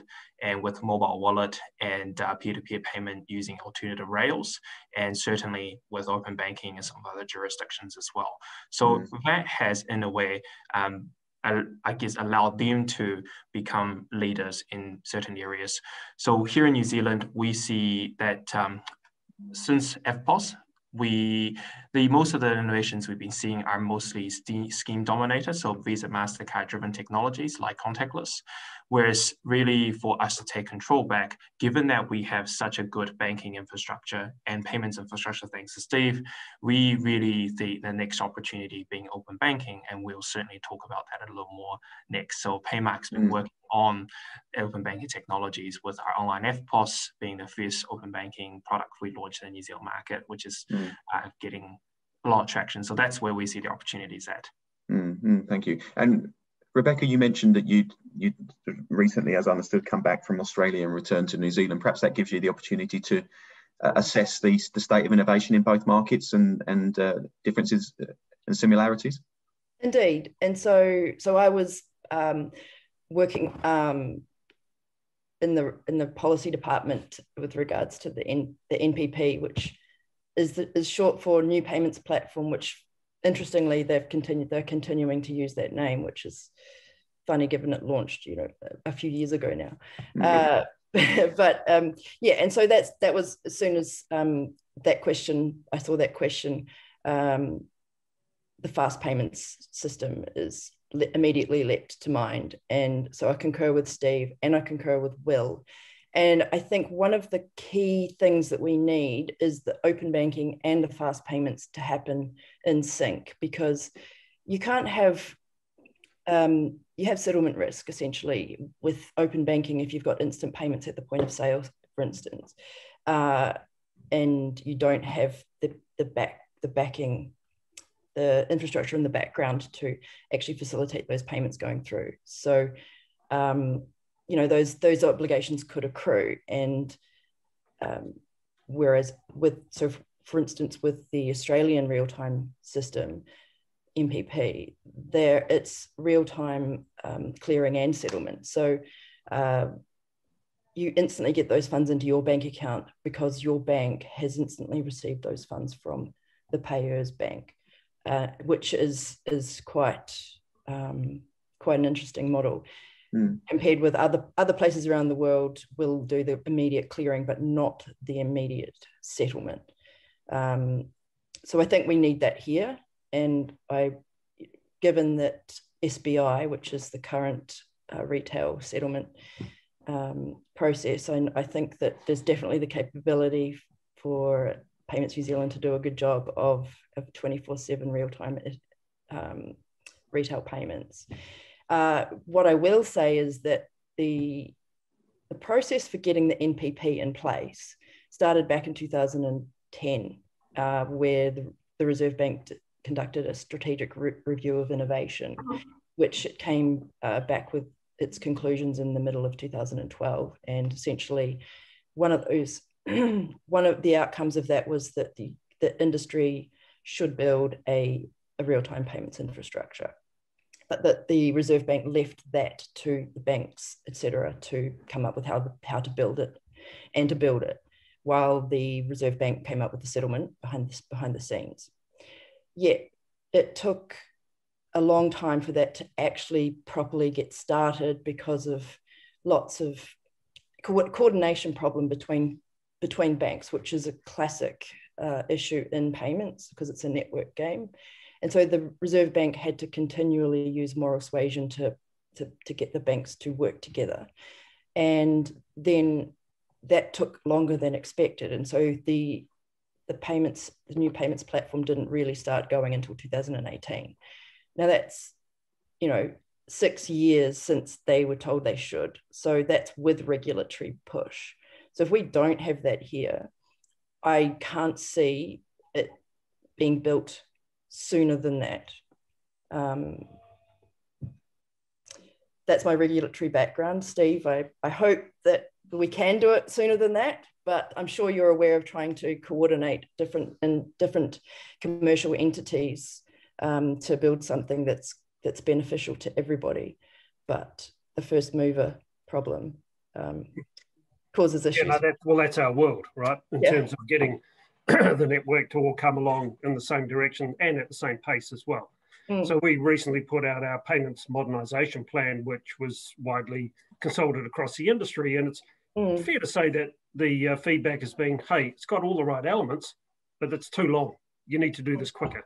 And yeah. so that signal certainly hit the industry loud and clear in terms of that. Mm. And all I can say is there is a lot of industry activity that is working on the how are we going to do this? And I think from my observation, there's real commitment there. So I think that's one thing. Let's see how that plays out over the next um, probably three to three to four, six months in terms of where we get to with those initial conversations. Second one too, I think this needs to be seen in the broader context of some of the regulatory burden that has been placed on, on some of those institutions, it yep. is huge, uh, both mm-hmm. in terms of either COVID related or capital related or the BS11 legislation, those sort of things. There's a lot of lot of activity going on within those organisations. Therefore, that comes to another broader industry issue is capacity and capability. Mm. You know, have we got enough people and capability to actually do the work? And mm. that's one thing that um, at times I think for me, um, you know the payments experts they tend to be um, getting on and they some of that capability is starting to get pretty thin and um, I think that's fair across all of the payment organisations. But we're, we're, certainly aware of that, but we also need to give that some consideration in terms of how do we continue that innovation at the right pace and do it safely. Mm, mm. Thank you. We might um, we might sort of continue on the focus on regulation and talk now about these um, the interchange reforms, the recently announced interchange reforms, and perhaps a perhaps a, a, punchy question to start with. And Steve, I know we spoke about this briefly before the session, but what's your sense? Do do consumers win from the reforms? Uh, well, if we look at the reform, if you just focus on the interchange, so that's the first one, Campbell Thurek, right? But the reform Rebecca, correct me if I'm wrong here, is sort of a designation approach to broader retail payments uh, providers. So they're just starting there with, with interchange. Um, to, will consumers win? If you look at other jurisdictions when they've introduced the regulations, I haven't got much evidence to show that that actually gets passed through to the consumer, uh, but it mm. certainly is a benefit to the merchant. Uh, there's certainly no uh, evidence to say that it passes through to uh, better wages for staff, those sorts of things. So, does a consumer win? Not sure. Mm. And, and and Will, a perspective on that? Very similar perspective. Um, it is just the first of the many changes to come in mm. this uh, very complex web, right? So it's only interchange. Interchange is only one part of all the payments that are happening today. So EFTPOS, I mean, we mentioned it's still going to continue to be free, uh, but open banking is not part of this regulation, and we've asked for clarification on it, and um, the answer is it's going to be captured in other legislation work that um, MBIE is currently working on. So then without getting the full picture, it's actually quite hard to see what the end results will be. Um, immediately, we probably will see some short-term benefits for the merchant. Uh, whether mm-hmm. that will stick or not, whether the, it, you know, it's a whack-a-mole and the costs come up somewhere else, mm. we don't know till we see mm. the full picture. Mm. And that's a good segue to you, Rebecca, from a, a, merchant's perspective, or what's your Will Will gave a prediction from a merchant standpoint there, but your your thoughts? Well, uh, given that there's regulation in Australia for for interchange fees uh, mm-hmm. and merchants, when I was there, I, I don't recall after the, the, I don't really recall anywhere not taking if um, sorry if not taking contactless, uh, and so the regulation is important to help merchants be able to offer these services.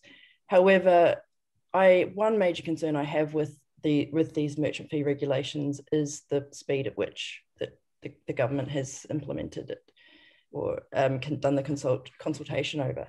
So, for instance, in the Reserve Bank, there was a, a major financial re system review of um, not just the payment system. And out of that came a number of changes, which included instigating uh, a regulator, so the payment system board part of the RBA. And then there was the first regulation that was actually put in place to say, uh, you know, there's a cap on interchange fees, didn't happen until around 2002, 2003.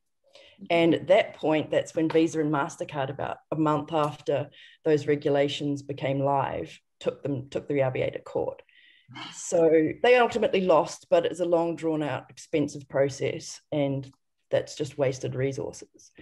Uh, so, and and just going coming back to New Zealand, the the, the announcement of the the caps is uh, talking about the interim or transitional uh, period, which is six months after the retail payments bill is what it's being proposed at at the moment.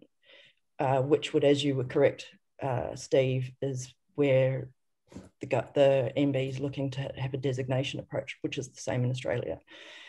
Uh, that six, so six months after that legislation is finalised, that's when that, that transitional period comes in while the Commerce Commission is building up its, um, you know, putting together the regulator, whatever form that might take, and figuring out how to how they're going to regulate. So, and, and MB doesn't see that happening for at least a couple of, yeah, 18 months to two years. So there's going to be, I'd say, depending on when that legislation is, is finalized, which I hope that the government takes sufficient time to get that right. I think MB has, you know, in, in between, in a, between a rock and a hard place, that they've been um, tasked with creating these regulations and this um, setting out what these this reg- what this legislation should look like in a very short time frame. Um, and so there's going to be, I would say, at least a year's worth of time where we have those hard caps. And like, like I mentioned in Australia, the legal action that I suspect there could be legal action, which isn't great, as you might imagine. Um, and then there are a few other things that uh, a few other unintended consequences that could arise from having very simple hard caps. I mean, the Reserve Bank of Australia has, they've just finished their third major review of the credit card regulate uh, credit card regulations. And each time they've continued to make changes or observed things that have popped up that have essentially the schemes in the banks have done to get around having to reduce their interchange fee revenue. Mm. So again, I'm a little bit cynical, uh, and so I, I I can't see why they wouldn't try and do that here. Um, so th- that's my major concern is that this regulation, if it's not done right, could have very bad outcomes for merchants and customers, consumers. And just to pick up your point, Rebecca, around the timing, right? It does seems like this one has there hasn't been a lot of time to actually come up with this first uh, yeah. tranche of designations, right? And yeah. whether there will be more time spent in the future to kind of join everything up, we don't know. Because this, to your point, it's really just a cap, and um, it seeks, mm. seeks to align to what Australia has done.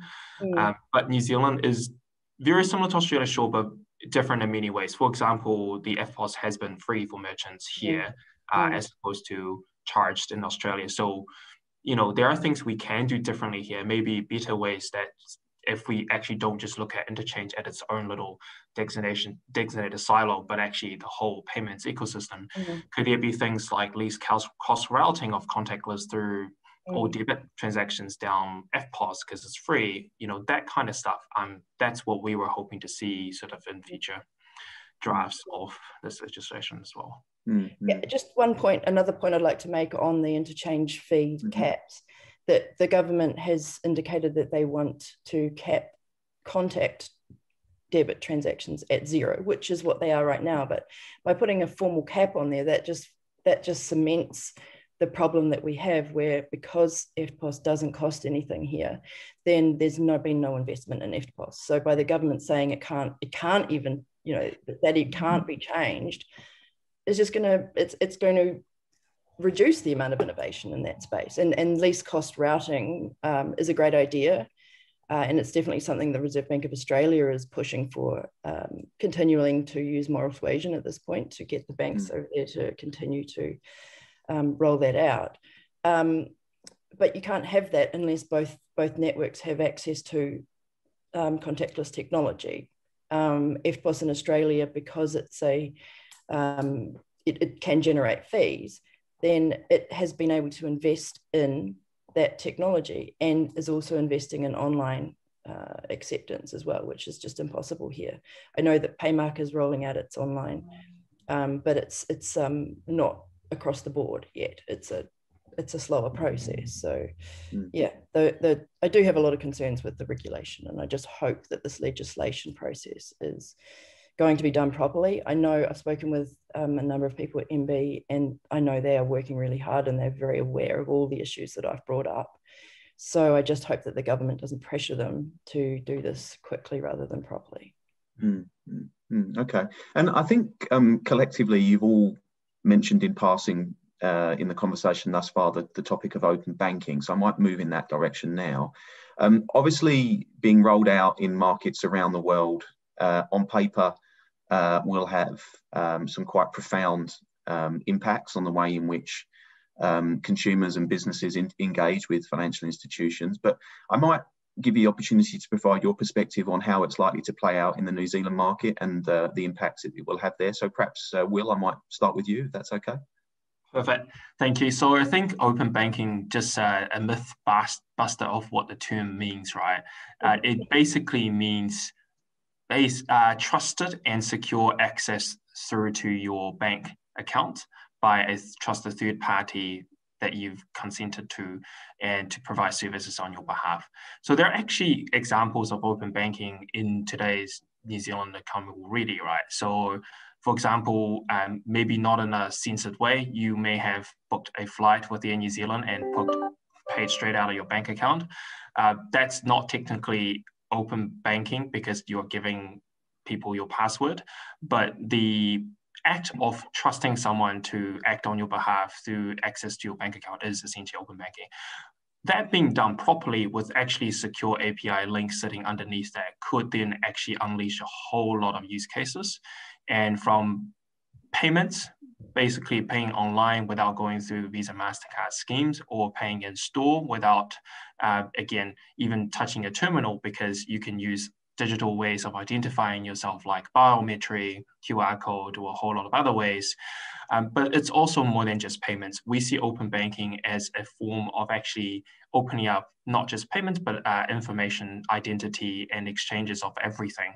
Because banks are actually really good at holding a really good, uh, well, a holistic profile of you, right? Not just your money, but your financial position. So your bank information like your transaction histories, your credit worthiness, but also your identities or how old you are. So by allowing that access to be uh, accessed by someone else and that data to be exported in use cases, then you're really enabling a lot more use cases. What we can see, you could basically go, well, hey, bank knows how old I am when I'm buying alcohol, when I'm paying for that in the supermarket. I don't need to get a supervisor to come and look at my ID by making that payment for my bank account.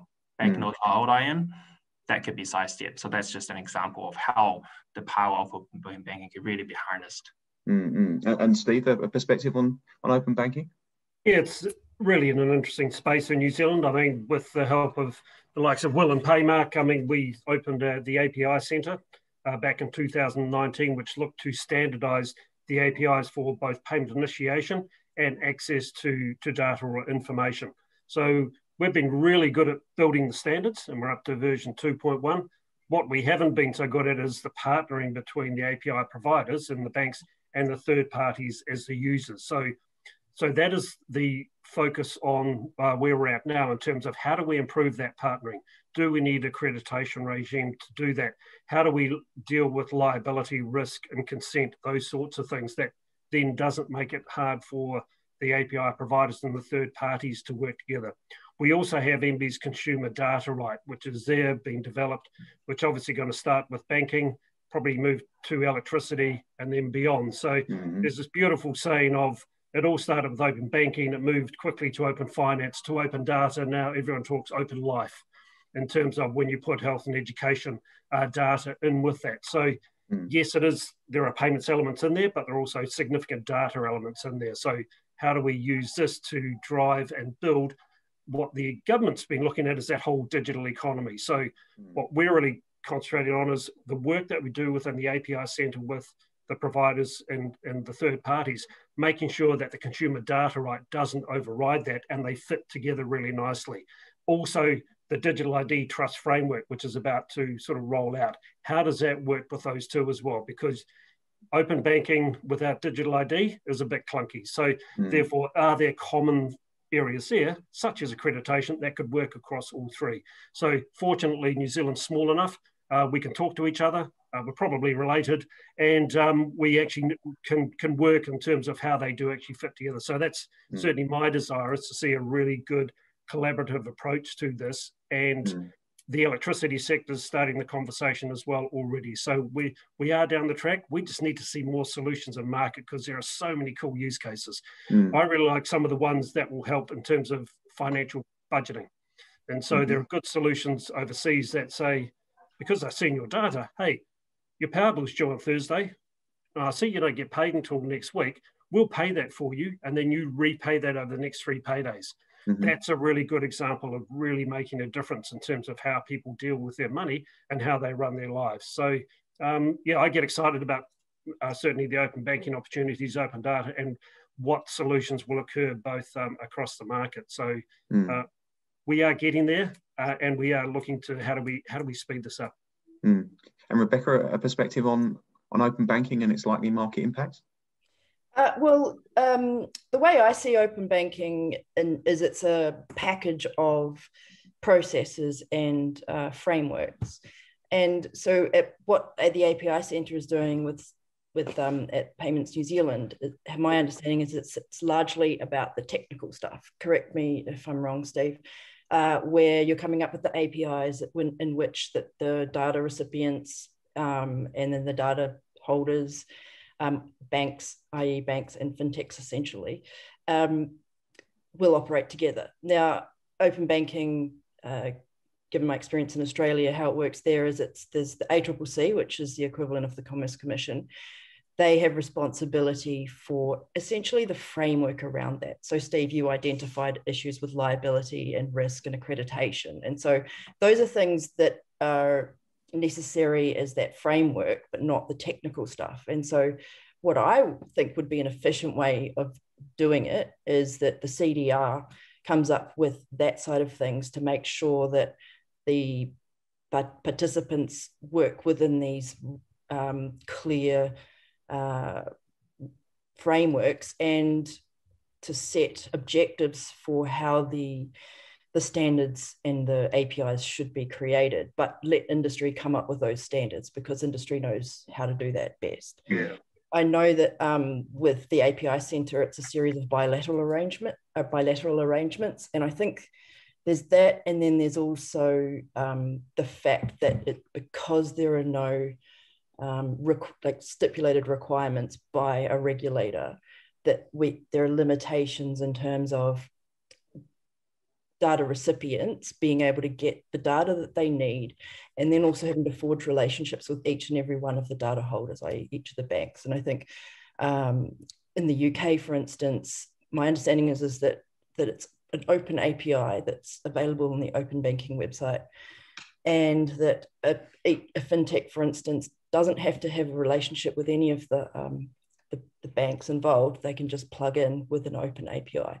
I'm sure it's more complicated than that, but yeah, no, there's quite a um, arduous accreditation regime to go through to enable yeah. that to happen, and there's also a lot of aggregators out there that provide mm-hmm. that layer between the fintechs and the banks. So even the likes of Xero goes through that layer as well. So the industry yeah. is is working this year around those Mm. What would accreditation look like? What would that liability framework look like? And, ho- and hoping to shape what comes out with the CDR as well, so yeah. that they fit together really nicely, so we can get solutions to market. So that that's a clear uh, focus for the industry, both third parties and, and the providers as well. Mm. Mm. Thank you. Um, I think we've we've hit up against time there, so um, I think that's been really fascinating to understand a little more about what's been happening in the New Zealand market and what is likely to happen uh, in the uh, months and years ahead. So, with that, I'd just like to thank uh, my uh, industry experts uh, on the in the discussion today. So, Will, uh, Steve, and Rebecca, thank you very much for making the time to chat to me, and um, I wish you all a very enjoyable rest of your day. Thank you very much. Awesome. Thank you very much. Thanks. A pleasure, Alex. Thanks, Will. Thanks, Steve. Cheers. Bye now. Bye. Bye.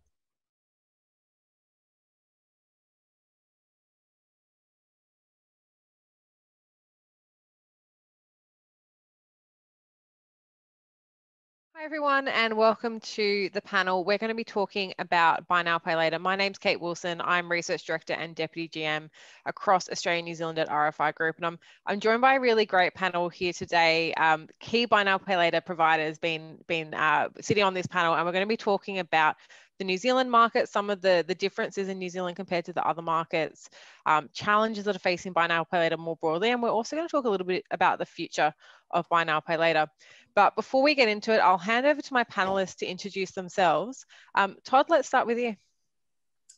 Okay, so yeah, Todd Wackrow. I'm the uh, country manager for New Zealand for Zip. Uh, so quick background, uh, history in uh, digital marketing and tech startups and was an early stage employee for company PartPay, which is a Kiwi startup who launched with uh, several others back in the uh, mid 2017 and then we were acquired by Zip uh, and ASX listed buy Now Pay Later in late uh, November 2019. And yeah, just uh, been through a couple of roles there in growth and more recently into the country manager role. Great. And Mandy? Hi, um, I'm Mandy Tomlinson. So I'm um, currently the GM of Australasia for Laybuy. So I've been with the business uh, about 18 months now, um, and, and similar to um, Todd, we went through the ASX in the middle of last year. Um, so why not add another thing into the mix of COVID? Um, but I, um, my background is I'm a, a, born and bred retailer. So I've been in, in the retail game for about sort of 18 years now um, and worked for a majority of different businesses um, across, you know, the Just Group and Overland Footwear in, in particular. And sort of became fascinated in the concept of buy now, pay later. I was sort of on the ground when it when it was released into the market and, and, and was very interested in, in what it was doing to revenue and, and customer adoption. So came over to the other side um, and now um, and now taking care of the revenue and the operations and performance for the Australasia market for Laybuy. And Chris? So Chris Lammers from Humm Group, we're um, like everyone else listed in Australia, um, uh, based in Auckland, looking after Australia and New Zealand um, revenue and product. Um, background uh, sounds quite similar in many ways, but um, data and digital um, with a heavy focus on loyalty and retail. Um, been in this organisation, been in Humm for about four years. So before Buy Now Pay Later even really started, and we do a range of products from from credit cards to commercial leasing to Buy Now Pay Later. I'm really looking forward to getting into all the nuances and all the differences between um, Zip, Laybuy, and Humm. But what I might start off with is just a little bit about the New Zealand market. Um, we're seeing within our own data at RFI Group some really significant growth in terms of uh, buy now, pay later usage. Um, our data actually suggests that, that New Zealand is neck and neck with Australia in terms of buy now, pay later adoption. So I know we always think of Australia as sort of the leading market, but um, I would suggest that New Zealand is, is up there as well. Um, what I would be really keen to get you your thoughts on to begin with is what problem do you think buy now pay later is solving that traditional providers or traditional products haven't solved why has buy now pay later been such a success story in new zealand um, chris why don't we start with you Sure. Um, look, I think there's a bit of a misnomer here that um, it's solving a problem that that younger people are scared of credit, and and they're actually not scared of, of credit. What they're scared of is interest. Um, and the complexity that goes around interest. Um, the way that banks have treated that, um, and all of the fees and pile on that go along with that. They're also scared that are getting approved as a 25 year old with a $5,000 credit card limit. Um, and that if they spend that, they're in a whole lot of trouble. Whereas what Buy Now Pay Later does really clearly is gives them the credit they want without the interest, but also at a level that they can't get into trouble. So it might approve them for $300 or $500, and then we manage that really closely. So it solves that problem around how do they be savvy with their money because these are they are far more financially conservative than Gen X or boomers were. Um, they're far more savvy with what they want to do with their money, um, but they also know that interest can be a debt trap, and that's not what they want. I have been that 18 year old with a $5,000 credit card. I completely understand that. that I may have been as well, but I don't want to admit that. uh, Mandy, I can see you nodding along there. Anything else that you would add?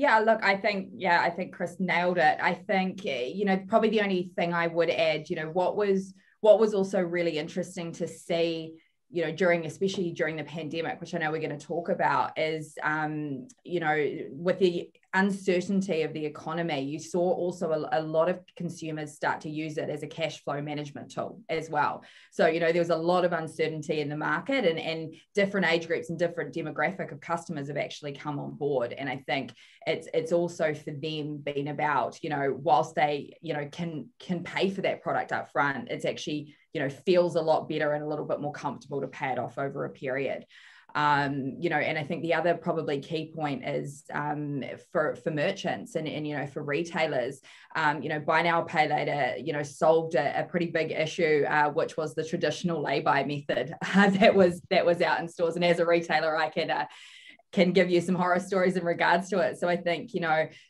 for you know not only for consumers that had to wait you know a, a, long period of time to, to get that product once they'd paid it off but also for retailers who were having to manage that inventory in their back rooms. Um, but also you know generally that product was paid off at the end of the season uh, when product was was discounted and then you know had to be refunded and sold back at a discounted price. So i think that erosion of margin as well buy now pay later has been able to you know fill that gap in regards to helping those consumers manage it but not not in a way that that is difficult for the teams on the floor as well.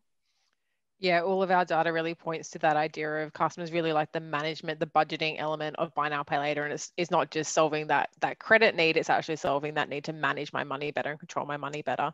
Um, Todd, anything else that you'd add in terms of uh, your perspective here? No, look, I think it's well covered, but sort of to Chris's point, I think there is a bit of a narrative about these sort of irresponsible millennials coming in and getting into debt, but they're actually really, really smart and, and they just you know it is a budgeting tool. It is about smoothing out the spikes in cash flow but um, they're actually very well planned and, and use the, the tools that we provide in a very smart way. So i think yeah it's really just about it is that budgeting tool and managing peaks and troughs. But i think we've all seen that it, um, it is really kind of responsibly used in general um, which often is you know the media doesn't seem to like that angle as much. But I think that you know they're very smart about their money, and they just see our our products as a smart way to, to pay. Absolutely. The other point to, to make, and you can't really escape at the moment, the impact of 2020 and the pandemic. I'd be really keen to hear what you what you have seen probably around your, your own customer base in particular through 2020 and the impact that the pandemic has had on um, buy now pay later usage in New Zealand and I guess um, e-commerce more broadly as well. Um, Todd, do you want to start with that one? Yeah, sure. Well, I mean, I, I think it, as you sort of touched on, the main driver was just this huge shift to e-commerce because there, there was no alternative. So I think we all saw a you know massive uplift in, in, online shopping, and and for people that in the past may have been holding off that, and then they had no choice. So whether that's your, your typical retail or through to grocery, you know, food and beverage, those categories that that people may have sort of held back on, then all of a sudden they've been forced to do it and then found that hey, this is actually pretty handy. So I think uh, you know for our industry, saw you know given that we are very strong in e-commerce, I think that saw a lot of new customers introduced to, to buy now pay later as a payment method. Um, and I think that's short, you know, short, saw a lot of new customers coming into the market using the product, and then I think continuing to use it. Um, and the other piece, I suppose, is just you know with the, the tighter economic climate, I think more people that, that may have not needed a product like us or thought about it have also opened up and said, oh, actually, uh, you know, budgeting and, and looking after my money's become a little bit more important than it might have been with that uncertainty. So I think a lot of people also there sort of were, you know, open their eyes possibly to, to products they may not have thought they needed. And I think have, have come in and from, you know, all accounts sort of stayed with, stayed with us all as the pandemic has sort of flattened out a little bit in New Zealand. Yeah, Mandy, you, you made that point before about customers using buy now pay later because of that budgeting element. How important do you think that has been uh, throughout 2020 um, versus just something like people going online more often?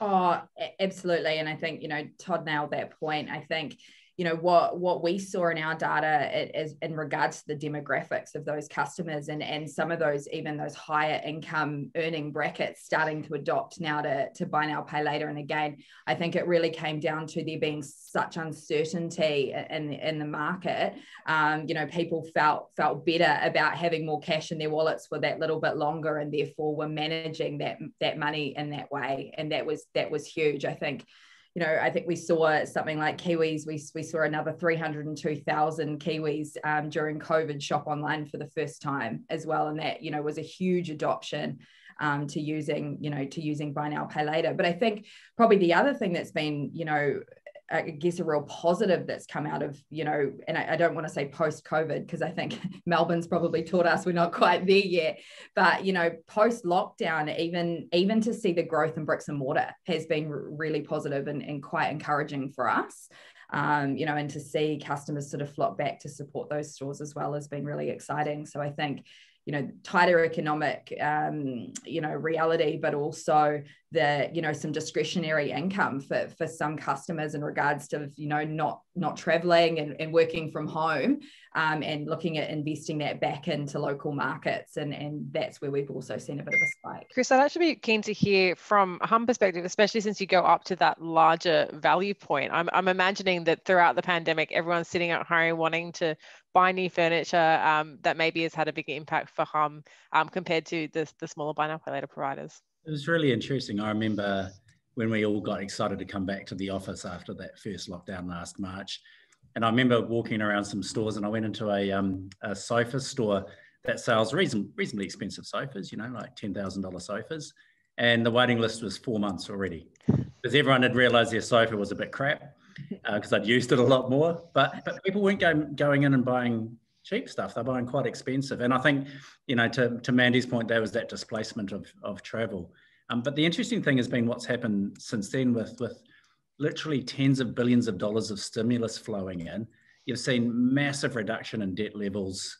Um, you've seen um, we're all sitting, all of the buy now pay laters are sitting at, at lower um, bad debt rates than we've ever had. Um, customers are not using credit cards in the way they were. Um, so it's been a massive beneficiary for, for buy now, pay later. And as people um, have tried it and used it, they, they, they love it and they find it easier. And it's just become part of their financial toolset now.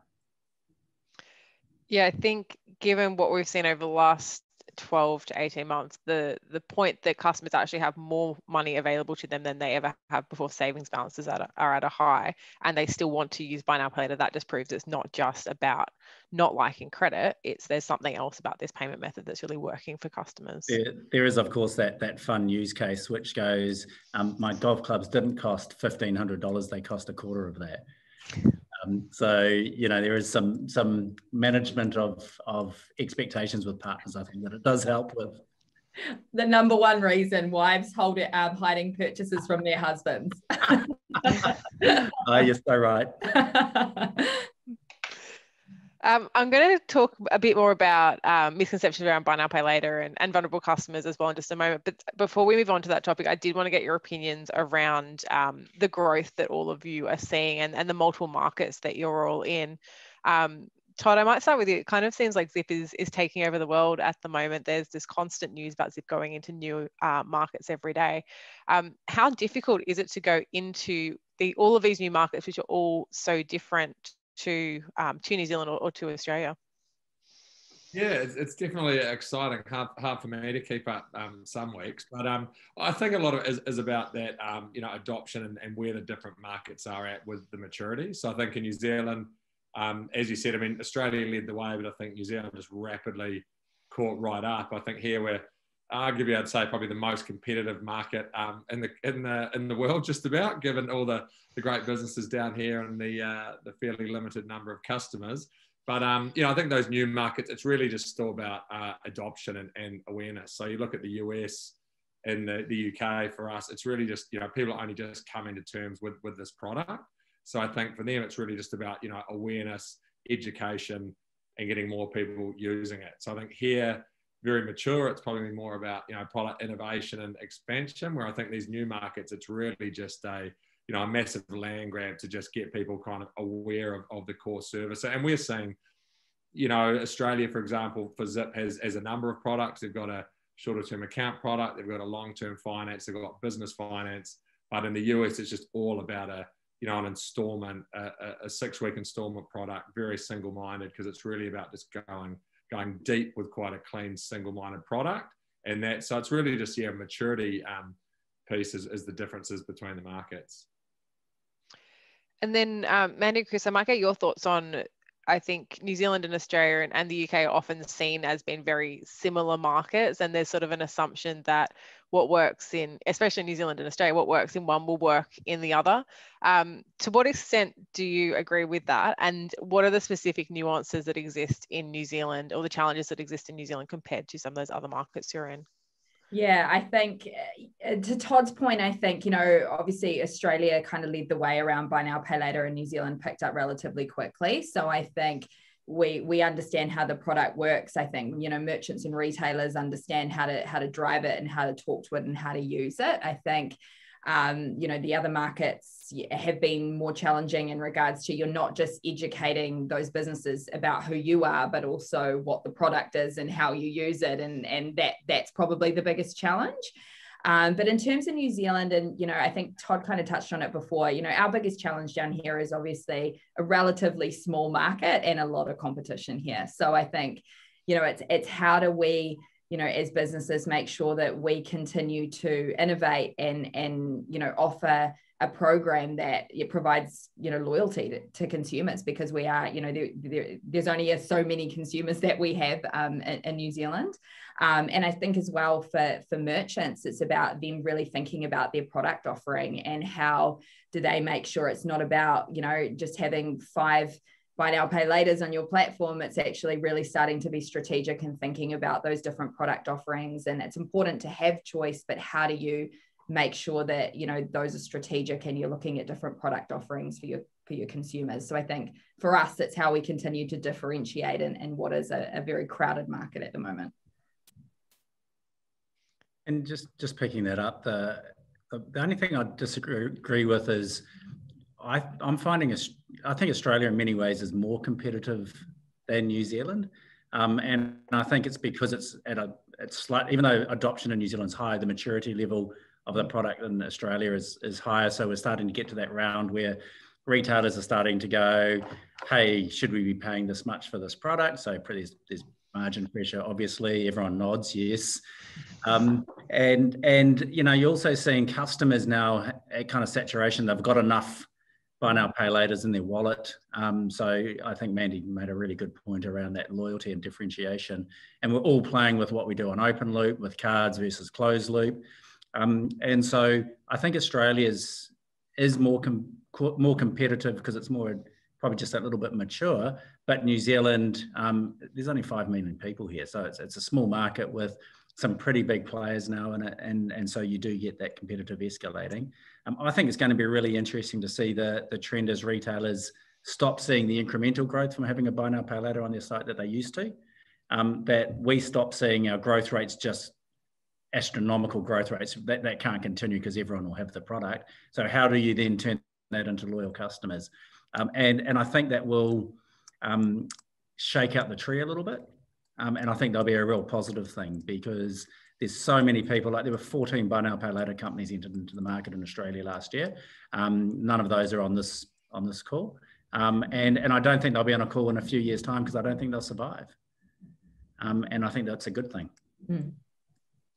Yeah, I think there has to be. I mean, there is a natural ceiling in terms of adoption, and and to your point, I mean, both Australia and New Zealand are quite small markets. Um, it, it, seems like there's a bit of a, a, race to crack the US, but a lot more challenges there in terms of the market itself, how big it is, those um, getting people familiar with the product as well. Um, I guess to pick up on some of the, the other points that you've been making going through, what I'd be really keen to get your thoughts on are what the biggest misconceptions about buy now pay later. I sort of touched on some of them, and, and buy now pay later does obviously get quite a, a a, a, I guess a rap a bad rap in the in the media. Um, there is a lot of myths I think around buy now pay later. What do you think is the, the number one biggest misconception um, for uh, I guess for your service or, or for buy now pay later more generally? Uh, Chris, do you want to start? Um, sure. Um, look, it, it's it's not dissimilar to taxi drivers complaining about Uber back in the day that um, they weren't following regulation, they weren't doing things well um, but customers loved it, right? And um, and there's a lot of a lot of traditional finance companies that are saying we don't like buy now pay later. There's too many. There's too much arrears, and they quote that um, between depends on the company, but say between 15 and 25 percent of customers pay a late fee. Well, on credit cards, 50% of customers pay interest. It's the same thing. Um, so, so already that's a that's a better outcome. Um, and I think so. That's one of the, the biggest preconceptions is that it's it's got these secret fees that customers are paying when I think it's the most transparent product um, in financial services.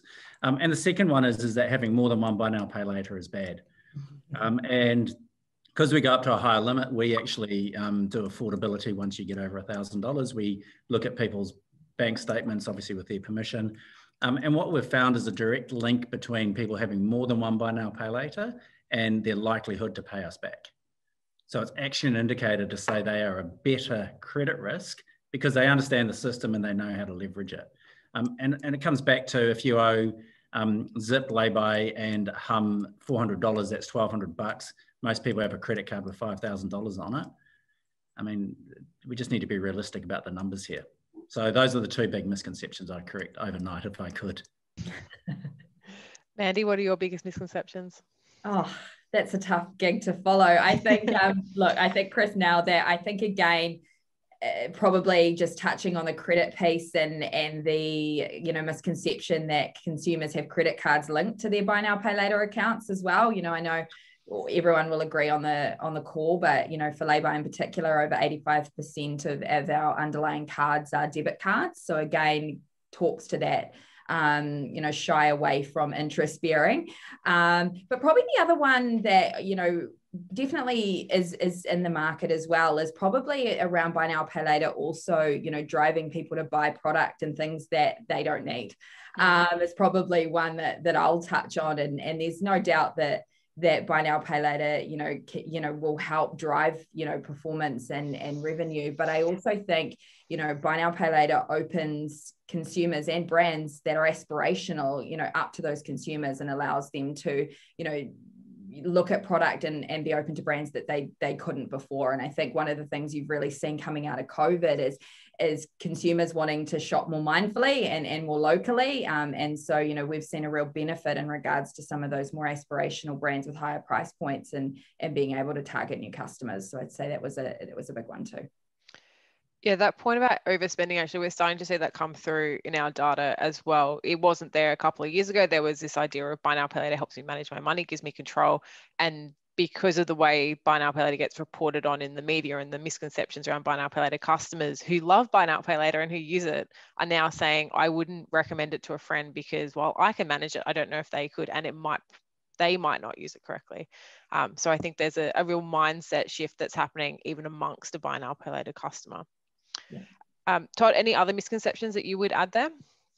Yeah, look, I mean, similar theme. I think it's probably just the, the buy now, pay later versus the, the credit card thing. You know, credit cards are in people's wallets and, and don't seem to, to get talked about much. But, you know, whilst there's the veil of people who pay them off every month and get the loyalty points, you know, they're basically funded by people paying 20% plus compounding interest. And I think when you look at, you know, all our products, they're just designed in a fundamentally different way. You know, even aside from the no interest, we all have low, you know, pretty low default fees, low fee caps.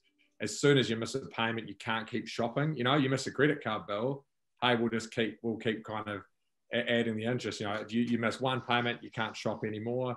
You know, we all do hardship plans. Uh, you know, I'm sure all of us, if someone misses a payment and, and call us up, we'll talk to those customers and we'll put them on plans they can afford. So I, I just think our, you know, products are just designed to, to, to, generate kind of revenue in just a fundamentally different way that is, has the customer at heart. So I, I, think, and again, a lot of those narratives don't, don't, tend to come out, but I think when you do actually dig into how these products work, they're not designed to get people in debt traps paying extra fees because if, if they're based on that, we'd never make any money because it's too lean. So I think that's just the the big one there, which people seem to sort of you know struggle to connect with the more traditional finance companies, which really do make money by you know they want people to get behind and late, where we're just you know designed very differently.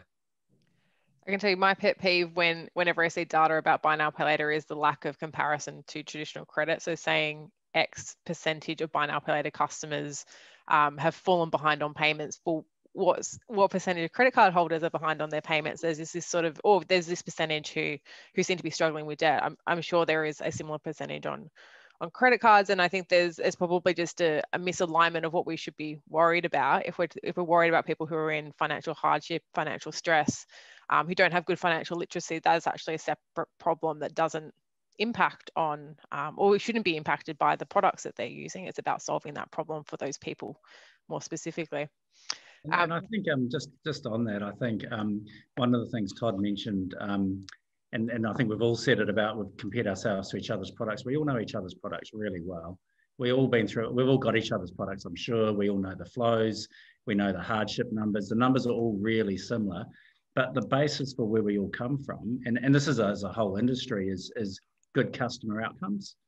Um, we don't have a, a profit target to protect from every year and so I think that's a really different mindset. And I think over time, when this becomes more established, all of this noise will go away. Um, but the challenge for us is to keep that good customer outcomes to our to the fore. Um, and as an industry, we do work pretty collaboratively to make sure that that customers are looked after. Which brings me on to my next question, which is about um, vulnerable customers. And this obviously something that's been spoken about a lot at the moment. I don't think I've been to a, a virtual conference lately where there hasn't been this question posed. Um, can you share anything around what you're doing in order to support vulnerable customers um, and just that idea of customers who are maybe stacking credit or struggling with credit more broadly? Um, how is how are your organizations approaching that? Do you want to start again, Chris? um, sure. The look, it, it is something we take really seriously um, uh, across all of our products, um, and um, the first and foremost is to make sure that the the money you're giving somebody they can pay back. So we. Um, like uh, all the buy now pay laters, or most of the buy now pay laters in New Zealand do a, do a credit check. Um, and that means that we know what other debts they owe um, and that we're able to make a decision about their, their whole of, of life financial decision. Um, we also do a lot of data analytics in the background that, that even though we're not overtly asking them what they earn, you know, we, we, can, we can do a lot of assessment based on, on analytics in the background. Um, uh, so we, we, we lend them a little bit of money, we learn from their behaviour. Um, but people's situations change, and, and that's where people get into trouble. So you make a decision at a point in time, their life changes, you know, someone may lose a job, someone might get sick, and, and that's what causes about 75% of hardships. Um, so as soon as we see that, um, we, like everyone else, we, we, you can't transact on the card if you miss a payment. But then it's about working with the customer, and we have hardship teams working with the customers to get them through this because the ultimate thing we want to do is make sure that they're able to continue their financial life without having black marks on their files. Um, so we work really hard on that. Um, quite often, the reality is um, on buy now, pay later, the amount owed is, is very small. Um, so it becomes quite an easy problem to solve. Um, so we, we work really closely with the, with the customers on that. But, so there is the decision up front, but life changes. So then it's about working with the customer. And then it's also saying what are the at-risk groups? And we're working with um, a lot of budgeting services um, and budgeting advisors to, to try to work out which are the right and the, the wrong customers from their perspective as well, what they're seeing. And we're always looking to make improvements as a result of that feedback. Todd, what are you doing at Zip in order to support vulnerable customers? Yeah, I mean, I mean, I think we're all, and I, and I do, I think, can pretty proudly say with the whole industry, I think we, we manage this really well. I, I guess to your point around that responsibility about financial wellness and financial education, I, I think for us, it's a, that's a, a massive focus that eh, we do take that as a responsibility to help with that. I mean, I think a lot. You look at the core of where our products came from, it was to help, you know, customers have better ways to pay that, that are more, you know, with their best interests at heart, as Chris said earlier. And I think for us, I think it, it extends beyond just having a product, and can we help people learn how to manage their money better? You know, so from product features, you know, for Zip, we own a, a product called Pocketbook in, in Australia, which is essentially a, a budgeting app.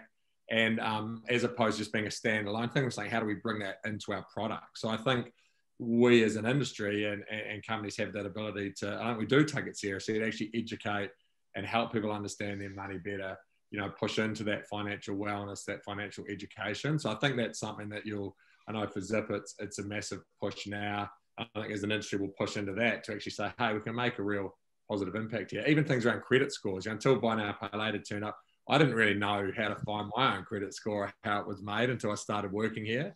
And so i think even things around that you can educate people and, and set them up whereas you know it's a bit of a dark art some of the stuff and people can get themselves in a lot of trouble early by making it, you know, a few missed bills or they've, they've moved uh, moved houses and, and, and missed a payment. So, yeah, I think for us, it's really about how can we uh, not just offer kind of payment services, but actually improve people's, you know, financial kind of capability and, and awareness around their finances moving forward. Absolutely. Mandy, anything else that you would add?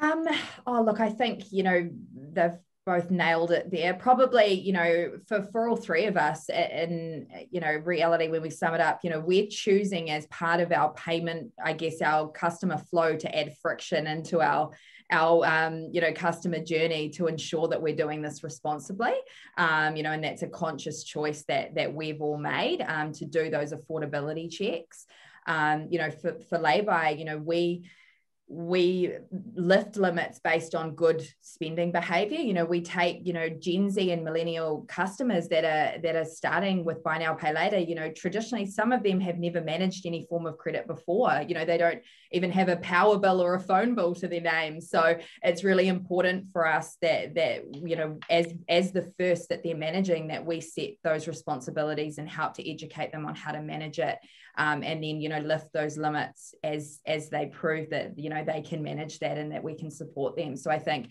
you know it's a conscious decision that we're making to add that that friction in and and very similar to um, you know both the other buy now pay that we have great hardship policies you know and we don't determine what hardship is. We we work with our customer. Every every customer has a has a different story in regards to what hardship looks like. So we work on a case by case basis you know around that. I think you know, through COVID was a, you know, and Chris mentioned it in regards to reviewing limits and, and changing circumstances, you know, COVID in particular, the amount of consumers that we had contacting us and asking us to lower their limit, um, you know, and help them through the, those situations. You know, that was a tools down moment for us as a business to sit down and go, okay, this is where our consumers are at, and this is the situation that we're in. So what are we going to do about this? So, you know, we we do take this extremely seriously, and, and you know, we we're a lifestyle enabler, um, and so this is about making sure that that we adjust that to ensure that we're looking after our, our consumers.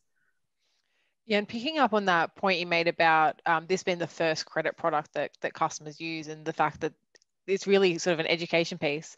Um, what we're seeing in our research at the moment, there's while there's this sort of idea that buy now pay later displaces credit, and I'll, I'll get all of your opinions on this in a moment, but our research actually suggests that because buy now pay later is the first product that millennials use who traditionally haven't or haven't yet, yet used credit um, and are a bit scared of it, the buy now pay later actually gives them confidence that they can make repayments and they can manage um, debt, which actually translates into just greater um, appetite for traditional credit as well. So they it's a, a stepping stone. They feel comfortable um, moving on to a more traditional credit product. Um, what I'd be interested in getting your thoughts on is is how buy now pay later and traditional credit really play together. I think that idea of buy now pay later displacing credit, in particular that that for the, the likes of Zip and Laybuy at that lower end. Um, what are your thoughts on that? Do you think that you are taking share away from credit? Do you think that was a trend that was was already happening? What's the relationship between the two? Uh, Mandy, why don't we start with you on that one? Yeah, I think look all the trends and the and the stats point to obviously the decline in credit cards. So we've already spoken about the adopt, you know, the adoption of debit cards onto buy now pay later uh, accounts. Look, I think credit cards will always be there. I think you know the market and, and consumers are now you know more educated and more aware on on what interest and, and what consequences come from those. They've grown up with mum and dad who've had you know student loans and large credit card debt and high mortgage rates, so they're just managing their money differently. Um, so I think you know what's been really interesting for us, and I'm sure um, you know Chris and Todd have seen it as well, is we're seeing the decline in credit cards across every age group um, and the increase of buy now pay later across every age group. So there are certainly you know all the trends point you know in the right direction for us in regards to the adoption of buy now pay later but i, I don't think that you know credit cards are are a thing of the past. I think it, it's just they're going to be managed and used in a different way and and you know that will be interesting to watch how that navigates over the next sort of five years. Todd, do you think Zip is stealing share away from credit cards? Yeah, I, I, mean, I think I think there's no uh, I think there's no doubt in, in that. I think all, all, the data is showing sort of people are shifting away. I mean, it's slightly different, probably Tate to Mandy, but it depends what you think. You know, traditional credit is. If traditional credit is product based on getting people paying 20% plus compounding interest, I think they will they won't exist. Mm-hmm. Um, you know, the day everyone starts paying their credit cards back in 30 days and banking the Airpoints is the day the banks stop offering them, right? They're just not financially viable product. So um, I think it's definitely the switch, but I, I, do think the industry, I think we're having a, you know, a positive change on the industry. You know, banks and some of these traditional finance products are just not going to be able to exist the way that they, they do because they, they don't have the customer's best interests at heart and, and they're designed to make money, uh, you know, in, in, an opposite way to that. So I, think you'll see that, um, you know, the industry will start to be disrupted. I think everyone will, will do better. I think the banks will do better. They're going to have to. But I think you're going to see an evolution of, of products that, you know, traditional credit as far as what we see today, you know, into the future, I just really doubt there will be products that are constructed the same way because I think, you know, customers are, are proving with their, you know, the way they're flocking to our products and how much they're spending through our products that they are, uh, they're choosing, uh, you know, they're choosing a different path. So I think it'll be really interesting how that does evolve from a broader industry point of view around what kind of credit becomes yeah the I, I, think credit has to evolve as customers start to have different interactions with it. Um, chris the i guess you could argue that Humm has i todd just raised the point that what is a traditional credit product but you could argue that Humm has both traditional credit products and buy now pay later. Um, how do you see those two product sets complementing each other? Uh, look I, I think the the evolution's obvious to everyone that credit cards uh, will will stay important, but not the way they are now. And um, one of the things that buy now pay later does really well is takes a transaction and puts that into instalment payments. Um, that it's not necessarily good for your morning coffee, um, for your lunch um, or your weekly grocery shopping because you know it doesn't take long before your grocery shopping kind of looks a bit messy on buy now pay later. Um, but so we we actually launched a product um, last year in Australia called Bundle, which actually takes all of those purchases and bundles them into an installment plan. So your weekly spend um, and allows you to set different payment schedules for, for different things. And I think that's what credit cards still do really well is it takes all your everyday spend and allows you to cash flow manage that. And so it doesn't take a rocket science to work out that maybe there's a fusion between buy now, pay later and credit cards coming. Um, there's no doubt, as, as Todd said, that that compounding interest um, is a cause of concern. I'm looking forward to the day that that, that compounding interest is understood on mortgages and we start to actually get a better mortgage model because uh, that's where we all pay the most interest. Um, but the, the, the reality is banks are going to be challenging their credit card books and credit cards, as you've seen in Australia, will evolve um, to meet this new need. And, and I think that's a great thing for customers. No interest mortgage sounds pretty good as well. It does sound pretty good. Eh? I'm trying to work out how to get me one of them. Chris can fund that one, I think. But um, you can let me know when you find that one. I'm all in. yeah, I need to be more than a $10 late fee. My final couple of questions here, and I'll keep these short. because I know we're we're running out of time, but I wanted to ask you a little bit about the future of buy now pay later. I think speaking to all of you today, we're all in agreement that buy now pay later is is here to stay, and credit cards and the rest of the market are going to have to adapt based on what customers are, what they want, and, and how they're using buy versus those um, those traditional those those products that already have that, are older, I guess we could say. Um, I guess the other thing that we've seen a lot of lately is obviously buy going into new markets, so expansion uh, geographically. We're seeing new products being launched. We've seen Afterpay starting to launch um, more sort of traditional banking products. We're seeing lots of buy providers launching physical cards. Uh, what I might end with is is anything that you can share about what you are looking at over say the next 12 to 18 months. Um, if you can share what you're what you're working on as a as a provider um, but also just what you think that you'll will see more of in the industry if there's anything else that you think um, we can expect to see from buy now pay later in the, the sort of near term the over the near future um, and Todd, I'll start. I'll start with you. You're obviously Zip, obviously in lots of different markets, um, launching physical cards. Anything else you can share around what you're up to, or, or any uh, predictions for the future of the industry? You can't. I didn't want to be first on this one, giving so much away. But uh, no, look, I mean, I think it'd be fair to say that you know, product innovation, I think, is going to be massive. I mean, you do look at, especially New Zealand, buy now pay later, kind of has quite, you know, between the guardrails, a sort of you know six to kind of ten weeks same sort of price point. So I think, you know, across our business uh, with markets, you know, Aussie, US, UK, you know, UAE and Europe recently, we've got, you know, long-term finance products, short-term, you know, business lending. So I think there'll be a real push around, you know, taking some of those core attributes and customer benefits from buy now, pay later and, and really extending them into new use cases. So, you know, high ticket items or bigger purchases for customers. I think business lending, we've got Zip Business in Australia, which is a mix of both capital into businesses, but also a, buy now, pay later kind of account for businesses. So I think the real push will be, um, you know, it's been a bit of a that gold rush to go deep and you know with kind of retail, but I think you'll see, you know, us and I'm sure a lot of a lot of the other players starting to expand our product offerings and what's made them, you know, such loved by by customers into to broader kind of verticals and different use cases. Yeah, definitely. I think there's still while we talk about the the market being mature, I think there's still a lot that could that could still happen and, and grow and evolve. Um, Mandy, anything you can share around what Laybuy is up to or, or predictions for the industry? Yeah, I think in terms of Laybuy, you you know you kind of nailed it um, before. You know we've obviously launched a, a, a um, tapless card, you know, um, not that long ago that launched in November. Um, you know, we are, you know, going gangbusters at the moment in the UK and, and we're about to hit the US market. So there's no doubt that there's still a lot of opportunity globally where you'll start to see buy now, pay later, you know, start to, we're not at the maturity. And isn't it funny we say maturity here? We're, we're only really been, been around for five or so years, but, um, you know, there's still a lot of opportunity there. So you'll see those key players, you know, play into those markets. Um, and there's no doubt there'll be more innovation in, in the market and, and, I think for us, you know, Laybuy in particular, we will definitely look at those other product options and we're continuing to listen to our consumers. They're telling us what they want and the way that they're spending.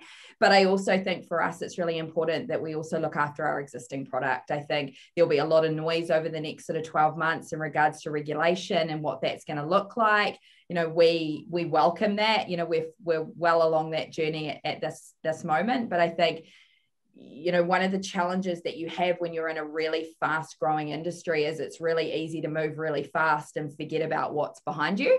Um, so i think for us in particular looking after our existing business and and supporting our you know our consumers and our merchants with our existing product is going to be just as important for us. So lots to come um, but also making sure we continue to to provide a, a level of service that's that's excellent Absolutely. And I think I said physical cards before when I obviously meant virtual cards. But I think that idea of um, the in store is, is still really an untapped opportunity for buy now pay later, which we kind of forget about sometimes with all of this oh. speak about going into new markets and launching brand new products. Absolutely. And you know, the the good news that's come out of, you know, the media and the announcements around, you know, the regulation of some of those merchant fees, you know, and, and PayWave in particular in New Zealand. We know we're at less than 70% penetration um, of PayWave here, you know, versus 99% in the other markets. So I think, you know, that will be a huge win for, for merchants and, and for consumers um, who want a, a really quick and, and easy transaction. So it's pretty exciting.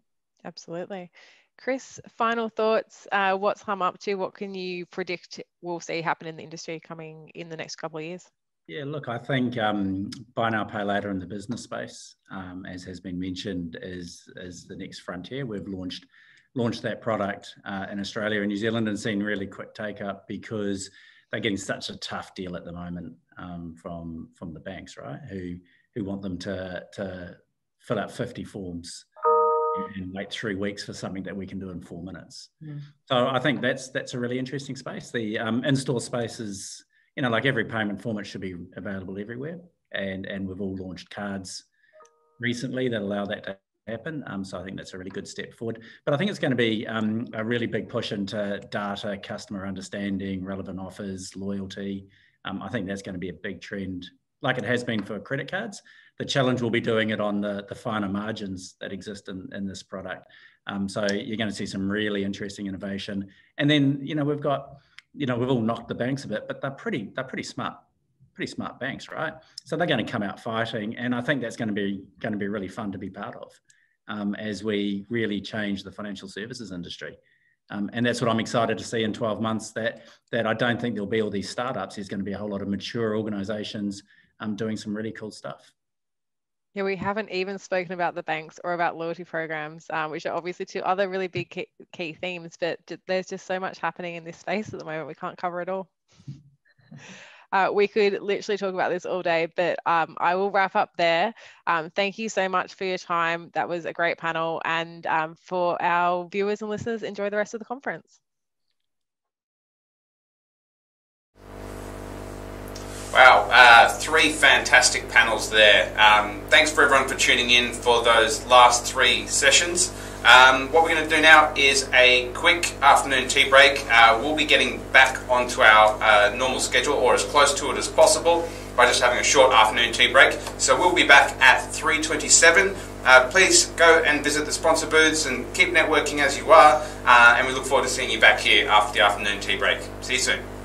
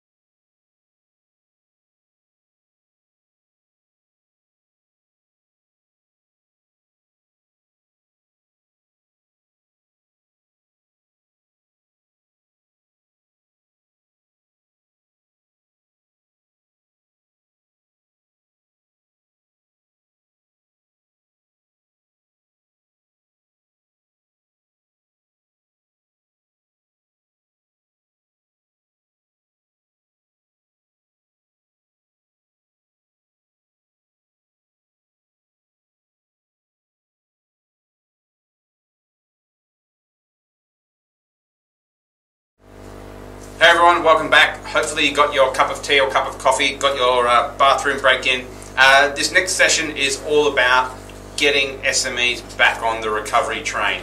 Uh, and first of all, we've got Kate Wilson, Deputy GM and Research Director, showing us some really important insights on what SMEs are needing uh, from their financial services providers to get them back on track. Um, following that uh, presentation, uh, we'll have Ahmed Khan, who is GM for Australia, for Asia for RFI Group, uh, he'll be doing a fireside chat with Adrian Church, uh, General Manager of Prospa, and Jorge Manuel, uh, Business Development Manager from Prospa, talking about some of the new opportunities that are out there uh, for businesses uh, when it comes to, to business lending, but also some key trends that they're seeing as well. So, on to the next session, which is all about business recovery. Uh, do enjoy, please participate in the chat, um, and enjoy the next session. Thank you.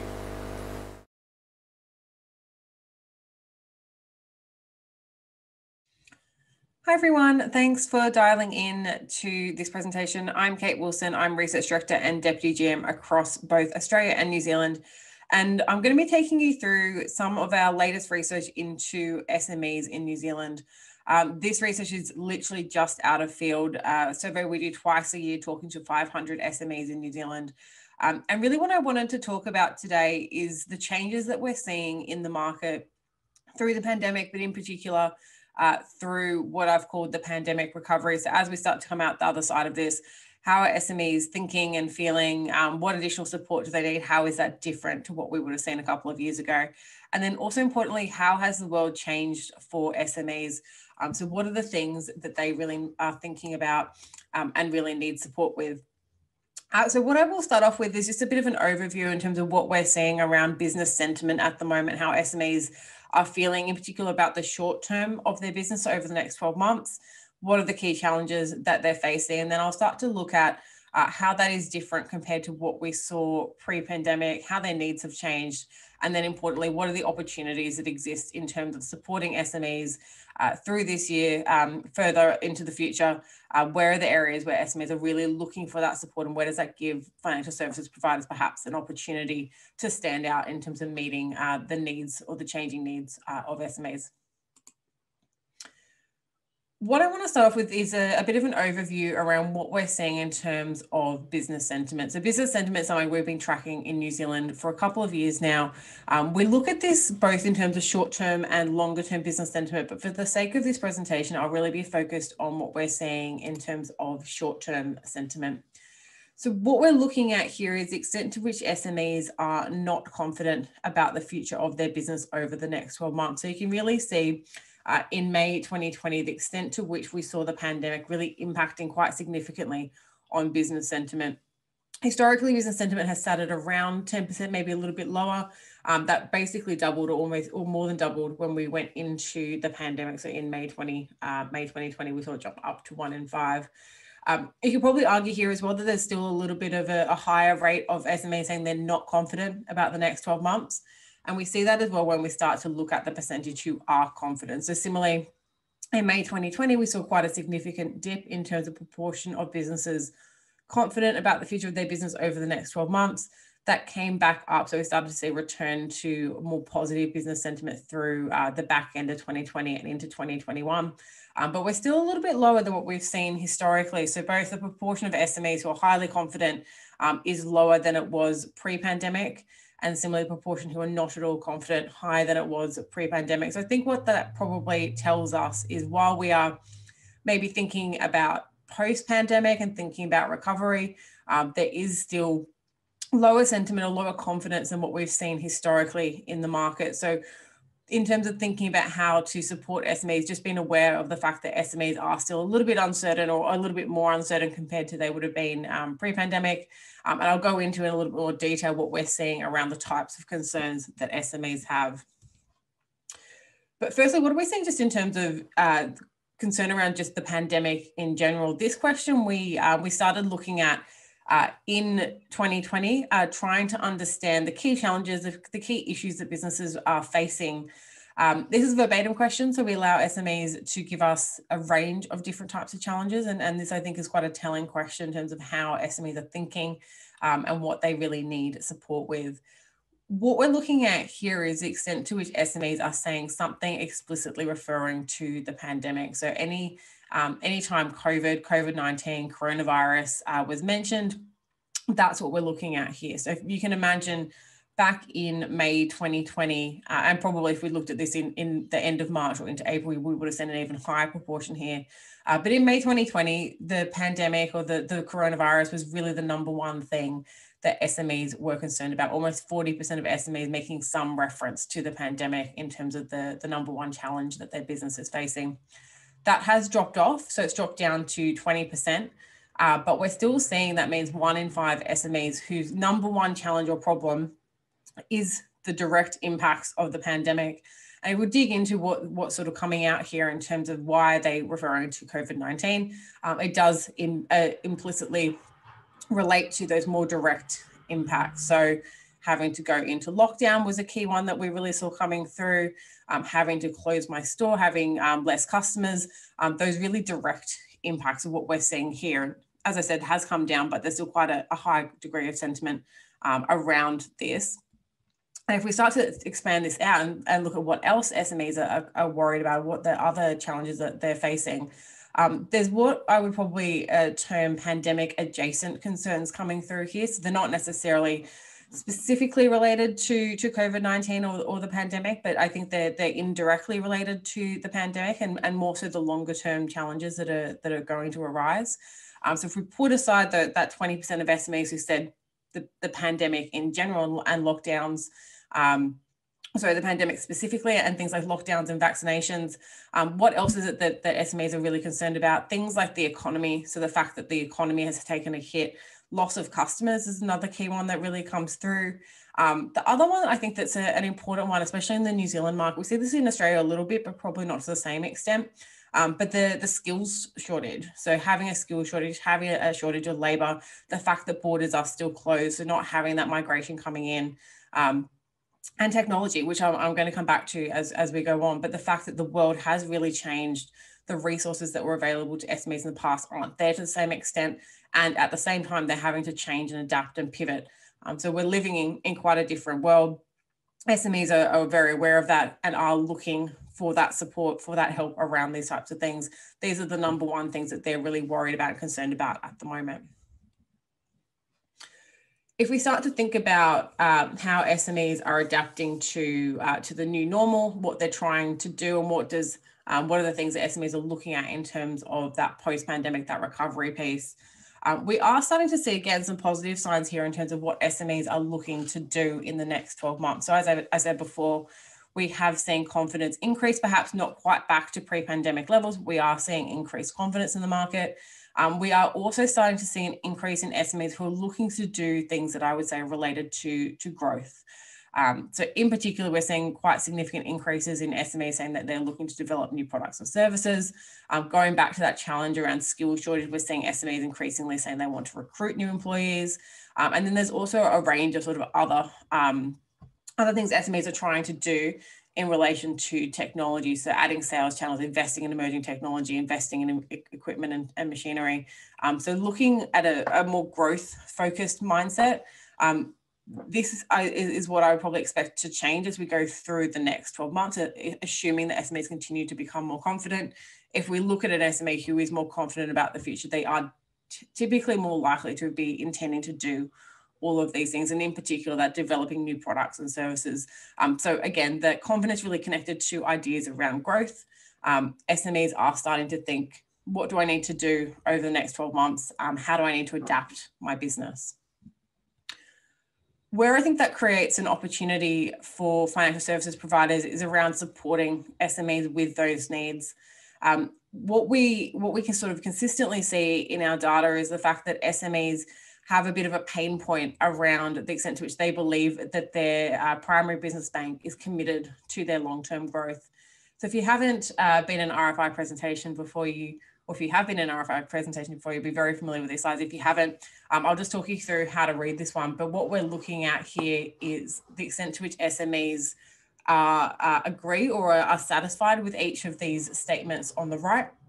We've plotted that along the vertical axis. So looking at average satisfaction with each of those, those attributes And then along the horizontal, we've correlated that with overall satisfaction. So the idea here being anything on the far right hand side of this chart is something that's important for SMEs. It's important to um, to them in terms of driving their overall satisfaction. There are important elements to be considering um, and investing in and making sure they're right. Anything on the left hand side, um, less connected to driving satisfaction. Doesn't mean these things aren't important for other um, reasons. And for example, online and mobile banking capabilities, you can see they aren't as highly correlated with satisfaction, but they are very important in terms of driving um, acquisition, so driving uh, drivers of choice.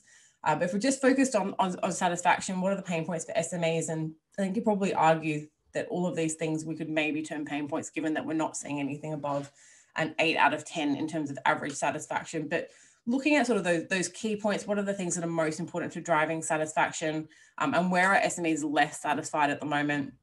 Number one is around range of products to meet the business's needs.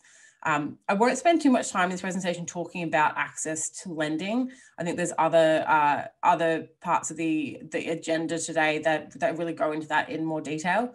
Um, but it is one of the things that we are seeing at the moment as SMEs are looking to grow and adapt and, and to recover, that access to finance does, of course, become more important. Um, this also, I think, just talks to the, the range of business uh, of business banking products actually meeting the business's needs in terms of being sort of more flexible, uh, more adaptive to, to the SME's specific needs rather than just having a lot of different products.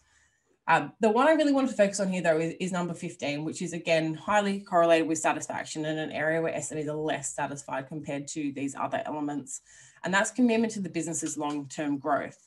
So if we're thinking about the fact that SMEs are starting to become more confident about their future, they're starting to look at diversifying and looking at growth, um, but they don't necessarily see their primary business bank as being able to demonstrate commitment on that front. So they're, they're thinking about their primary business bank as, as not necessarily believing in or helping them um, to achieve that longer term growth. So that's something I think um, financial services providers should really be considering. How can you make sure that SMEs that your current SME customers feel like you were there for them, feel like you're providing them with the tools and the services that they need to grow.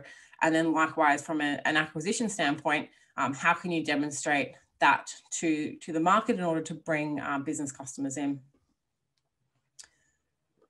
The other thing that's changed uh, quite a bit over the next, oh, sorry, over the last 12 months, uh, last 18 months, um, is how SMEs are interacting with their providers. So I think um, channel strategy, the importance of digital has also changed quite a lot. We know that, of course, over the last uh, 18 months, we've seen really significant shifts around how um, SMEs and consumers are interacting with their banks. That rise of digital um, has really accelerated through the pandemic. And in New Zealand, we already do see quite a high rate of digital adoption, both for consumer and business. So I think digital's always been there in terms of an important element, um, but we can expect that we're living in a new digital world. This is going to be more important going forward as well.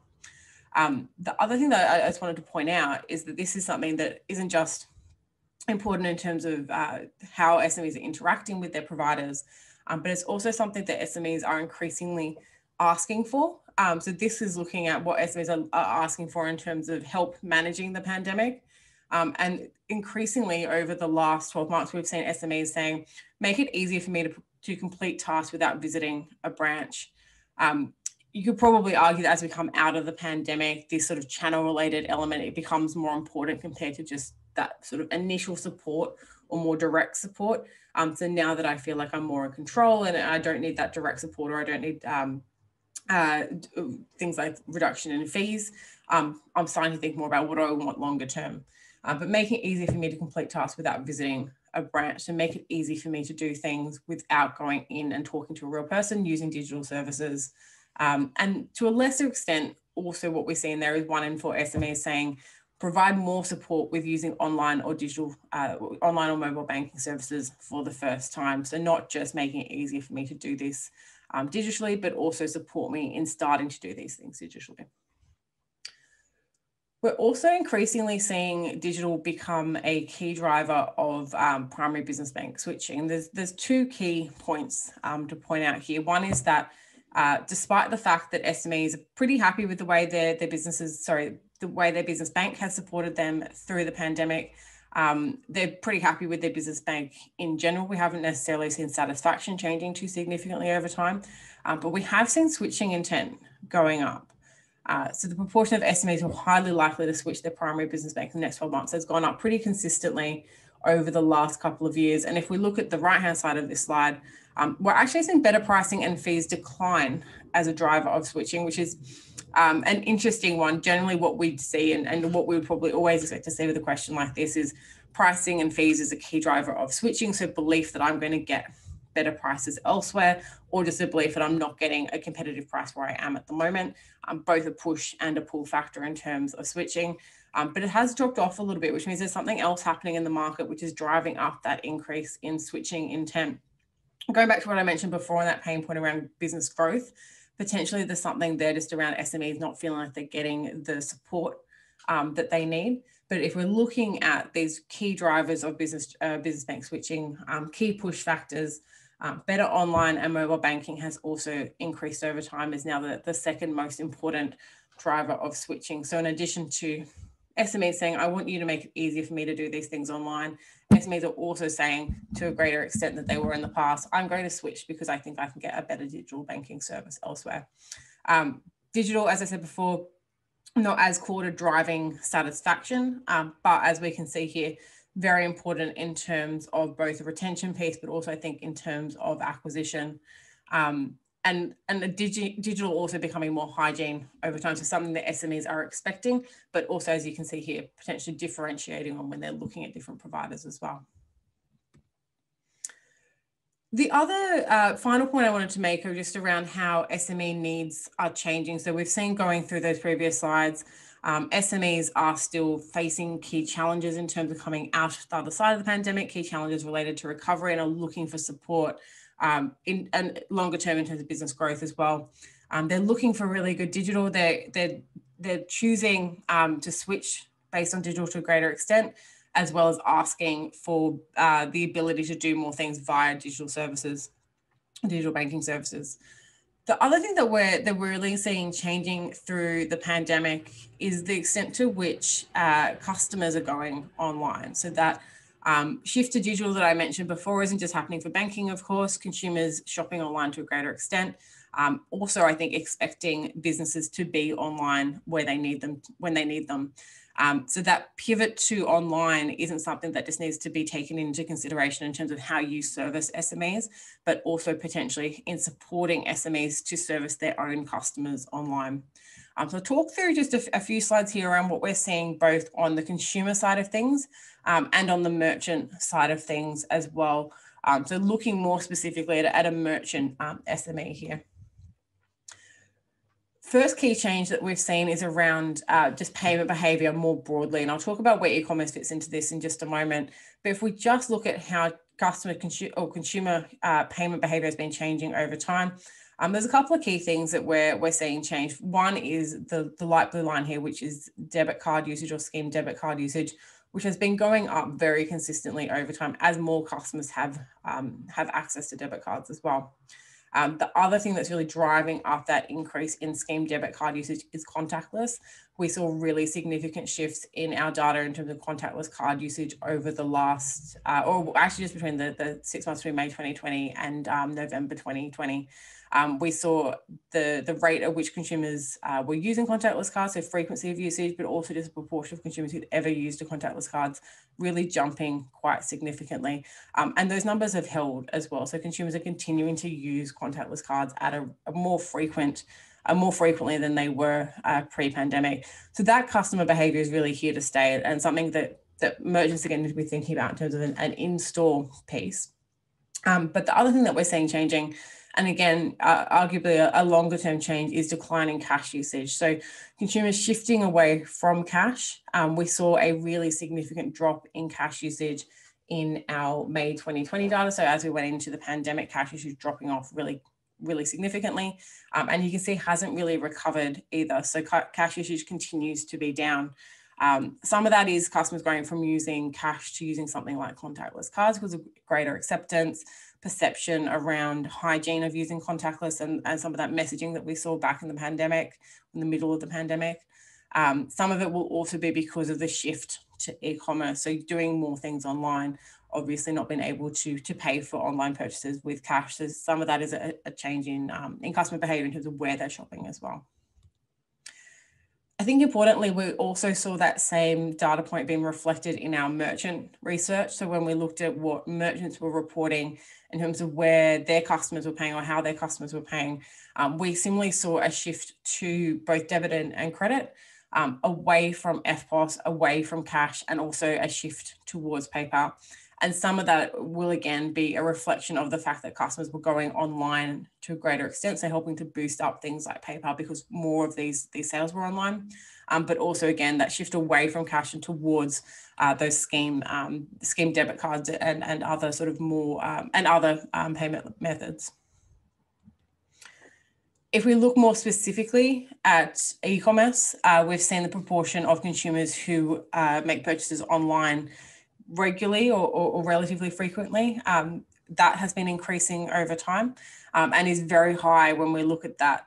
Uh, I was going to say younger customer group, but actually, if you go all the way up to a 55 year old, um, so 55 and under, we're seeing the majority of consumers now saying that they use uh, that they make purchases online at least once a week. Lower amongst that 55 plus age group, um, but it is it is still increasing at a, at a uh, perhaps a, a, bit of a slower um, rate. Um, but if we're looking at that under 55 group, um, over 60% now saying that they make purchases online in a typical month. Um, this is just domestic. We also do capture international, but just to focus on domestic here. Um, again, we can, can, we can expect that this trend will continue. Um, this trend predates the pandemic, but the pandemic definitely helped to accelerate this shift towards e-commerce. Um, and similarly, when we start to look at that from a merchant perspective, we're seeing a significantly high proportion of merchants say that they accept card payments online. Um, the majority of merchants who do accept card payments online think it's going to be a bigger focus for them over the next 12 months.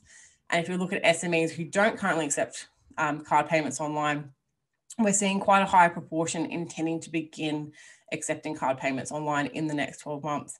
Um, so a pivot towards an online store. And a lot of this is really being driven by the idea of customer demand. Customers are, are online, customers want to pay online, customers want to shop online. Um, so I need to be there as a merchant in order to capture those customers, to retain the customers that I already have, but also in terms of bringing in new customers. Um, so again, a, a, bit of a step change in terms of how uh, customers or consumers are behaving, but also that impact on, on SMEs and on merchants. The other point I just wanted to, to end with here, just around um, that shift towards e-commerce. So we're seeing SMEs increasingly moving towards uh, e-commerce. We're seeing um, those who aren't online wanting to go online. There is a perception amongst SMEs who don't, or merchants who don't accept card payments online, um, that starting up an online store would be difficult, would be time consuming, both in terms of the setup of the online store, but also in terms of the, the setup of the, the card um, acceptance facilities. Um, that is one of the key barriers that is stopping an SME who wants to start accepting card payments online from actually making that step. Um, it's too difficult, it's too time consuming. I would just need help with this, or I need someone to help me with this. Um, when you go through to those who have already made this change, to those who have got an e commerce facility, generally they found the process of setting it up pretty easy. Um, but also a lot of them, when we asked them why they considered it to be easy, said that they were, they got some form of help. So I had an expert helping me. I had an advisor. Um, I talked to someone who gave me uh, what I needed. Um, there was someone available to talk me through it. Um, so that's the experience that, that merchants are having when they actually do go through that process. But I think, again, going back to the point around supporting SMEs, supporting their longer term growth, um, I think we can expect or we really know that, that there's going to be a greater focus on e-commerce, there's going to be a greater focus on, um, on online stores, being able to position yourself or, or financial services providers more broadly as being able to help uh, SMEs and merchants go online, set up e-commerce facilities um, to go through that pivot um, that I think uh, positions you well in terms of helping them with that, that longer term growth piece couple of uh, final um, points here, a couple of key takeaways to leave you with.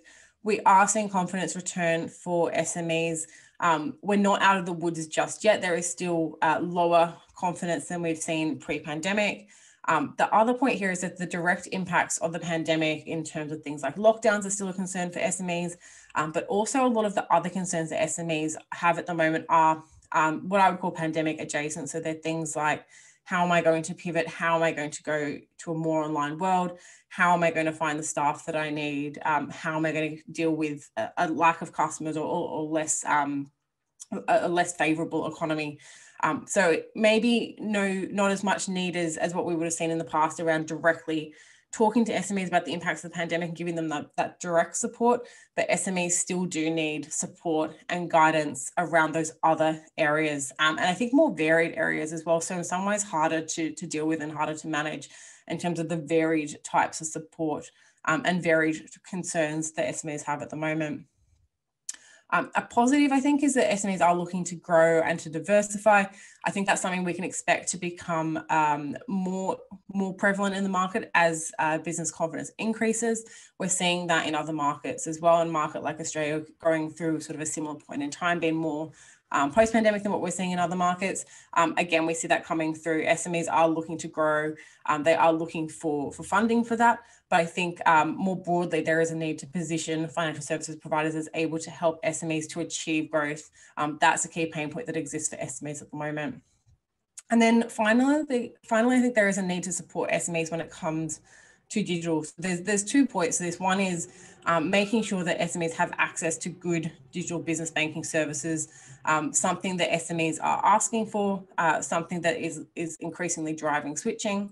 Um, but the other point here, I think, and, and maybe thinking more on the on the merchant side of things here, but helping SMEs to pivot to a more digital world. So helping them to set up an online store, um, helping them to create a website, helping them to accept card payments online, um, all of those elements becoming more important in the current environment. And again, I think goes back to that idea of helping SMEs grow, helping SMEs to survive and thrive in this new uh, post-pandemic world. Thank you so much for your time today. Uh, if you've got any questions, um, hopefully you've, you've put them in the chat, but otherwise do feel free to reach out to me directly as well. Thank you and enjoy the rest of the conference.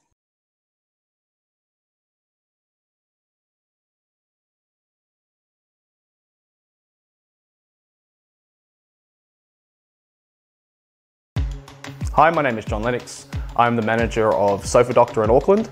We're a mobile upholstery company.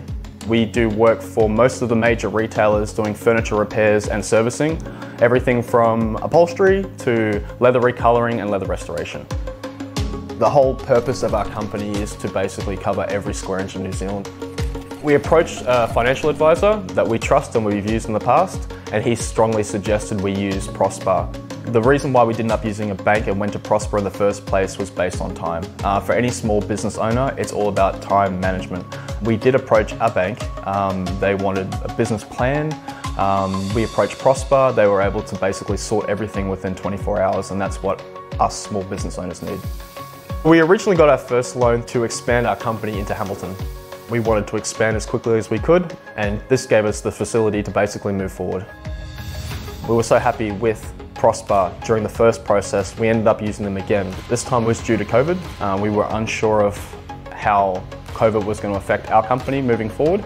Um, we wanted to make sure we had enough cash flow. We were uncertain of how the market was going to react and how our business was going to react.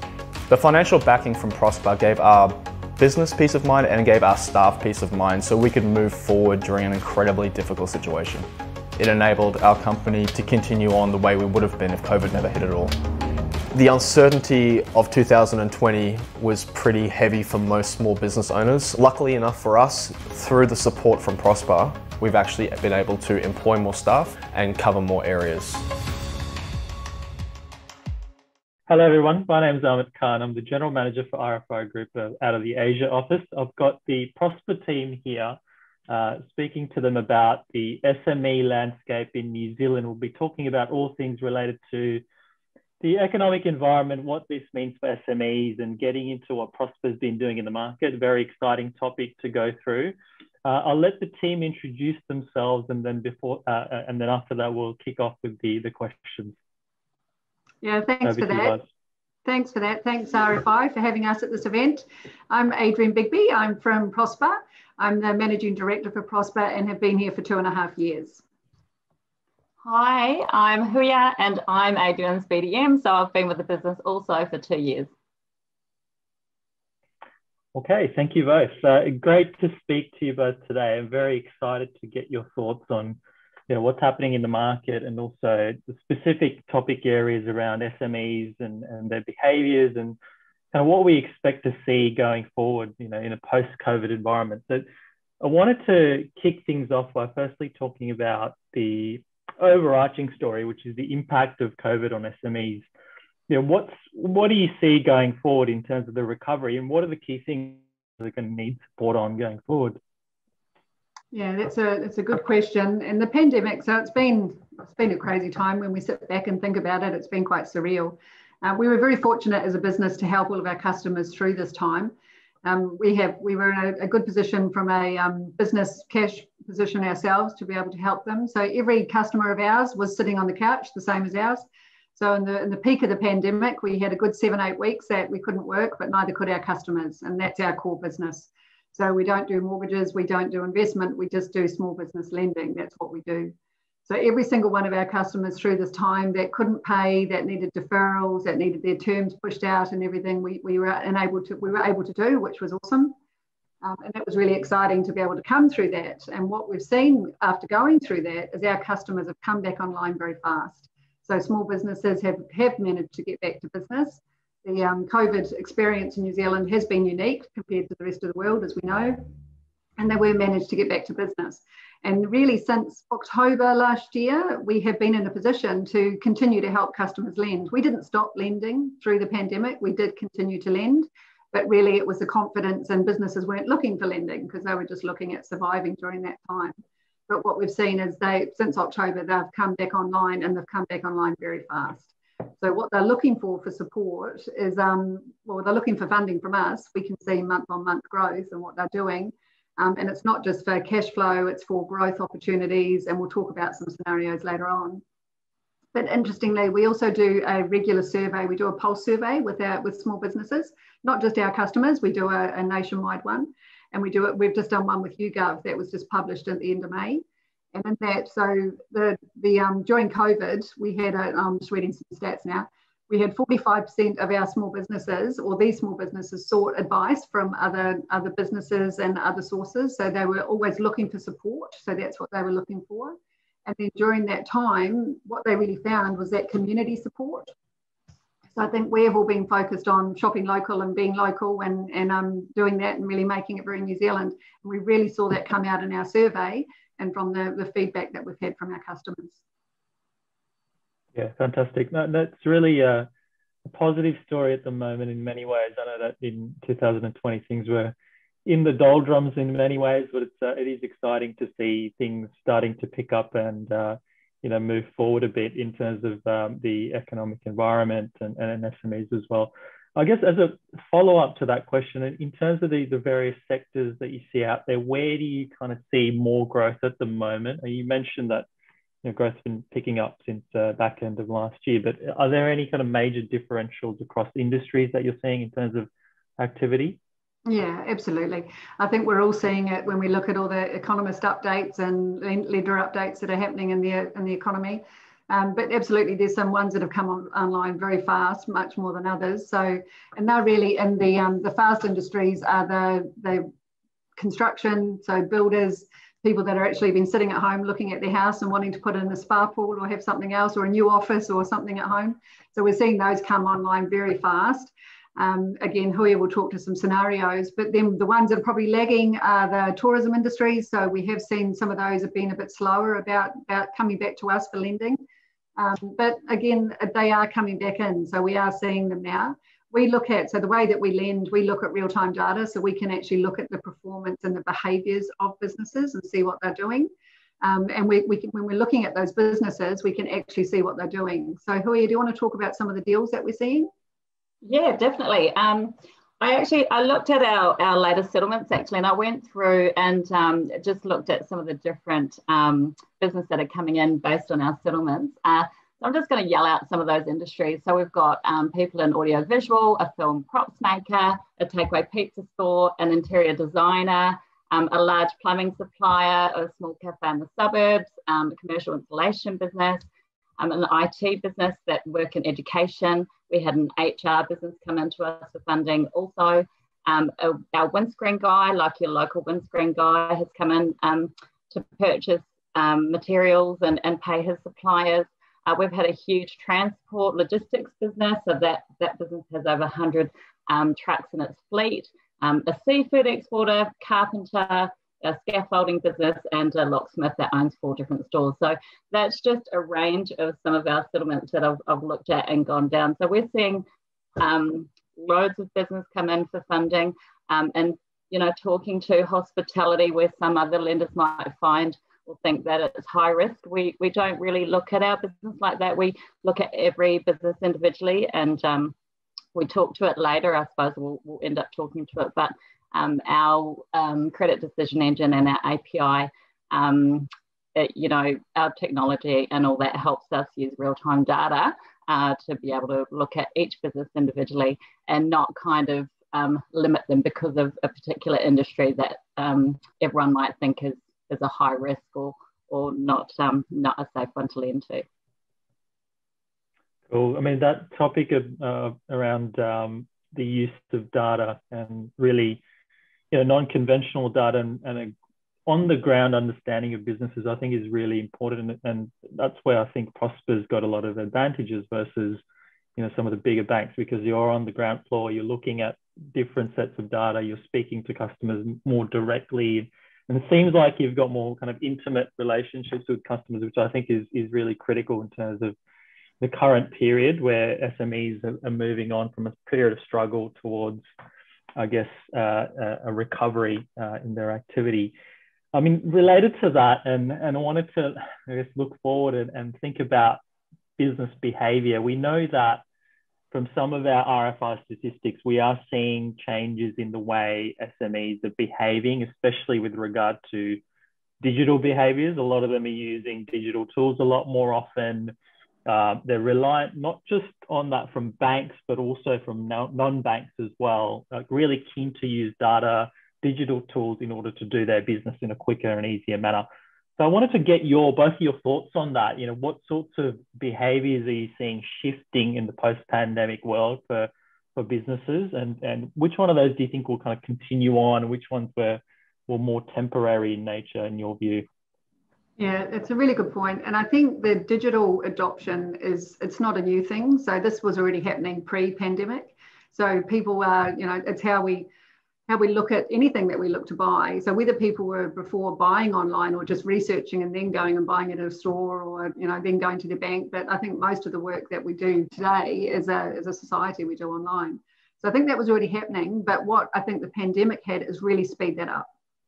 So where where it might have been happening before at I don't know the percentages, but say 40%, we might be at 80% today where people are more and more confident about um, about buying online shopping online, lending online, and that trust factor. So there's a lot of trust, and you know our business. So we we're a digital online lender, but we've done over two billion dollars worth of lending. So that's with Australia and New Zealand together. So that's a lot of lending and a lot of small businesses when our average loan size is only about 30, 35,000. So we've touched a lot of business and, and have worked with them. And the way that we lend, we, we do it all digitally. So we, we access the, we look at the client's um, bank account, we have a digital credit decisional engine that will make that decision. We do the AML online, so everything is done online, which enables us to make really quick decisions and, and um, go back to the client really fast. So I think that adoption, and just look at our own behaviour. You know, how many people when, when we were all on our supermarket, we did it all online, and you see couriers a lot more nowadays delivering wine and food and everything that we do. We do it online, so it's extraordinary. So I think yeah. it's just sped it up. I think it's sped up those requirements. Yeah, I'll, I'll add to that too. And I mean, when we look at um, our data, so, you know, Auckland's had four level three lockdowns. There was the original one and then three snap lockdowns later. Um, so when we look at the business that we've been able to help through that time in terms of um, assessing the, the business um, and their sales, whether, you know, and working out whether we can lend to them, um, there's been four level three lockdowns um, when they come back online, we could see looking back over the 12 months. Um, for the first level three lockdown business, we're trading at about 50% capacity. And then when we look at the three snap lockdowns, we can see that that business has been able to figure out how to get their product out to more people, regardless of the level of lockdown. And we can see that they were trading at 85 to 90% capacity in the second, third, and fourth um, snap lockdowns. So whether they invested in their business and partnered with other business to get their products out there, um, you know, to more people, or they went online and organised click and collects, or they renovated their business so they could have a little window shop at the front um, to serve customers without having people enter their store, you know, whatever it was. It's, it's amazing. And we can see that in that data. Yeah, I mean, it, it's, it's very interesting to look at those case studies of specific examples of how businesses adapted. I know we, we talk about sort of broad trends in the market in terms of you know e-commerce and, and more businesses kind of trying to go direct to customers throughout that uh, through that e-commerce model. But um, yeah, interesting, really interesting to get your thoughts on that. Um, and I guess I guess in, in terms of thinking through this in terms of Prospa more specifically, everyone's had to adapt and and you know drive through this period where, of lots of changes into in, in terms of the uh, economic environment. Before the pandemic from a, from a lender's perspective and especially one that lends online and, and to to SMEs there's a lot of talk about whether you know a, a business like Prospa would be able to to deliver and, and sustain through a period of an economic downturn. I think that was a real test of your business model.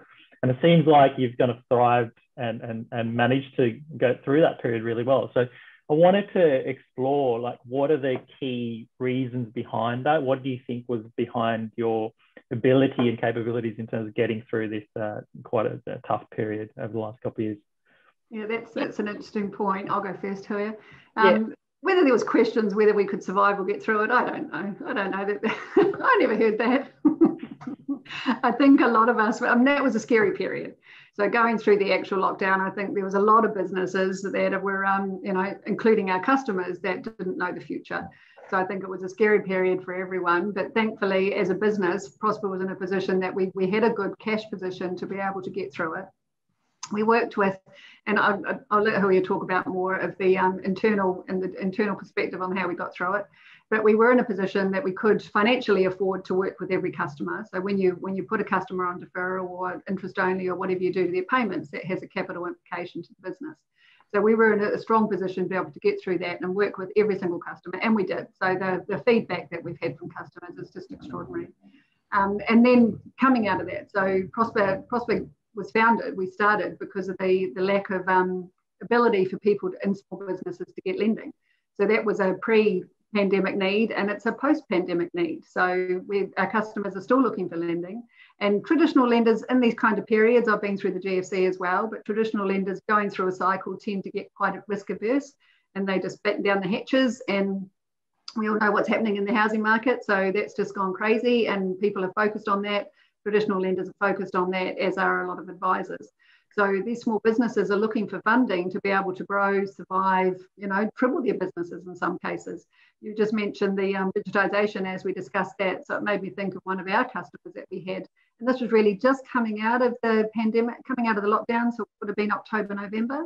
This is a, um, a retail provider in one of the tourist towns. So a very, very, one of our big tourist towns and they were, you know, there's no tourists, so they were really struggling. So they came to us, they invested $100,000 to go online, and now they're global. So they're selling their goods online globally because they pivoted, for want of a better word. I know we all hate that after this, last year, but they managed to do that. So that need hasn't gone away. That need was there pre-pandemic, and that need is is um, much more more so now post-pandemic. So, who do you want to talk about what we did as a business internally? Yeah, definitely. I, I really, um, I mean, you touched on it. We had the, the cash, the, the great cash position to be able to actually help every single customer uh, that come into us that needed to defer their payments or, um, you know, uh, reduce their payments for a certain amount of time. Um, but for me in sales, it was really interesting because um, you know, obviously for a time being, we weren't doing any sales, but we were trained and we picked up the phone and we talked to every single customer that we had. So that was amazing too. So we got trained in in that space and also found out about our policy with, regard to being able to help our customers when they get into a position where they might need to reduce their payments or defer their payments. Um, and our policy in that sense was already excellent. Um, excellent beforehand. So it was great to be able to talk to business owners to be able to let them know how we could help them. And our whole business did it. Um, from my perspective as well, uh, when I look at our executive team and I talk about Adrian and also our, our founders um, and everyone in our executive, they were picking up the phone and they were talking directly to our partners and also to customers, which was brilliant.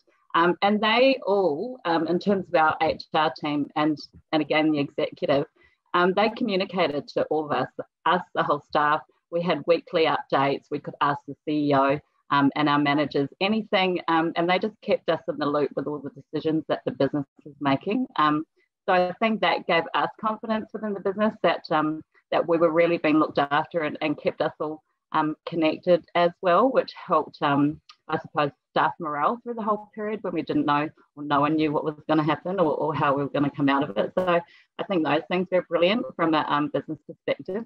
Yeah. Yeah, no, really interesting to hear those, um, I guess, uh, internal developments. And, and yeah, I can see why, you know, being positive through that period and the companies that have come out stronger were the ones that remained positive and, and really invested in their staff and, in their customers as well and, uh, looking positive now as things recover. I guess on the topic of uh, recovery again, but then and, and, and forward looking as well, I'm trying to be know, look look towards the future in terms of innovation, in terms of um, lending and online lending particularly. I think you you raised the point earlier about you know there's still a lot of aversion to lending to small businesses amongst the the traditional lenders and you know, I was looking at some Reserve Bank statistics around proportion of businesses that have been rejected for credit or, or feel like they can't get access to financing. They're still very high and maybe even increased during the, the pandemic period. Um, and of course, we know that businesses are looking for things like quick turnaround times and a, a really seamless experience when it comes to, to online lending. I wanted to get your thoughts on that topic around you know, where do you think the innovation is going to come from in terms of SME lending? Uh, is it around the application experience? Is it around turnaround times? Is it around the, the channel experience customers have? What, what do you think is, is going to turn out? Um, I think the innovation, I think that's where our business came from. So, you know, you talk about the, the high decline rates, and it, and it is just a fact. It's, it's just not the, the traditional bank's core business and, and their core expertise. So our founder story, so where we actually came from. So we're nine years old in Australia, so two and a half years old in New Zealand. Um, and our co-founders are still in the business. So our CEO, Greg, and um, our CFO, uh, Chief Revenue Officer, actually, um, Beau. So both co-founders, they were both business owners. They were both trying to find funding for their business. Um, at that time, they were they were early 30s, um, and we've actually got some stats from our from our survey talking about you know, younger younger younger business owners that may not have security, may not have houses, trying to get business business lending, and we know that's tough. We hear it all the time. Um, so the younger businesses, if they haven't got a security or they haven't got a house to put up or a second mortgage or a caveat, it's difficult to get unsecured lending, and that's essentially what we do. So they were looking for funding. Um, couldn't find it. So one of them was importing clothing from overseas and selling it in Australia, and the other one was an equipment and looking for funding and they just couldn't, they'd struggled and they just went, there's got to be a better way to do this. So they got together and they got together with some investors and set up Prospa. And as I said, we've now done over $2 billion worth of lending. So we're all online, we're all digital, we're all real time. So essentially we can have a business that can come into us and they're time poor, as you've said. So they can come into us and within 10 minutes, we can tell them whether we can lend to them or not. We can tell them how much we can lend them. And then within 24 hours, we can draw that down. So we do digital documents we send that to them and within 24 hours, but often same day. So then the feedback that we have from customers is like, oh my goodness, like they're just flabbergasted with what, what they can see. Um, I come out of mortgages. Hui and I were both in mortgages before. Prior to that, I was in insurance, and I've never seen tools. And that's that's really why I came over to Prospa due to our technology and ability to make these decisions and to help these customers. So our innovation as a business is why we're here, but also future innovation is really about listening to those customers. Because we're a fintech, we're quite nimble and we can move based on customers' needs. So in, in New Zealand, we have a small business loan. We, we were um, fortunate enough to get access to the government guarantee scheme, which has enabled us to be able to reach more lenders. So we've, as said, we've had that month-on-month growth, but a lot of that has also been under the government guarantee scheme. And it's helped us to identify a whole segment of business that we weren't reaching before. So this is the larger loan sizes. We lend from, from 5,000 up to 300,000 in New Zealand. And then 70% of those customers come back again for more funding because they, they have a great experience and we work with them on their businesses. Um, so that innovation for us is really around evolving our business based on their needs. Um, we, we as business are looking at line of credit and other tool, other products that we can bring here, which is really what they're looking for. I think in some of your research that we've done with RFI, it's about flexibility. It's about you know people being able to own their own their own destiny when it comes to managing their accounts and their lending. So that's what they're looking for. So that's what we do. Yeah, interesting point around the customer expectations around this. I think the what we see from our research is we, we know that businesses and SMEs are very owners are very busy and the, the staff are always busy and they don't really want to be thinking about banking and, and finance all the time. It just needs to be a, almost like a seamless process in terms of how you get access to financing, how you do your banking. So yeah, I think you're really in the right direction in terms of uh, making things quicker, making things more seamless and part of their sort of everyday workings and, and making it so that they don't even need to dedicate much time to think of uh, think about financing and, and banking. Uh, and you, you, kind of touched on this in terms of uh, the use of data. We were talking about this earlier in terms of how Prospa especially utilizes customer data in order to, to tap into segments of businesses that uh, perhaps not reached by traditional institutions. So I wanted to explore that topic a bit more uh, and get your thoughts on know, how do you look at data? Uh, what sort of customer data you tend to look at?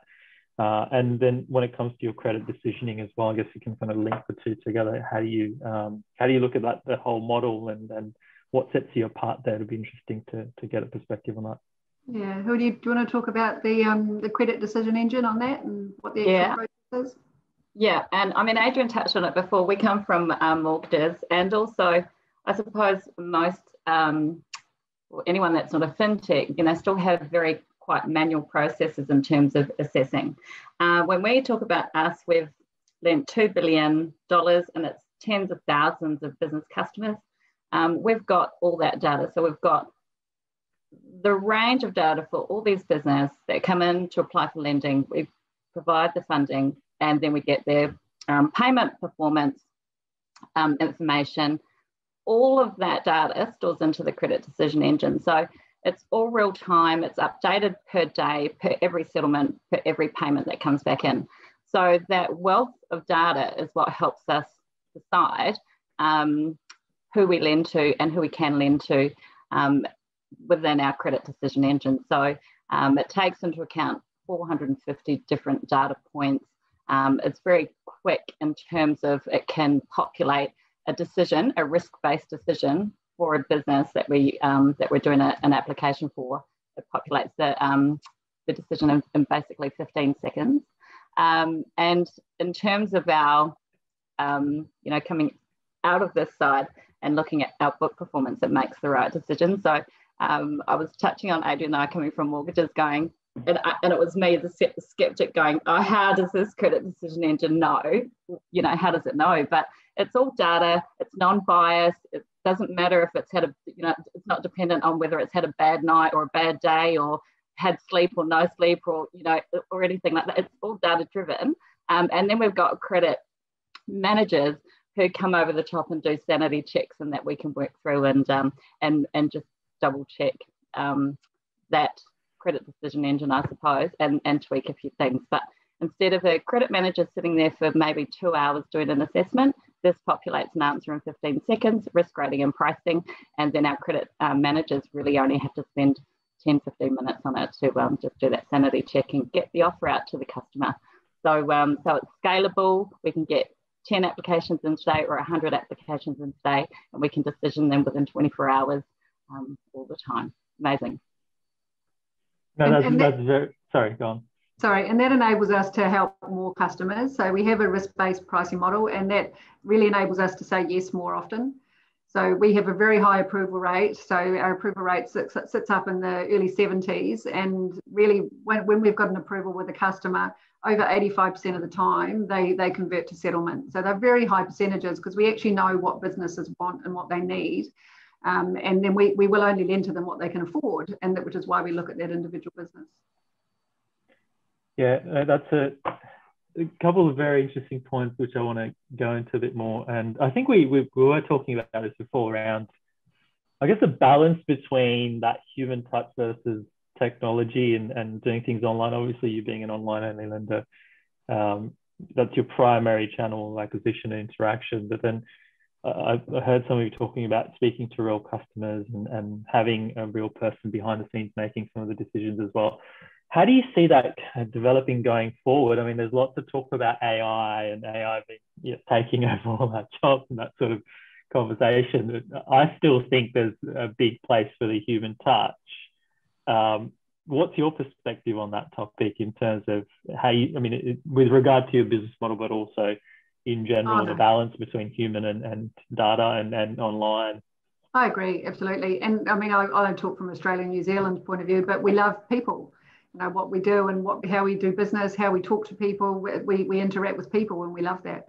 It's interesting that you you asked that one. So I've just come back from Sydney. I've just been over there on a um, on a leadership strategy course or, or session, and we were talking about this exactly. So yeah, we're online, but for, but we do have a person that still talks to the customer. We still talk them through the contract. We still talk them through what we can, you know, afford to lend them and what they can borrow. Um, but we're we're increasingly looking at tools, and again, you're talking about innovation, but what to be able to do a straight through process. So without take with taking that person out, but there'll always be a need for that person. And for us, that's not taking people out. That's that's actually giving us more scale. Um, and we really see that as in the, you know, maybe you've got someone that just wants to borrow 10,000 or 25,000. So it won't be the 300,000 customer that wants to talk to someone and that they have a lot, lot more high touch um, process. It'll be the, the smaller customer that maybe that's all they're looking for over a short term. Our loan terms only go out to 24 months in New Zealand, and on average, it's about 12 months.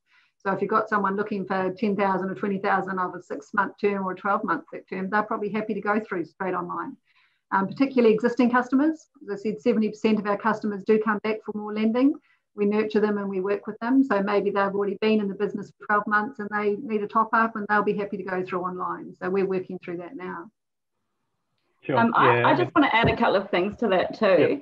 Um, so in terms of scalability, um, in terms of AI versus human contact, um, I mean, every lender that's going to see this knows that timeframes have blown out in, in every business. So, so we don't get that because of the technology. Um, and so what happens is instead of us having to plug gaps in the front because the, the process is delayed, we've got other people in the back. So there's a whole range of IT engineers that have to keep our CDE running and, and build the new technology and keep all that going. So instead of filling gaps, we're actually employing a whole lot of people on the other side. And also in our marketing, our marketing second to none. Um, and um, you know, I, so we, we just employ people in different areas, and every single one of our customers can actually get a dedicated um, relationship manager. So no customer is going to ring and say they can't get in touch with Prospa to find out what's happening. You know, they need relief or anything like that because they've got relationship managers. So that's a whole team of people that we employ that maybe we wouldn't have the resource to do so if we're plugging holes in the front without the seamless technology. Um, and just one other thing about Prospa, which is quite amazing. Um, so generally phone sales, people don't like their staff to stay on the phone too long because it means you're not talking to enough people. But um, we just had an award for someone the other day and it was the number of hours that that person spent on the phone talking to customers. So it was it's unreal. So it's like that encouragement to spend the time and get to know the customers and go through the bits and just so they have the um, that, that's a measure for our for our salespeople to spend that time on the phone and actually get to know that customer properly. Yeah, which I thought was amazing. Yeah, that's a that's a very interesting point. I think it, it comes back to the, the I guess the broad the broader point here, which is businesses and, and customers still need that human touch and they need just to know that there's a person behind the, the, the, screen. And I mean, we've seen this in, in our broader research as well. As much as you kind of push for digital, um, there's always an underlying need for a relationship manager, advice, and, and flexibility in the conversations, which I think you, you, miss out if you've got a a very straight through kind of process without the, the channel flexibility. Uh, just a, a point on that and, and, a, and a question for you guys on that. It's, um, you know, how do you think through those customer relationships? Like what do you typically see your customers wanting to talk about when it comes to, to lending and then when it's a, a more of a uh, in-person conversation? Like what are the kind of key concern areas and what, what do you intend to uh, on uh, advise on and, and I'm just curious and interested in, in the types of conversations you are having. Yeah, I'll say two things to that, and then Huia can expand on it. But that's that's funny. So it was it was different when we launched in New Zealand. So, so we're nine years old in Australia, two and a half years old here. So when we launched in New Zealand, we leverage we leverage head, head office and, and the agents and, and the process over there. Um, and the key difference between Australia and New Zealand is the New Zealand customers wanted to have a chat. So the calls were longer. So they, you know, they couldn't get through as many deals because they wanted to have a chat and they wanted to talk about, and, and we, we want to build that rapport. So I said earlier, people love people and that's how we work. Um, so they want to talk about the rugby and, you know, so all of our Australians had to upskill on rugby to be able to contribute to that conversation. Um, so that's, that's key, I think. It's just building that relationship and building a rapport, so a personal, personal part of it. And then when it comes to lending, we really focus on, so as I said, our average loan size is 35, it's actually higher coming out of COVID. So we're probably in the 50,000. Um, but we really focus on the customer's needs. What do they need the funds for? So it's that use of funds and to the, the ability to repay. So we, we, we go through the monthly repayments, we look at their cash flow, we actually know what they can repay, and that's what we focus on. So they can afford to repay that amount. This is what they want the funds for, and then what are they going to do with it? And as I said, we do it very quickly. So then we work with the customer and we work with them. They get a dedicated account manager and it's the same person through the life of the loan. Um, and then they have that person that will work with them on their repayments, on their future, what else they're doing. So that's really the conversations that we're having. Got anything else to add to that, Huia? Um, uh, a couple of things, really, just that, you know, every business owner, their business is their baby, you know, it's their baby and it's their passion. So, really, when they're talking about their business, um, they're just giving us every facet of, of what it is that drives them, I suppose, and what they're coming to us for. And um, sometimes they they feel, um, you know, you, you, hear them and they they just they, sometimes they feel bad because they're in this position, but you know. Uh, I don't know. They're, they're just amazing. They just talk about their business and they really um, want us to understand what they're coming to us for um, and and yeah, the, the conversations are amazing.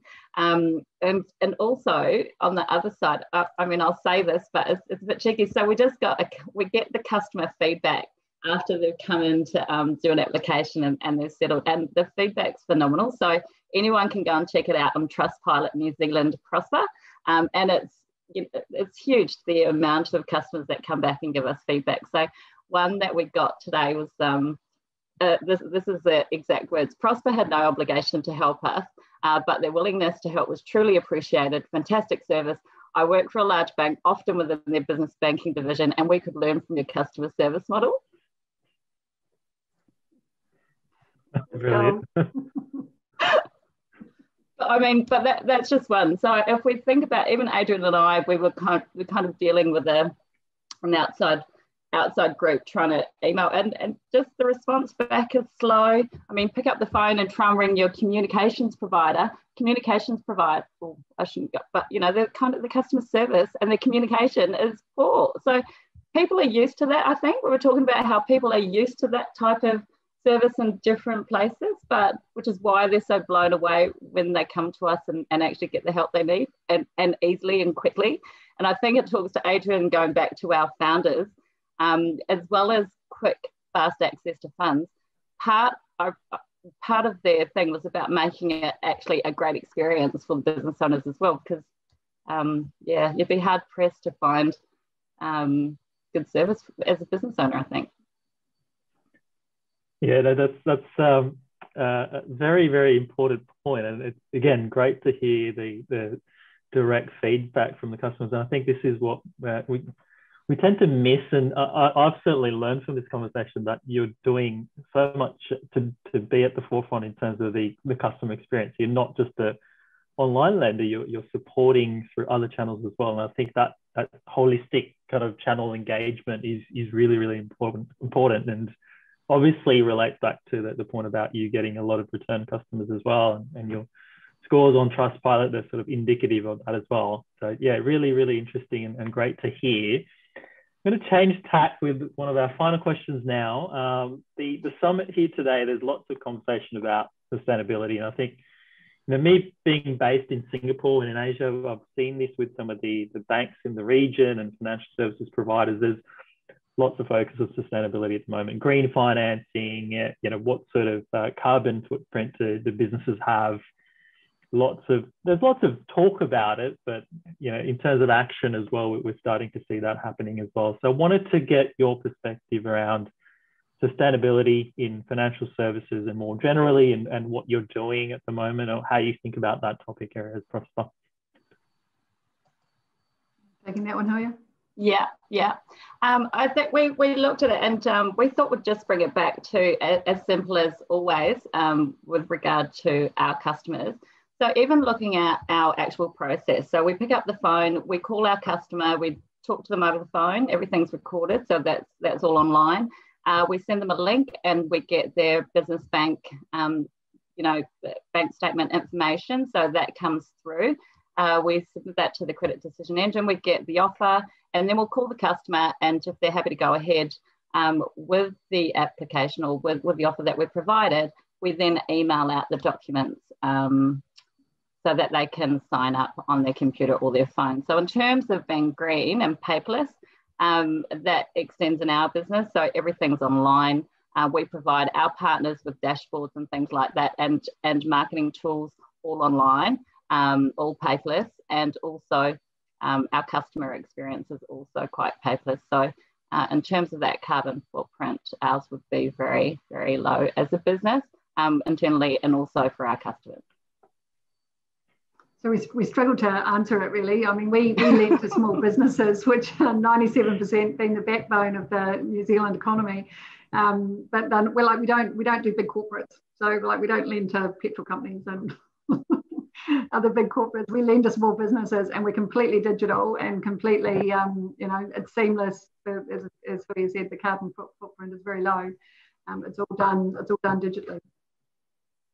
Yeah, that's that's very. Um, I mean, it's really good to see that um, you know fundamentally your business model is is geared towards sustainability. And it, um, I recall this uh, this point about um, we, we, did this study of customers in um, in the Asian markets, and it was for one of the, the, the major banks, and they're very focused on sustainability and, and really promote it externally. But then one of their customers was talking about the fact that if you go online and you need to get physical statements, they send you like a 40 page printout with mostly blank pages. So a bank that's talking about, I won't name which bank this is, obviously, a bank that's talking about sustainability, but then the back end doesn't reflect that. So it's, it's really good to, to kind of hear you, you talk about that, that end to end, the way you do your business every day being focused on digital. And that's, I think that's critical towards uh, what we mean by sustainability. Yeah, that's right. And no, no trees are killed here. Yeah, exactly right. All right, uh, I think we're uh, we're just about around time for this conversation. Look, it's been fantastic. I've learned a lot from this conversation. It's really exciting to to hear about what Prospa's doing. I wish you all the best of success, and, and I'll speak to you all very soon. Thank you very yeah, much. Thank, thank you. Thank you for the opportunity, and we're very excited about the future.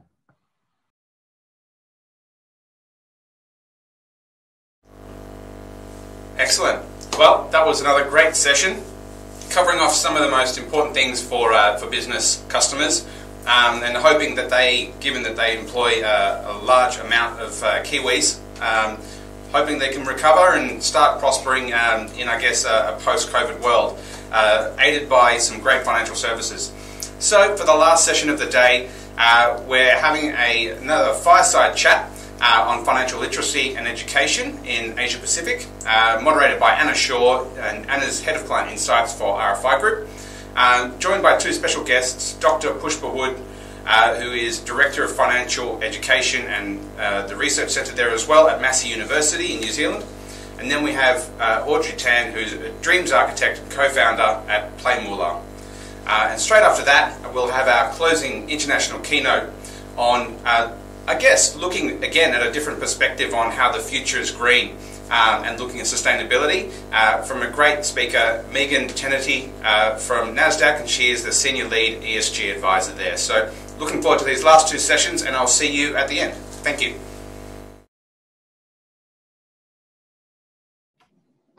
Thanks everyone for joining us for today's panel discussion on financial literacy and capability and education in the Asia Pacific region. So my name's Anna Shaw and I'll be moderating this panel discussion today and I'm Head of Client Insights for RFI Group. And with me on this panel, uh, we've actually got representation from Singapore and New Zealand, which I think is going to make a really great global perspective. Um, but with me, I have Dr. Pushpa Wood, who is the Director at the Financial Education and Research Centre at Massey University in New Zealand, and Audrey Jo Tan, who is the co-founder and Chief Dreams Architect of PlayMoolah, which is based in Singapore. So Pushpa, I might start with you to introduce yourself and tell us a little bit about your work and what you do. Tēnā koutou, tēnā koutou, tēnā koutou katoa and namaste. Um, greetings from what we call the land of white clouds, New Zealand. Um, the New Zealand FinEd Centre is, is quite unique in itself. It's, it's one of the, if not the only centre where you see all-inclusive financial capability work. So we have research evaluation consultancy, uh, as well as we do uh, online and face-to-face teaching and training.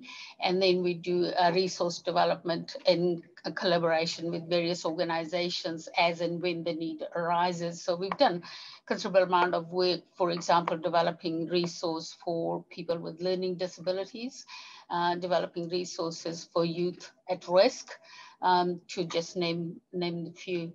Uh, recently, actually last week, we've launched our first ever microcredit uh, for specifically targeting workforce engaged in financial capability, whether delivering or, or whether supporting. Pushpa and Audrey. Hi, everyone. Thanks, Dr. Pushpa and Anna. I'm Audrey Joy, and um, our vision at PlayMoolah is really building positive financial emotional resilience for a flourishing life. And so, with the mission of the organization, we enable children, parents, families, uh, young people who are entering the workforce, um, as well as working with uh, corporates to bring this uh, vision of a flourishing life.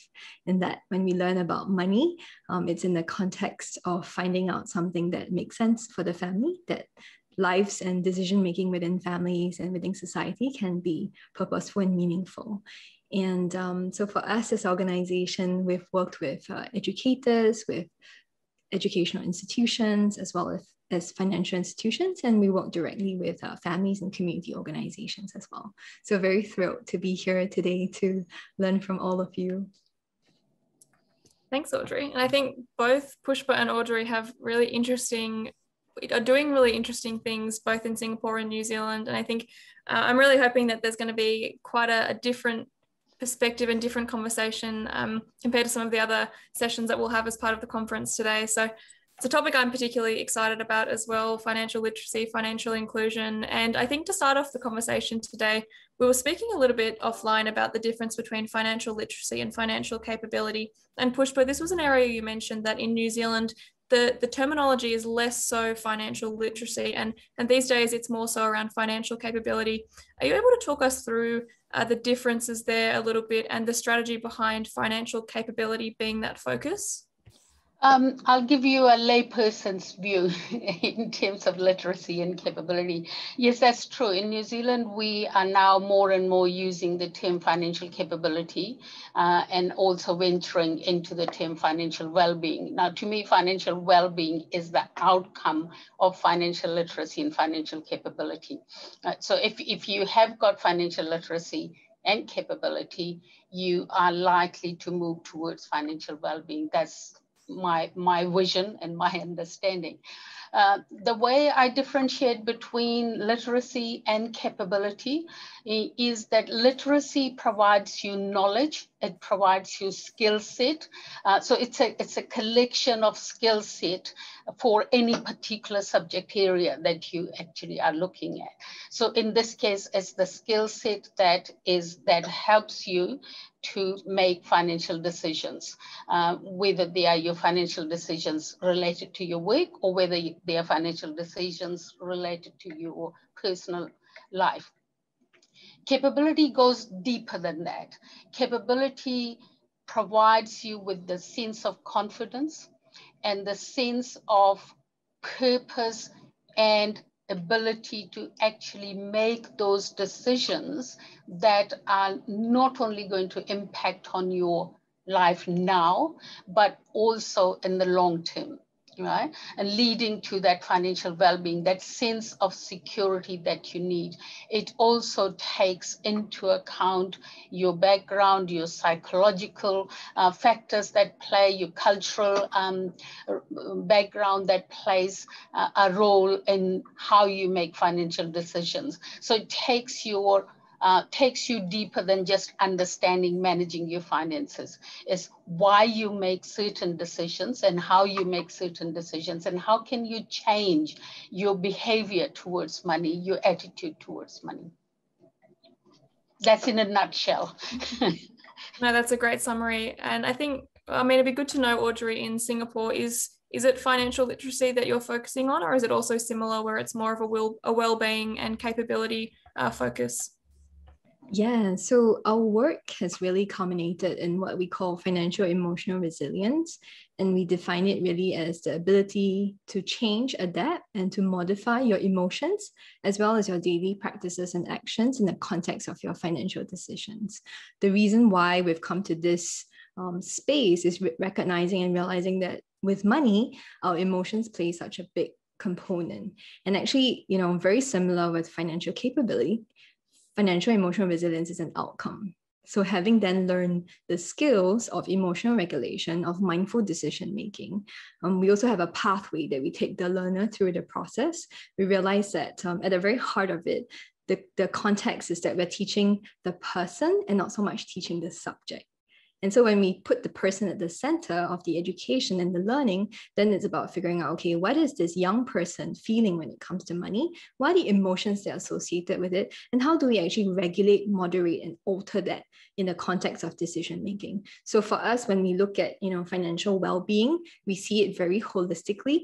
Um, also with another dimension in permaculture that we've learned called the eight forms of capital. So it's not just financial, intellectual, social capital, but we're looking at also experiential capital capital, which is the wisdom you've gained through life, right? Um, cultural capital, spiritual capital, living capital. And when we see it holistically as well, and even your emotional capital, you begin to rethink money in this context that financial, social, intellectual is not the, the end all and be all of the measure of wealth and success. So it's to reframe, you know, how our financial emotional resilience can help us to go one step further in the flourishing life that we define for ourselves. I think it's important to, to remember that we cannot really teach people about money in isolation. Uh, and and that's the that's the one of the biggest challenge we have been having in past is that we've been teaching money in isolation as a separate subject. Uh, in in literacy term we call it we we have been using bolted on approach rather than built in approach. And mm-hmm. and and to me the built-in approach from all different parameters of your life is is really really important. And we we still internationally, we still do not know enough about the impact of culture on people's financial decision making. And that's a piece of work separately we've been doing for last three, four years, trying to understand the impact of culture um, on that.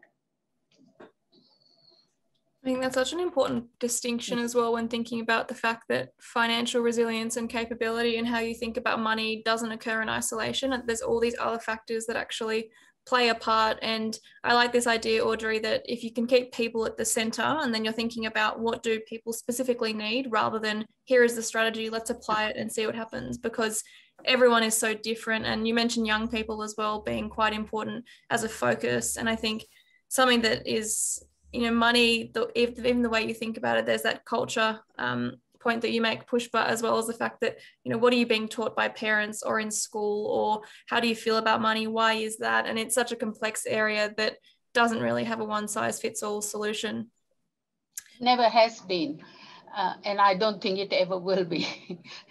yeah, exactly. It would continue to change. We continue to exactly, exactly. Every individual, even through the, and that's why the some of the countries use life stage approach uh, mm-hmm. when it comes to money. So, so, so your needs change according to the what stage of life you're in. So it's it's quite a complex area when you talk about money. The the influencing factors are hitting you from all around.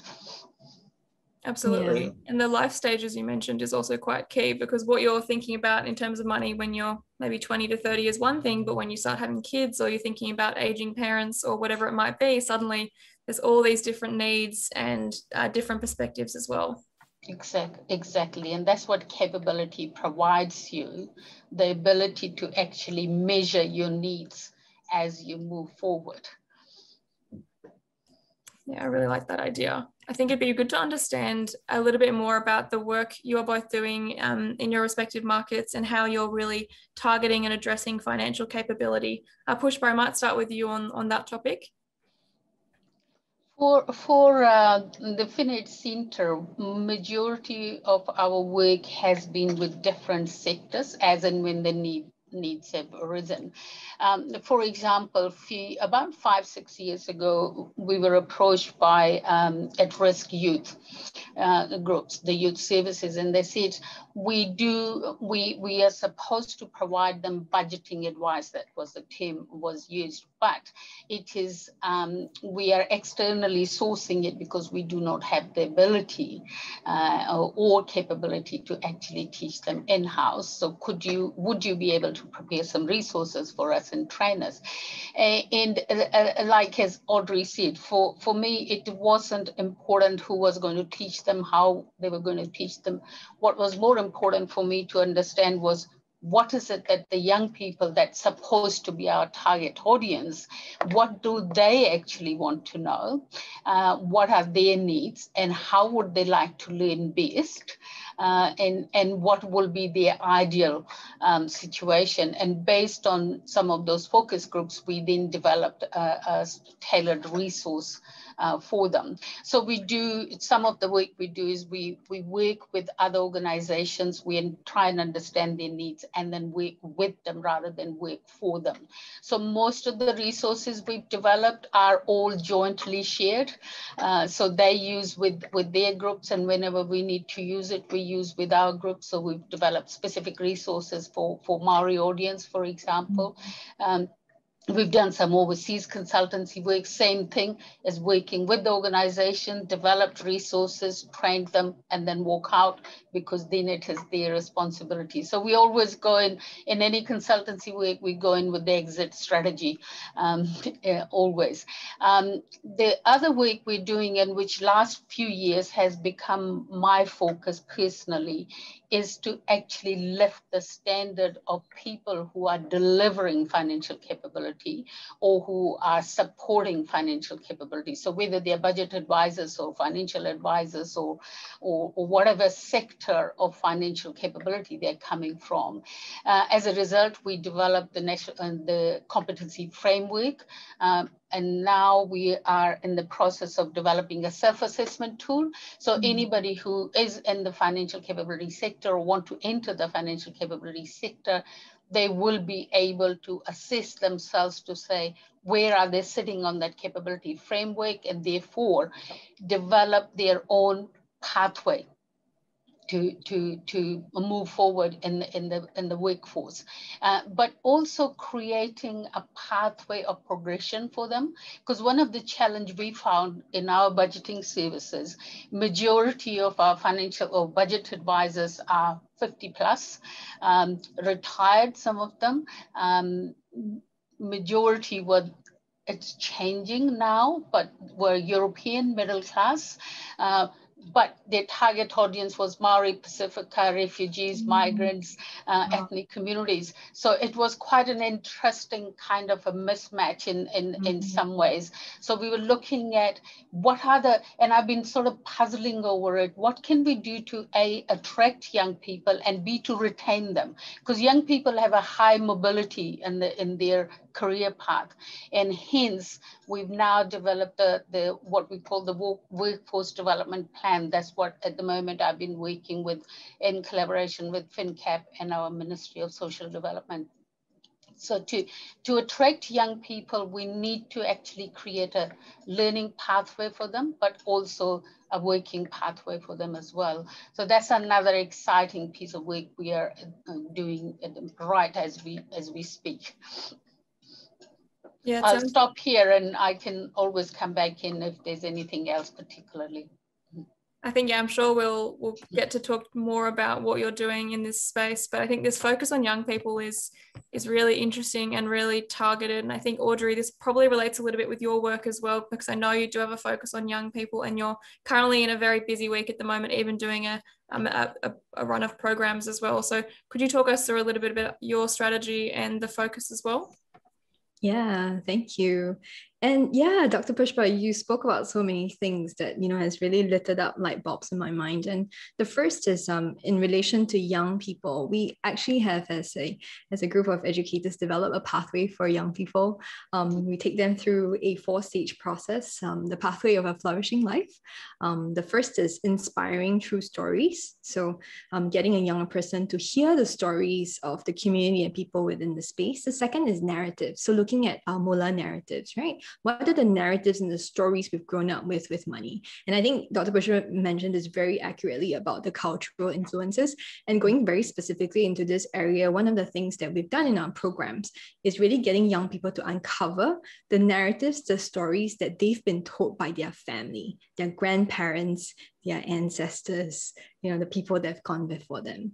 And sometimes, you know, when it comes to narratives, we see the lack of role modeling or role modeling within, within our families where we see families fighting about money. And that's the imprint that we have in our minds. And so we get young people actually to go through their process of uncovering the old narratives to rewrite some of these scripts, to have more enabling uh, beliefs as opposed to having like say limiting beliefs. And then we go through the process of what we call moolah goals. So this is where the technical aspects of money come in right? Budgeting habits of mind learning about moderation learning about how to invest as well. And then finally with moolah wealth being this is a new program that we've also launched with young people in that we see if a young person needs to go through specific therapy or counseling based on the money traumas that they've had before, or even in their own family context. This is where a young person has the full pathway and the opportunity to go through that if they so decide to.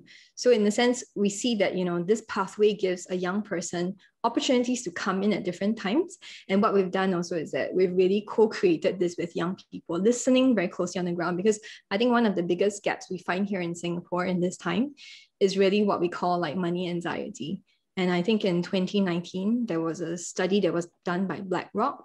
Here in Singapore, they cited that more than 53% of Singaporeans saw money as a big source of stress, and more so even for the millennial generation. And so, with this stress with money, and you know emotional regulation and even like anxiety around money we realize that there is a lot of work that needs to be done there to address some of these gaps the situation about money anxiety is very similar in, in New Zealand as well, and I suspect would be similar in Australia too.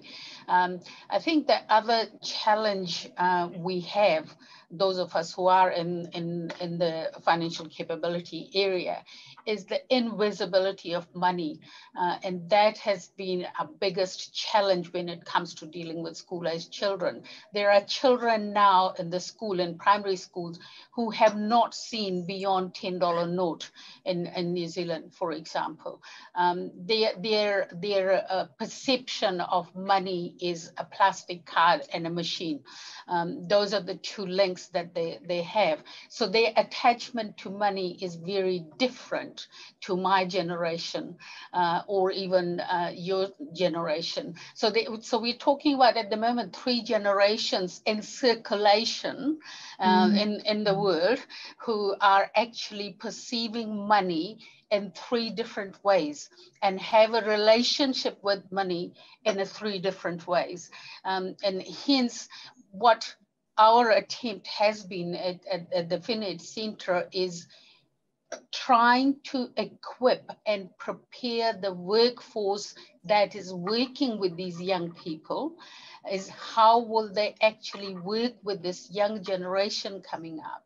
Because there is nothing worse than a 50 year old trying to tell a 10 year old how to manage their money.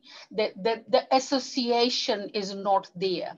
And yet we do find that majority of the workforce that is teaching about money is not necessarily young mm-hmm. and hence mm-hmm. our focus on trying to attract the young workforce by providing them that uh, development framework would be really quite quite a useful tool we do have a very good and well structured schools program in schools, which is our uh, Commission for Financial Capability actually uh, has been working really hard for the last four, few years. But the jury is still out at the moment because it is still new. We still do not know. Long, it hasn't been long enough to know whether it is making the impact where it needs to be. Mm. All right. I mean, in reality is when you offer any program, there will be hardly, the program has to be absolutely, absolutely pathetic for somebody to not learn something. Right? So they will learn something, but whether that something is the one that they needed to learn, wanted to learn, and is going to be useful for them in their future is the key thing. Yeah a really interesting point as well about where the message is coming from and who's doing mm. the teaching because you're right if it's if it's a 10 year old especially you know their experience of money is extremely different to someone who's 50 mm. because even the way they were paying for things or their parents are paying for things or the way that the family household budgeted money would be very different. And exactly. i guess the hard thing would be getting young people into the into those positions to actually be teaching who are a little bit more aligned with the, the younger generations who can actually sort of better understand how to tailor that messaging uh, for a really young child compared to someone who's 30 or 50 or you know older than that. Exactly. And i think hence lies the the challenge. If i have my wish I would actually set up money clubs in every primary and every secondary school uh, and I will actually start to really work through with these young people to become champions in their own right. Absolutely. Yeah. I think that's very, very um, pertinent as well, because we found that um, what has worked for us in Singapore with PlayMoolah is actually working with the Entrepreneurship and Investing Club the junior colleges and in the schools. And we realized that the resonance of these young people have a sense of like agency, you know, they're into entrepreneurship and into financial education and investing. So we had an opportunity to work with a group of students as well. And their vision was to go in to teach their own peers. And I think that's exactly the model that we're seeing. Yeah. Yeah. No, that's true must be really exciting seeing all that come together as well and just seeing people who are excited about the prospect of teaching and learning and investing and finding new ways of managing their money as well. I think we also other thing we need to do is to and that's my in my view in, in observation of number of years is we really need to change our discourse as well. We need to change mm-hmm. our language. Um, because with young people we if, if we can avoid the terminology teaching and start using term sharing experiences uh, is, is more uh, palatable uh, rather than, than I'm going to teach you something about, about money. Uh, the second thing is the term retirement turns young people off. I mean, the young people's horizon is very small. You know, 10, 15, even 18 year old doesn't really want you to tell them all about, you know, what's waiting ahead at the age of 65. What they do want to know is how can I take charge of my life? Right? At every stage. How can I take charge of my life when I get out of high school? How can I take charge of my life when I'm in employment? How can I take charge of my life at different stages? And if that's the kind of discussion we start to have, and within that, then of course the retirement comes and emergency saving comes and all sorts of topics come in there. But it's just trying to find that right language which is understandable by people rather than being sort of caught up with the with the jargon that is being used internationally.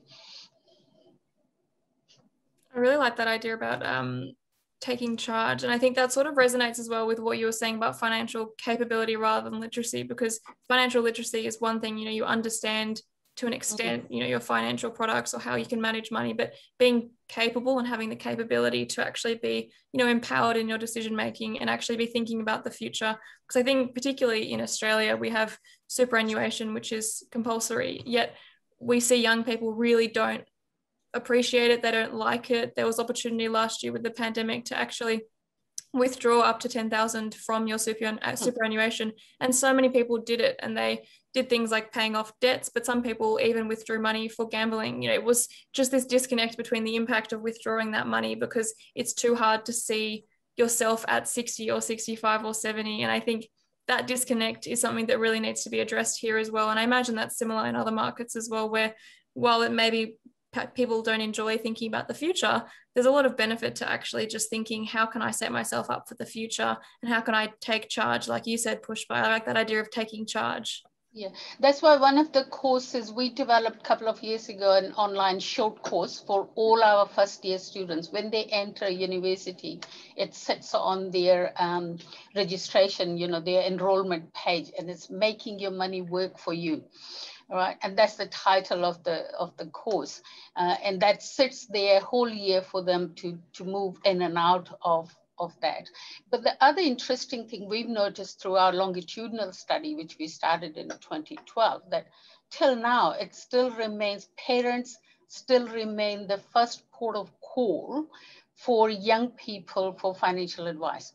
right? Any money related issues, they go to parents first yet we are not putting internationally and collectively, we're not putting enough effort in actually educating or making parents a financially capable themselves and b how they can then pass on that information to their children. Because i very strongly believe that any education including about money begins first at home it starts at the dining table, it gets reconfirmed in school, and it gets reconfirmed again in your tertiary environment, gets reconfirmed and added in. So as you move through your stages, you keep picking up new things.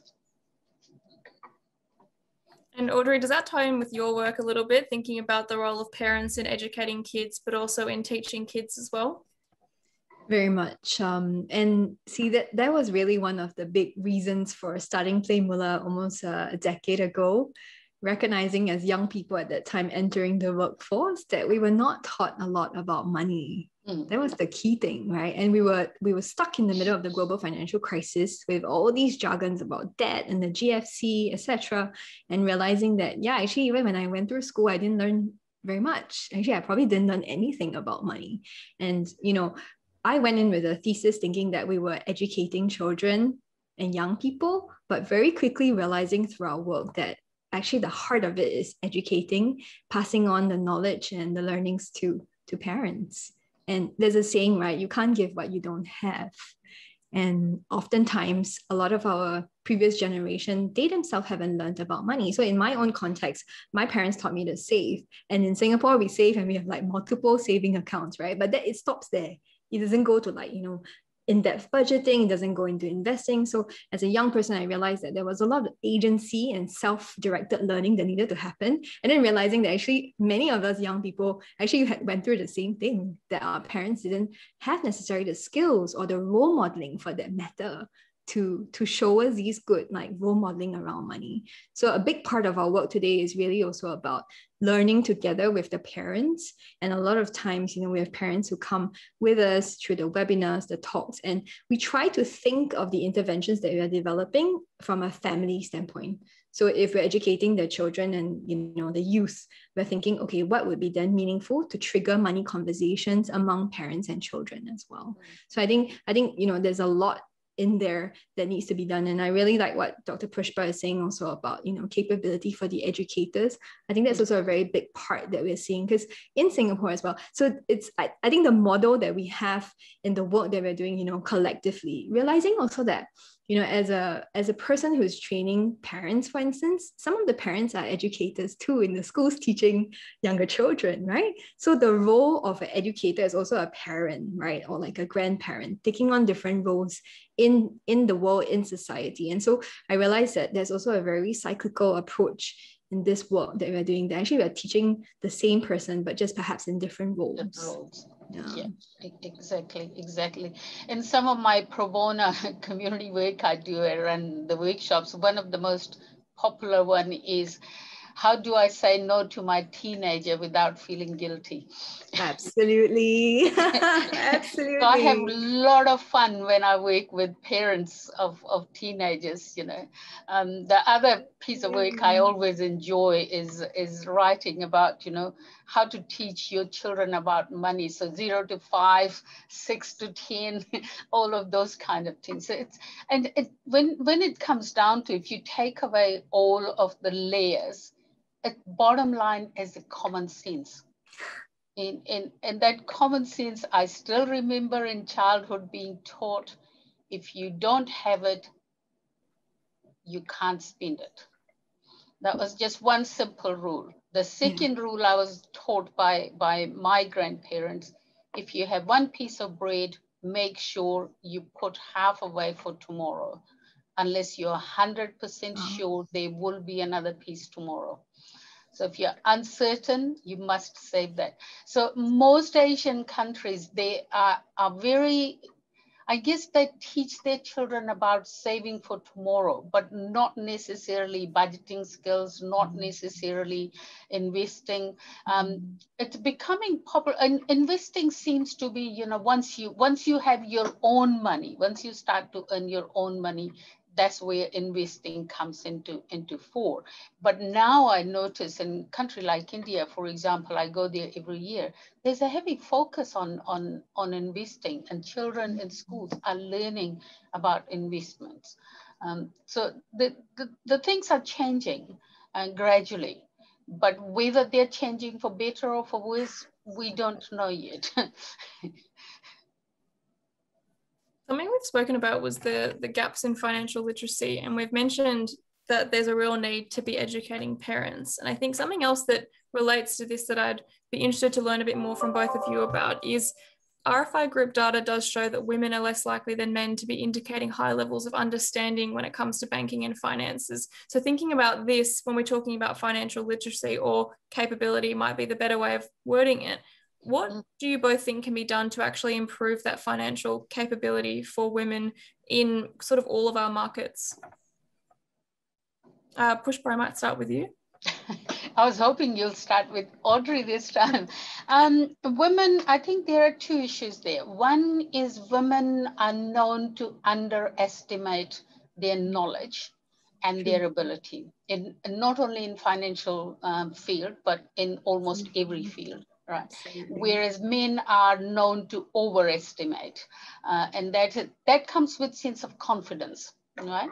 So so at the heart of it is lack of confidence among women about their own ability to manage money. Yeah. Uh, to me, that's that's that's my understanding, uh, and yes, because of that reason, there is a gap there are some cultural factors that also play the role. If you haven't been ever given an opportunity in your life to manage money, you naturally you're going to learn less about money. If you're not in dealing with the financial products and services on day-to-day basis, your knowledge base will be will be lower. Uh, so yes, women do um, lack uh, and statistically, uh, in reality, it may be slightly different. Uh, but to me, the key thing needs to happen when it comes to women is A, is to try and understand what are their fears uh, and what are their hesitations and what are the barriers that are actually preventing them from taking an active part in saving and investing. Um, and we have number of um, those kind of programs here where um, the investing for women, for example, is becoming now quite quite a popular topic for running workshops in there. But I think the key thing is A, we need to understand the barriers, and B, then we need to remove those barriers, and C, we need to put some programs in place that are in consultation with women, not for women, right? Because mm-hmm. majority of the understanding at the moment, the programs are developed for women by investors, right? Or by bankers or yeah. by regulators, right? Um, and it would be really quite nice to turn it around and, and let women actually start to work and decide what they want to learn, how they want to learn, where they want to learn, and then bring in the experts to actually get to do a going over, I would say, the quality assurance role yeah, I love it. I love it. And Dr. Pushpa is spot on when it comes to getting our users to co-design the intervention or the outcome. And we've seen that a lot in our work as well. And I mean, talking a little bit about one of the factors that we found, it really goes back also to the history of money and then money narratives that women grow up with. Oftentimes in our work, what we've seen with women also is that they haven't had very strong role modeling and money had always been a source of big conflict within the family. And so there is a tendency to avoid. And once you avoid looking at your bank account, having the money conversation, leaving it to the husband to do it instead, we realize that's where that sense of dissonance happen emotionally, mentally, and even physically when it comes to a woman's relationship with money. And so as we were we were um, thinking about this and doing this work, um, I was speaking with my teammate and uh, Jerry, who's an educator on our team, you know, she said something really beautiful. She said that perhaps what's needed is also to find ways in which we can use language that we as women understand and that we as women have. And women are compassionate and we care about the sustainability of the community, the environment, and businesses. And oftentimes we're looking at sustainable businesses that actually uh, impact the community, the family, the children, you know, the wider community as well. So I feel also that there is a great opportunity to take a community approach because I think what we found in our work also is that um, when we bring women in to start investing together as a community and have those community conversations in a safe space, we realize that women actually start investing. And we've seen that with some of the work that we've done as well. And building the confidence through small steps, you know, like daily small practices. Mm-hmm. See, Asian countries, and especially in Southeast Asia, there are some fantastic examples of how small communities and small women's group actually save and invest in their own ways. And in Western world, when we develop uh, the program even for women, our focus is women in the workforce um, mm. on, on a good income right mm. have have the have the resources to actually save uh, we forget that there is a high percentage of women who are not necessarily in employment but mm. are dealing with money, are managing money on day-to-day basis, and therefore uh, the programs need to have that balance between the two, uh, and that I find it is still not there yet. Um, I mean, the, the work has been going on, but it is it's, it's not there yet.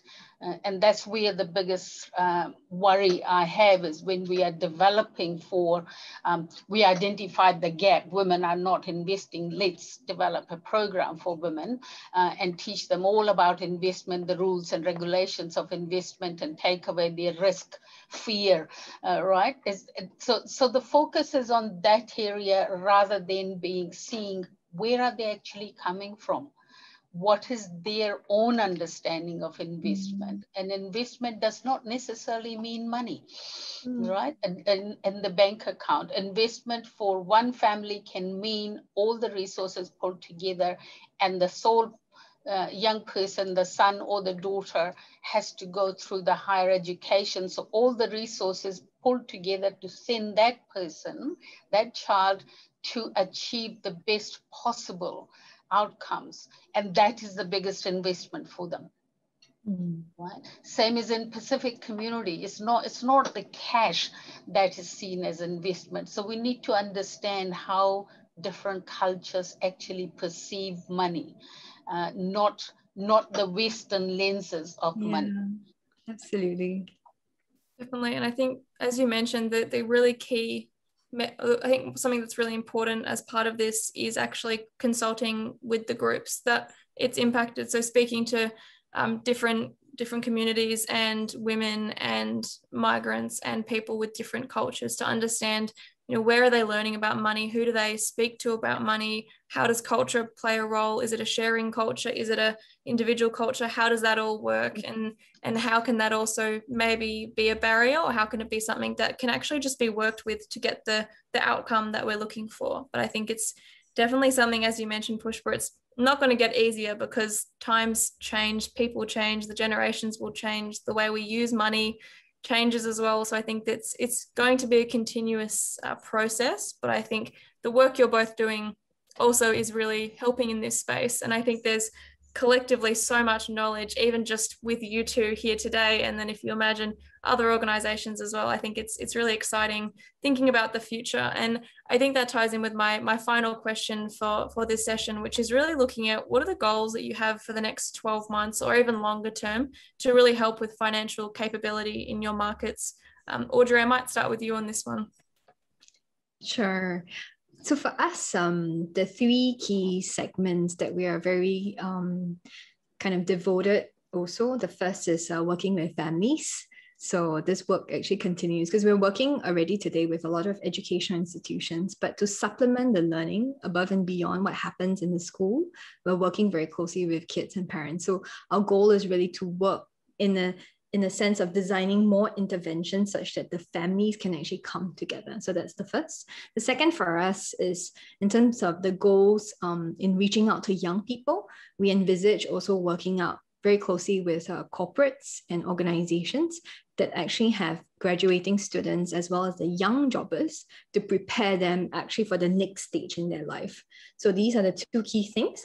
And I think thirdly as well, we're also seeing that as part of a flourishing life, um, there's also the opportunities for a flourishing company. So the vision that I've seen is, you know, if you have flourishing individuals, flourishing families that goes into flourishing organizations, that's where we have a system that we've developed in place to essentially manage the emotional regulations and the stresses around money to increase productivity and to reduce the money anxieties in the workplace. So that's something that we're also seeing as part of our vision of a flourishing life um, to do more of in the next 12 months. Thanks so much. And Pushpa?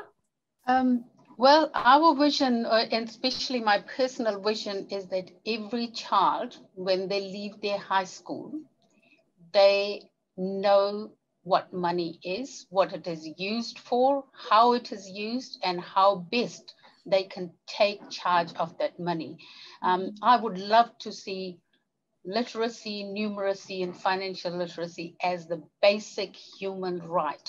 Every child has a right to know that. Um, going beyond that, then, then my vision is that everybody who wants to learn about money has access to resources that are accessible to them culturally, socially, educationally, in every form and shape. Uh, they are taught by professional people who know what they're talking about. Um, and above all, they have the ability and access to information and knowledge that is going to help them to take charge of their life at every stage.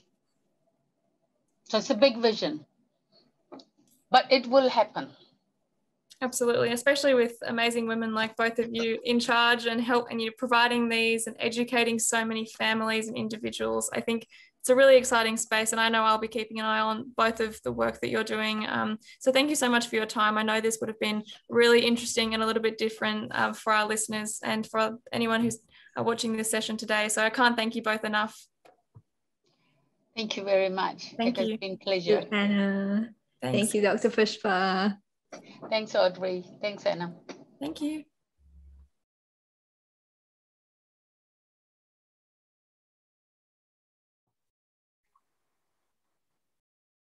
Good afternoon, everyone. My name is Megan Kennedy. I'm a lead advisor on NASDAQ's ESG advisory team. I'd like to thank the team at New Zealand Banking Innovation Summit for inviting me to speak today about all things ESG. In our conversation today, we're really going to focus around why ESG, why now, the impact that COVID 19 has had on both the environmental and social pillars of ESG, and ultimately how ESG uh, impacts overall corporate performance over time and how companies can really harness the power of ESG to create value over time.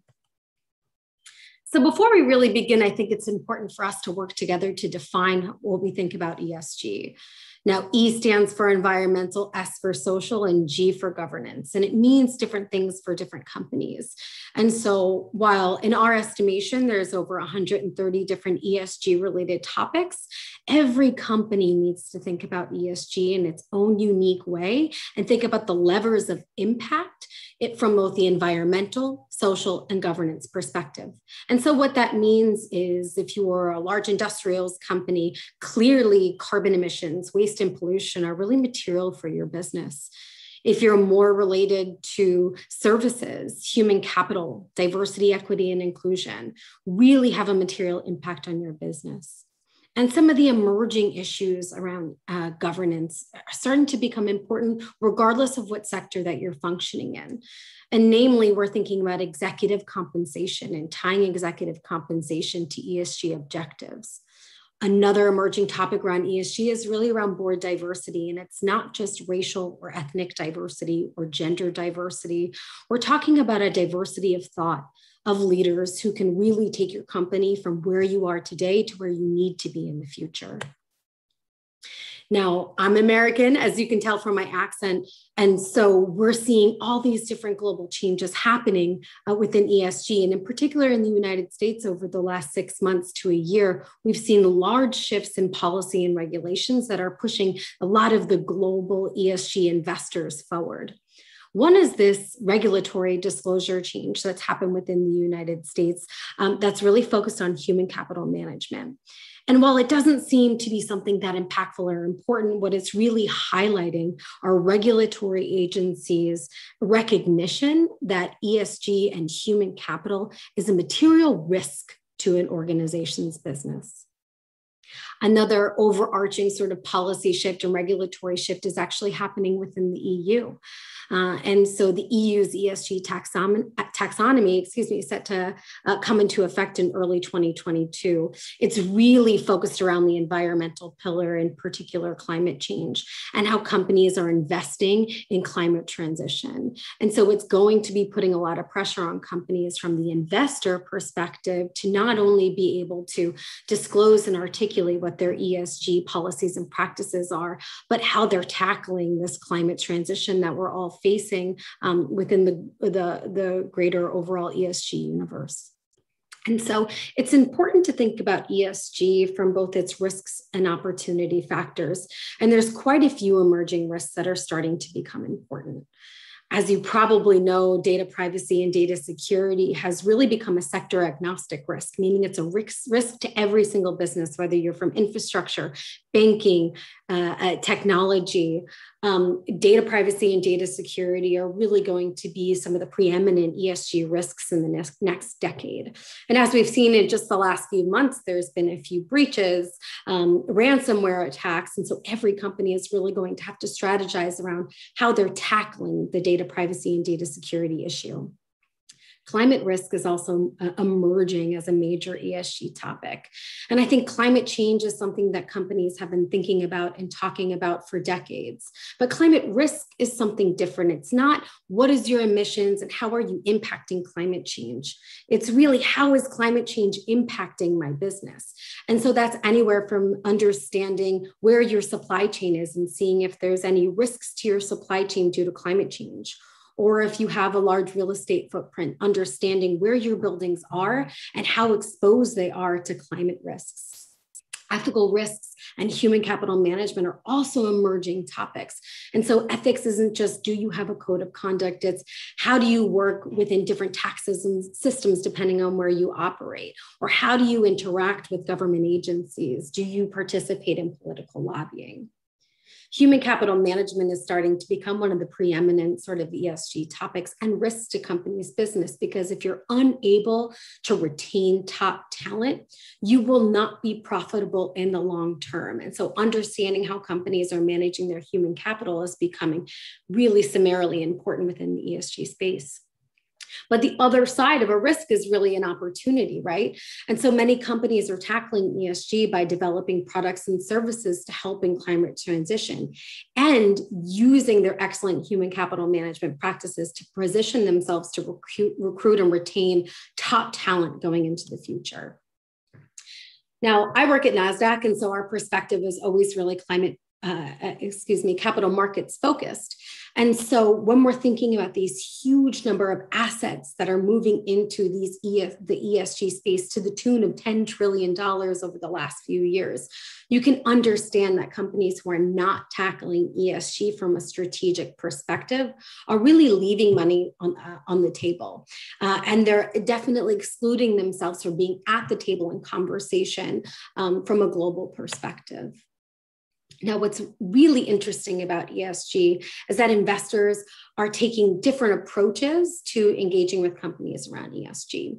And so, one is actually looking at a uh, what we consider to be inclusion. So, it's really looking at a company's management holistically, including their management of ESG factors, and using that as a way to estimate the organization's risk um, under their overall evaluation or valuation process another way in a really important way and we've seen some really interesting moves over the last couple weeks is actual engagement with management and with boards around esg topics and so they are not uh, investors are not only uh, choosing to invest or divest uh, because of ESG, but they're starting to engage with management in order to move these objectives along. And I think there's no greater example than what happened last week with Exxon, um, where investors really work together to say, we don't like your climate change strategy, and we're going to uh, uh, vote against your board members and install new board members. Um, in order for you guys to start to change your strategy that falls more in line with international and global expectations around climate change. And lastly, a lot of investors are using it as sort of a red flag, green flag. And so companies who are not really doing an excellent job at managing their ESG risks and opportunities are just not going to be invested in. If they're not meeting a sort of minimum threshold of management, they just won't invest in them. And so regardless of what type of investor you may be interacting with, um, they are using ESG uh, as a means of evaluating or engaging with companies in the long term. One of the things that's really, I think, affected all of our lives over the last year has really been COVID 19. And it's impacted businesses in many different ways from the social pillar, there's a couple really unique pieces that have been highlighted uh, in the ESG space, namely human health and safety, work-life balance, and cybersecurity. Starting to think about human health and safety, I can think about all of our countries, no matter where we're from during lockdown, really started to see the emergence of these essential workers, of, of people who, regardless of what's happening from a lockdown perspective, have to go to work because it allows us all to live and to function. And so, whether that's healthcare workers or grocery store workers, human health and safety started to become so important uh, for companies to start to think about and tackle, both from a holistic perspective, but also so in a, sort of in an emergency preparedness perspective. COVID 19 also put a lot of workers back into their homes. And with these sort of di- dispersed workforce, many people had to start to take care of their elder family members and or their children at home during the workday. And so companies had to be limber and start to figure out how they can have a work life balance where they can have a productive workforce, um, but also allow people who work for them to really take care of the things that are most important to them. And this emerging topic that is not going away, and I'll probably talk about a couple times today, is really cybersecurity. And companies had to pivot really quickly to a more dispersed, dispersed workforce. And so that meant making sure that they had uh, to adapt their systems to be able to safely support their workers outside of the network of their office. Um, and so cyber security is really starting to emerge as one of the key risks, especially as we may continue to have and see dis dispersed workforces in the future. Now, there's also some very obvious environmental impacts in a positive way of COVID 19. And so, lockdowns really decreased travel, both from a corporate travel standpoint, uh, it reduced industrial activities, and it really put a lot less pressure on areas whose economy, uh, at least environmental pressure on areas who, whose economy is really focused around tourism. And so, we, what we saw is a reduced fossil fuel consumption which means that the global GHG emissions decreased. We saw reduced resource consumption, so pollution decreased, water quality at the same time increased with some of those reduced industrial activities, once again, we saw this air quality dramatically improving. So you would see sort of pictures and videos of cities that normally have a lot of smog um, sort of open up and have more fresh air. And so we saw um, sort of the impact, uh, the environmental impact in real time of some of these reduced activities. And also the reduced reduced pressure in particular on some of these tourist uh, destinations we started to see some ecological restoration. And I think one of the examples that stood out to me was Venice.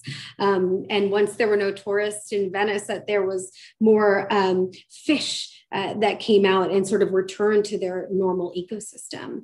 And so what it highlighted is not only the importance of environmental uh, management, uh, but that if we as a collective society can tackle climate change and climate transition, think about biodiversity as we build our businesses, that we actually can uh, reverse course on climate change. And so the impetus and the focus really has become well, we can do it. It's not something we can't do. We've done it. We've seen the positive impact. So how do we, as a comp- as as um, companies within this global ecosystem, really tackle our ESG um, risks and opportunities?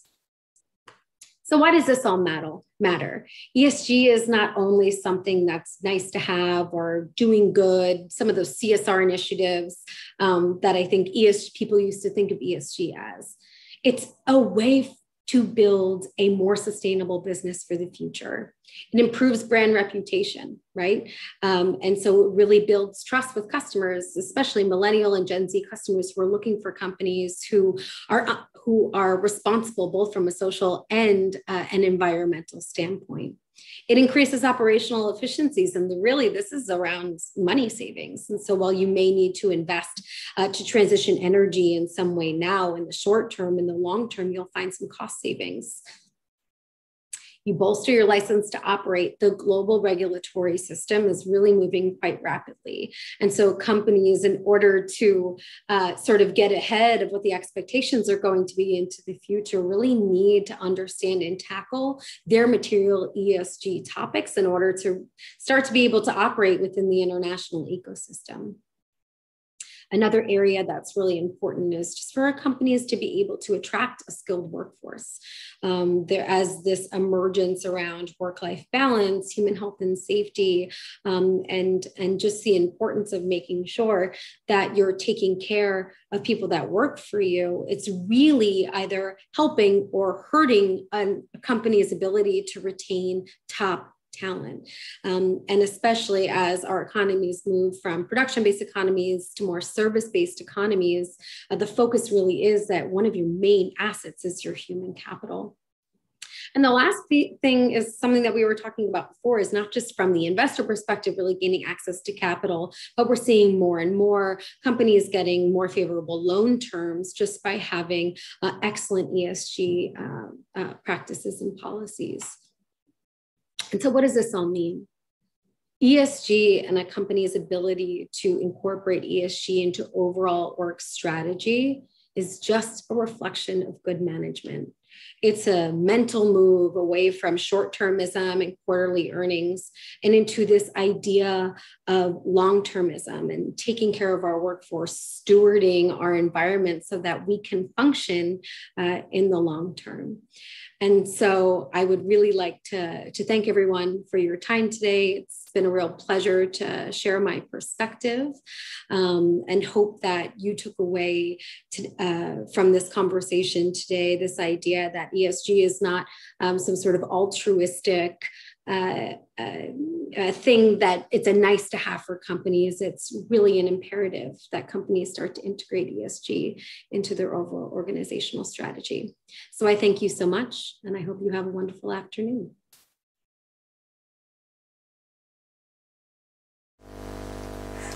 Fantastic. Well, that closes off the last session uh, for the New Zealand Banking Innovation Summit for 2021.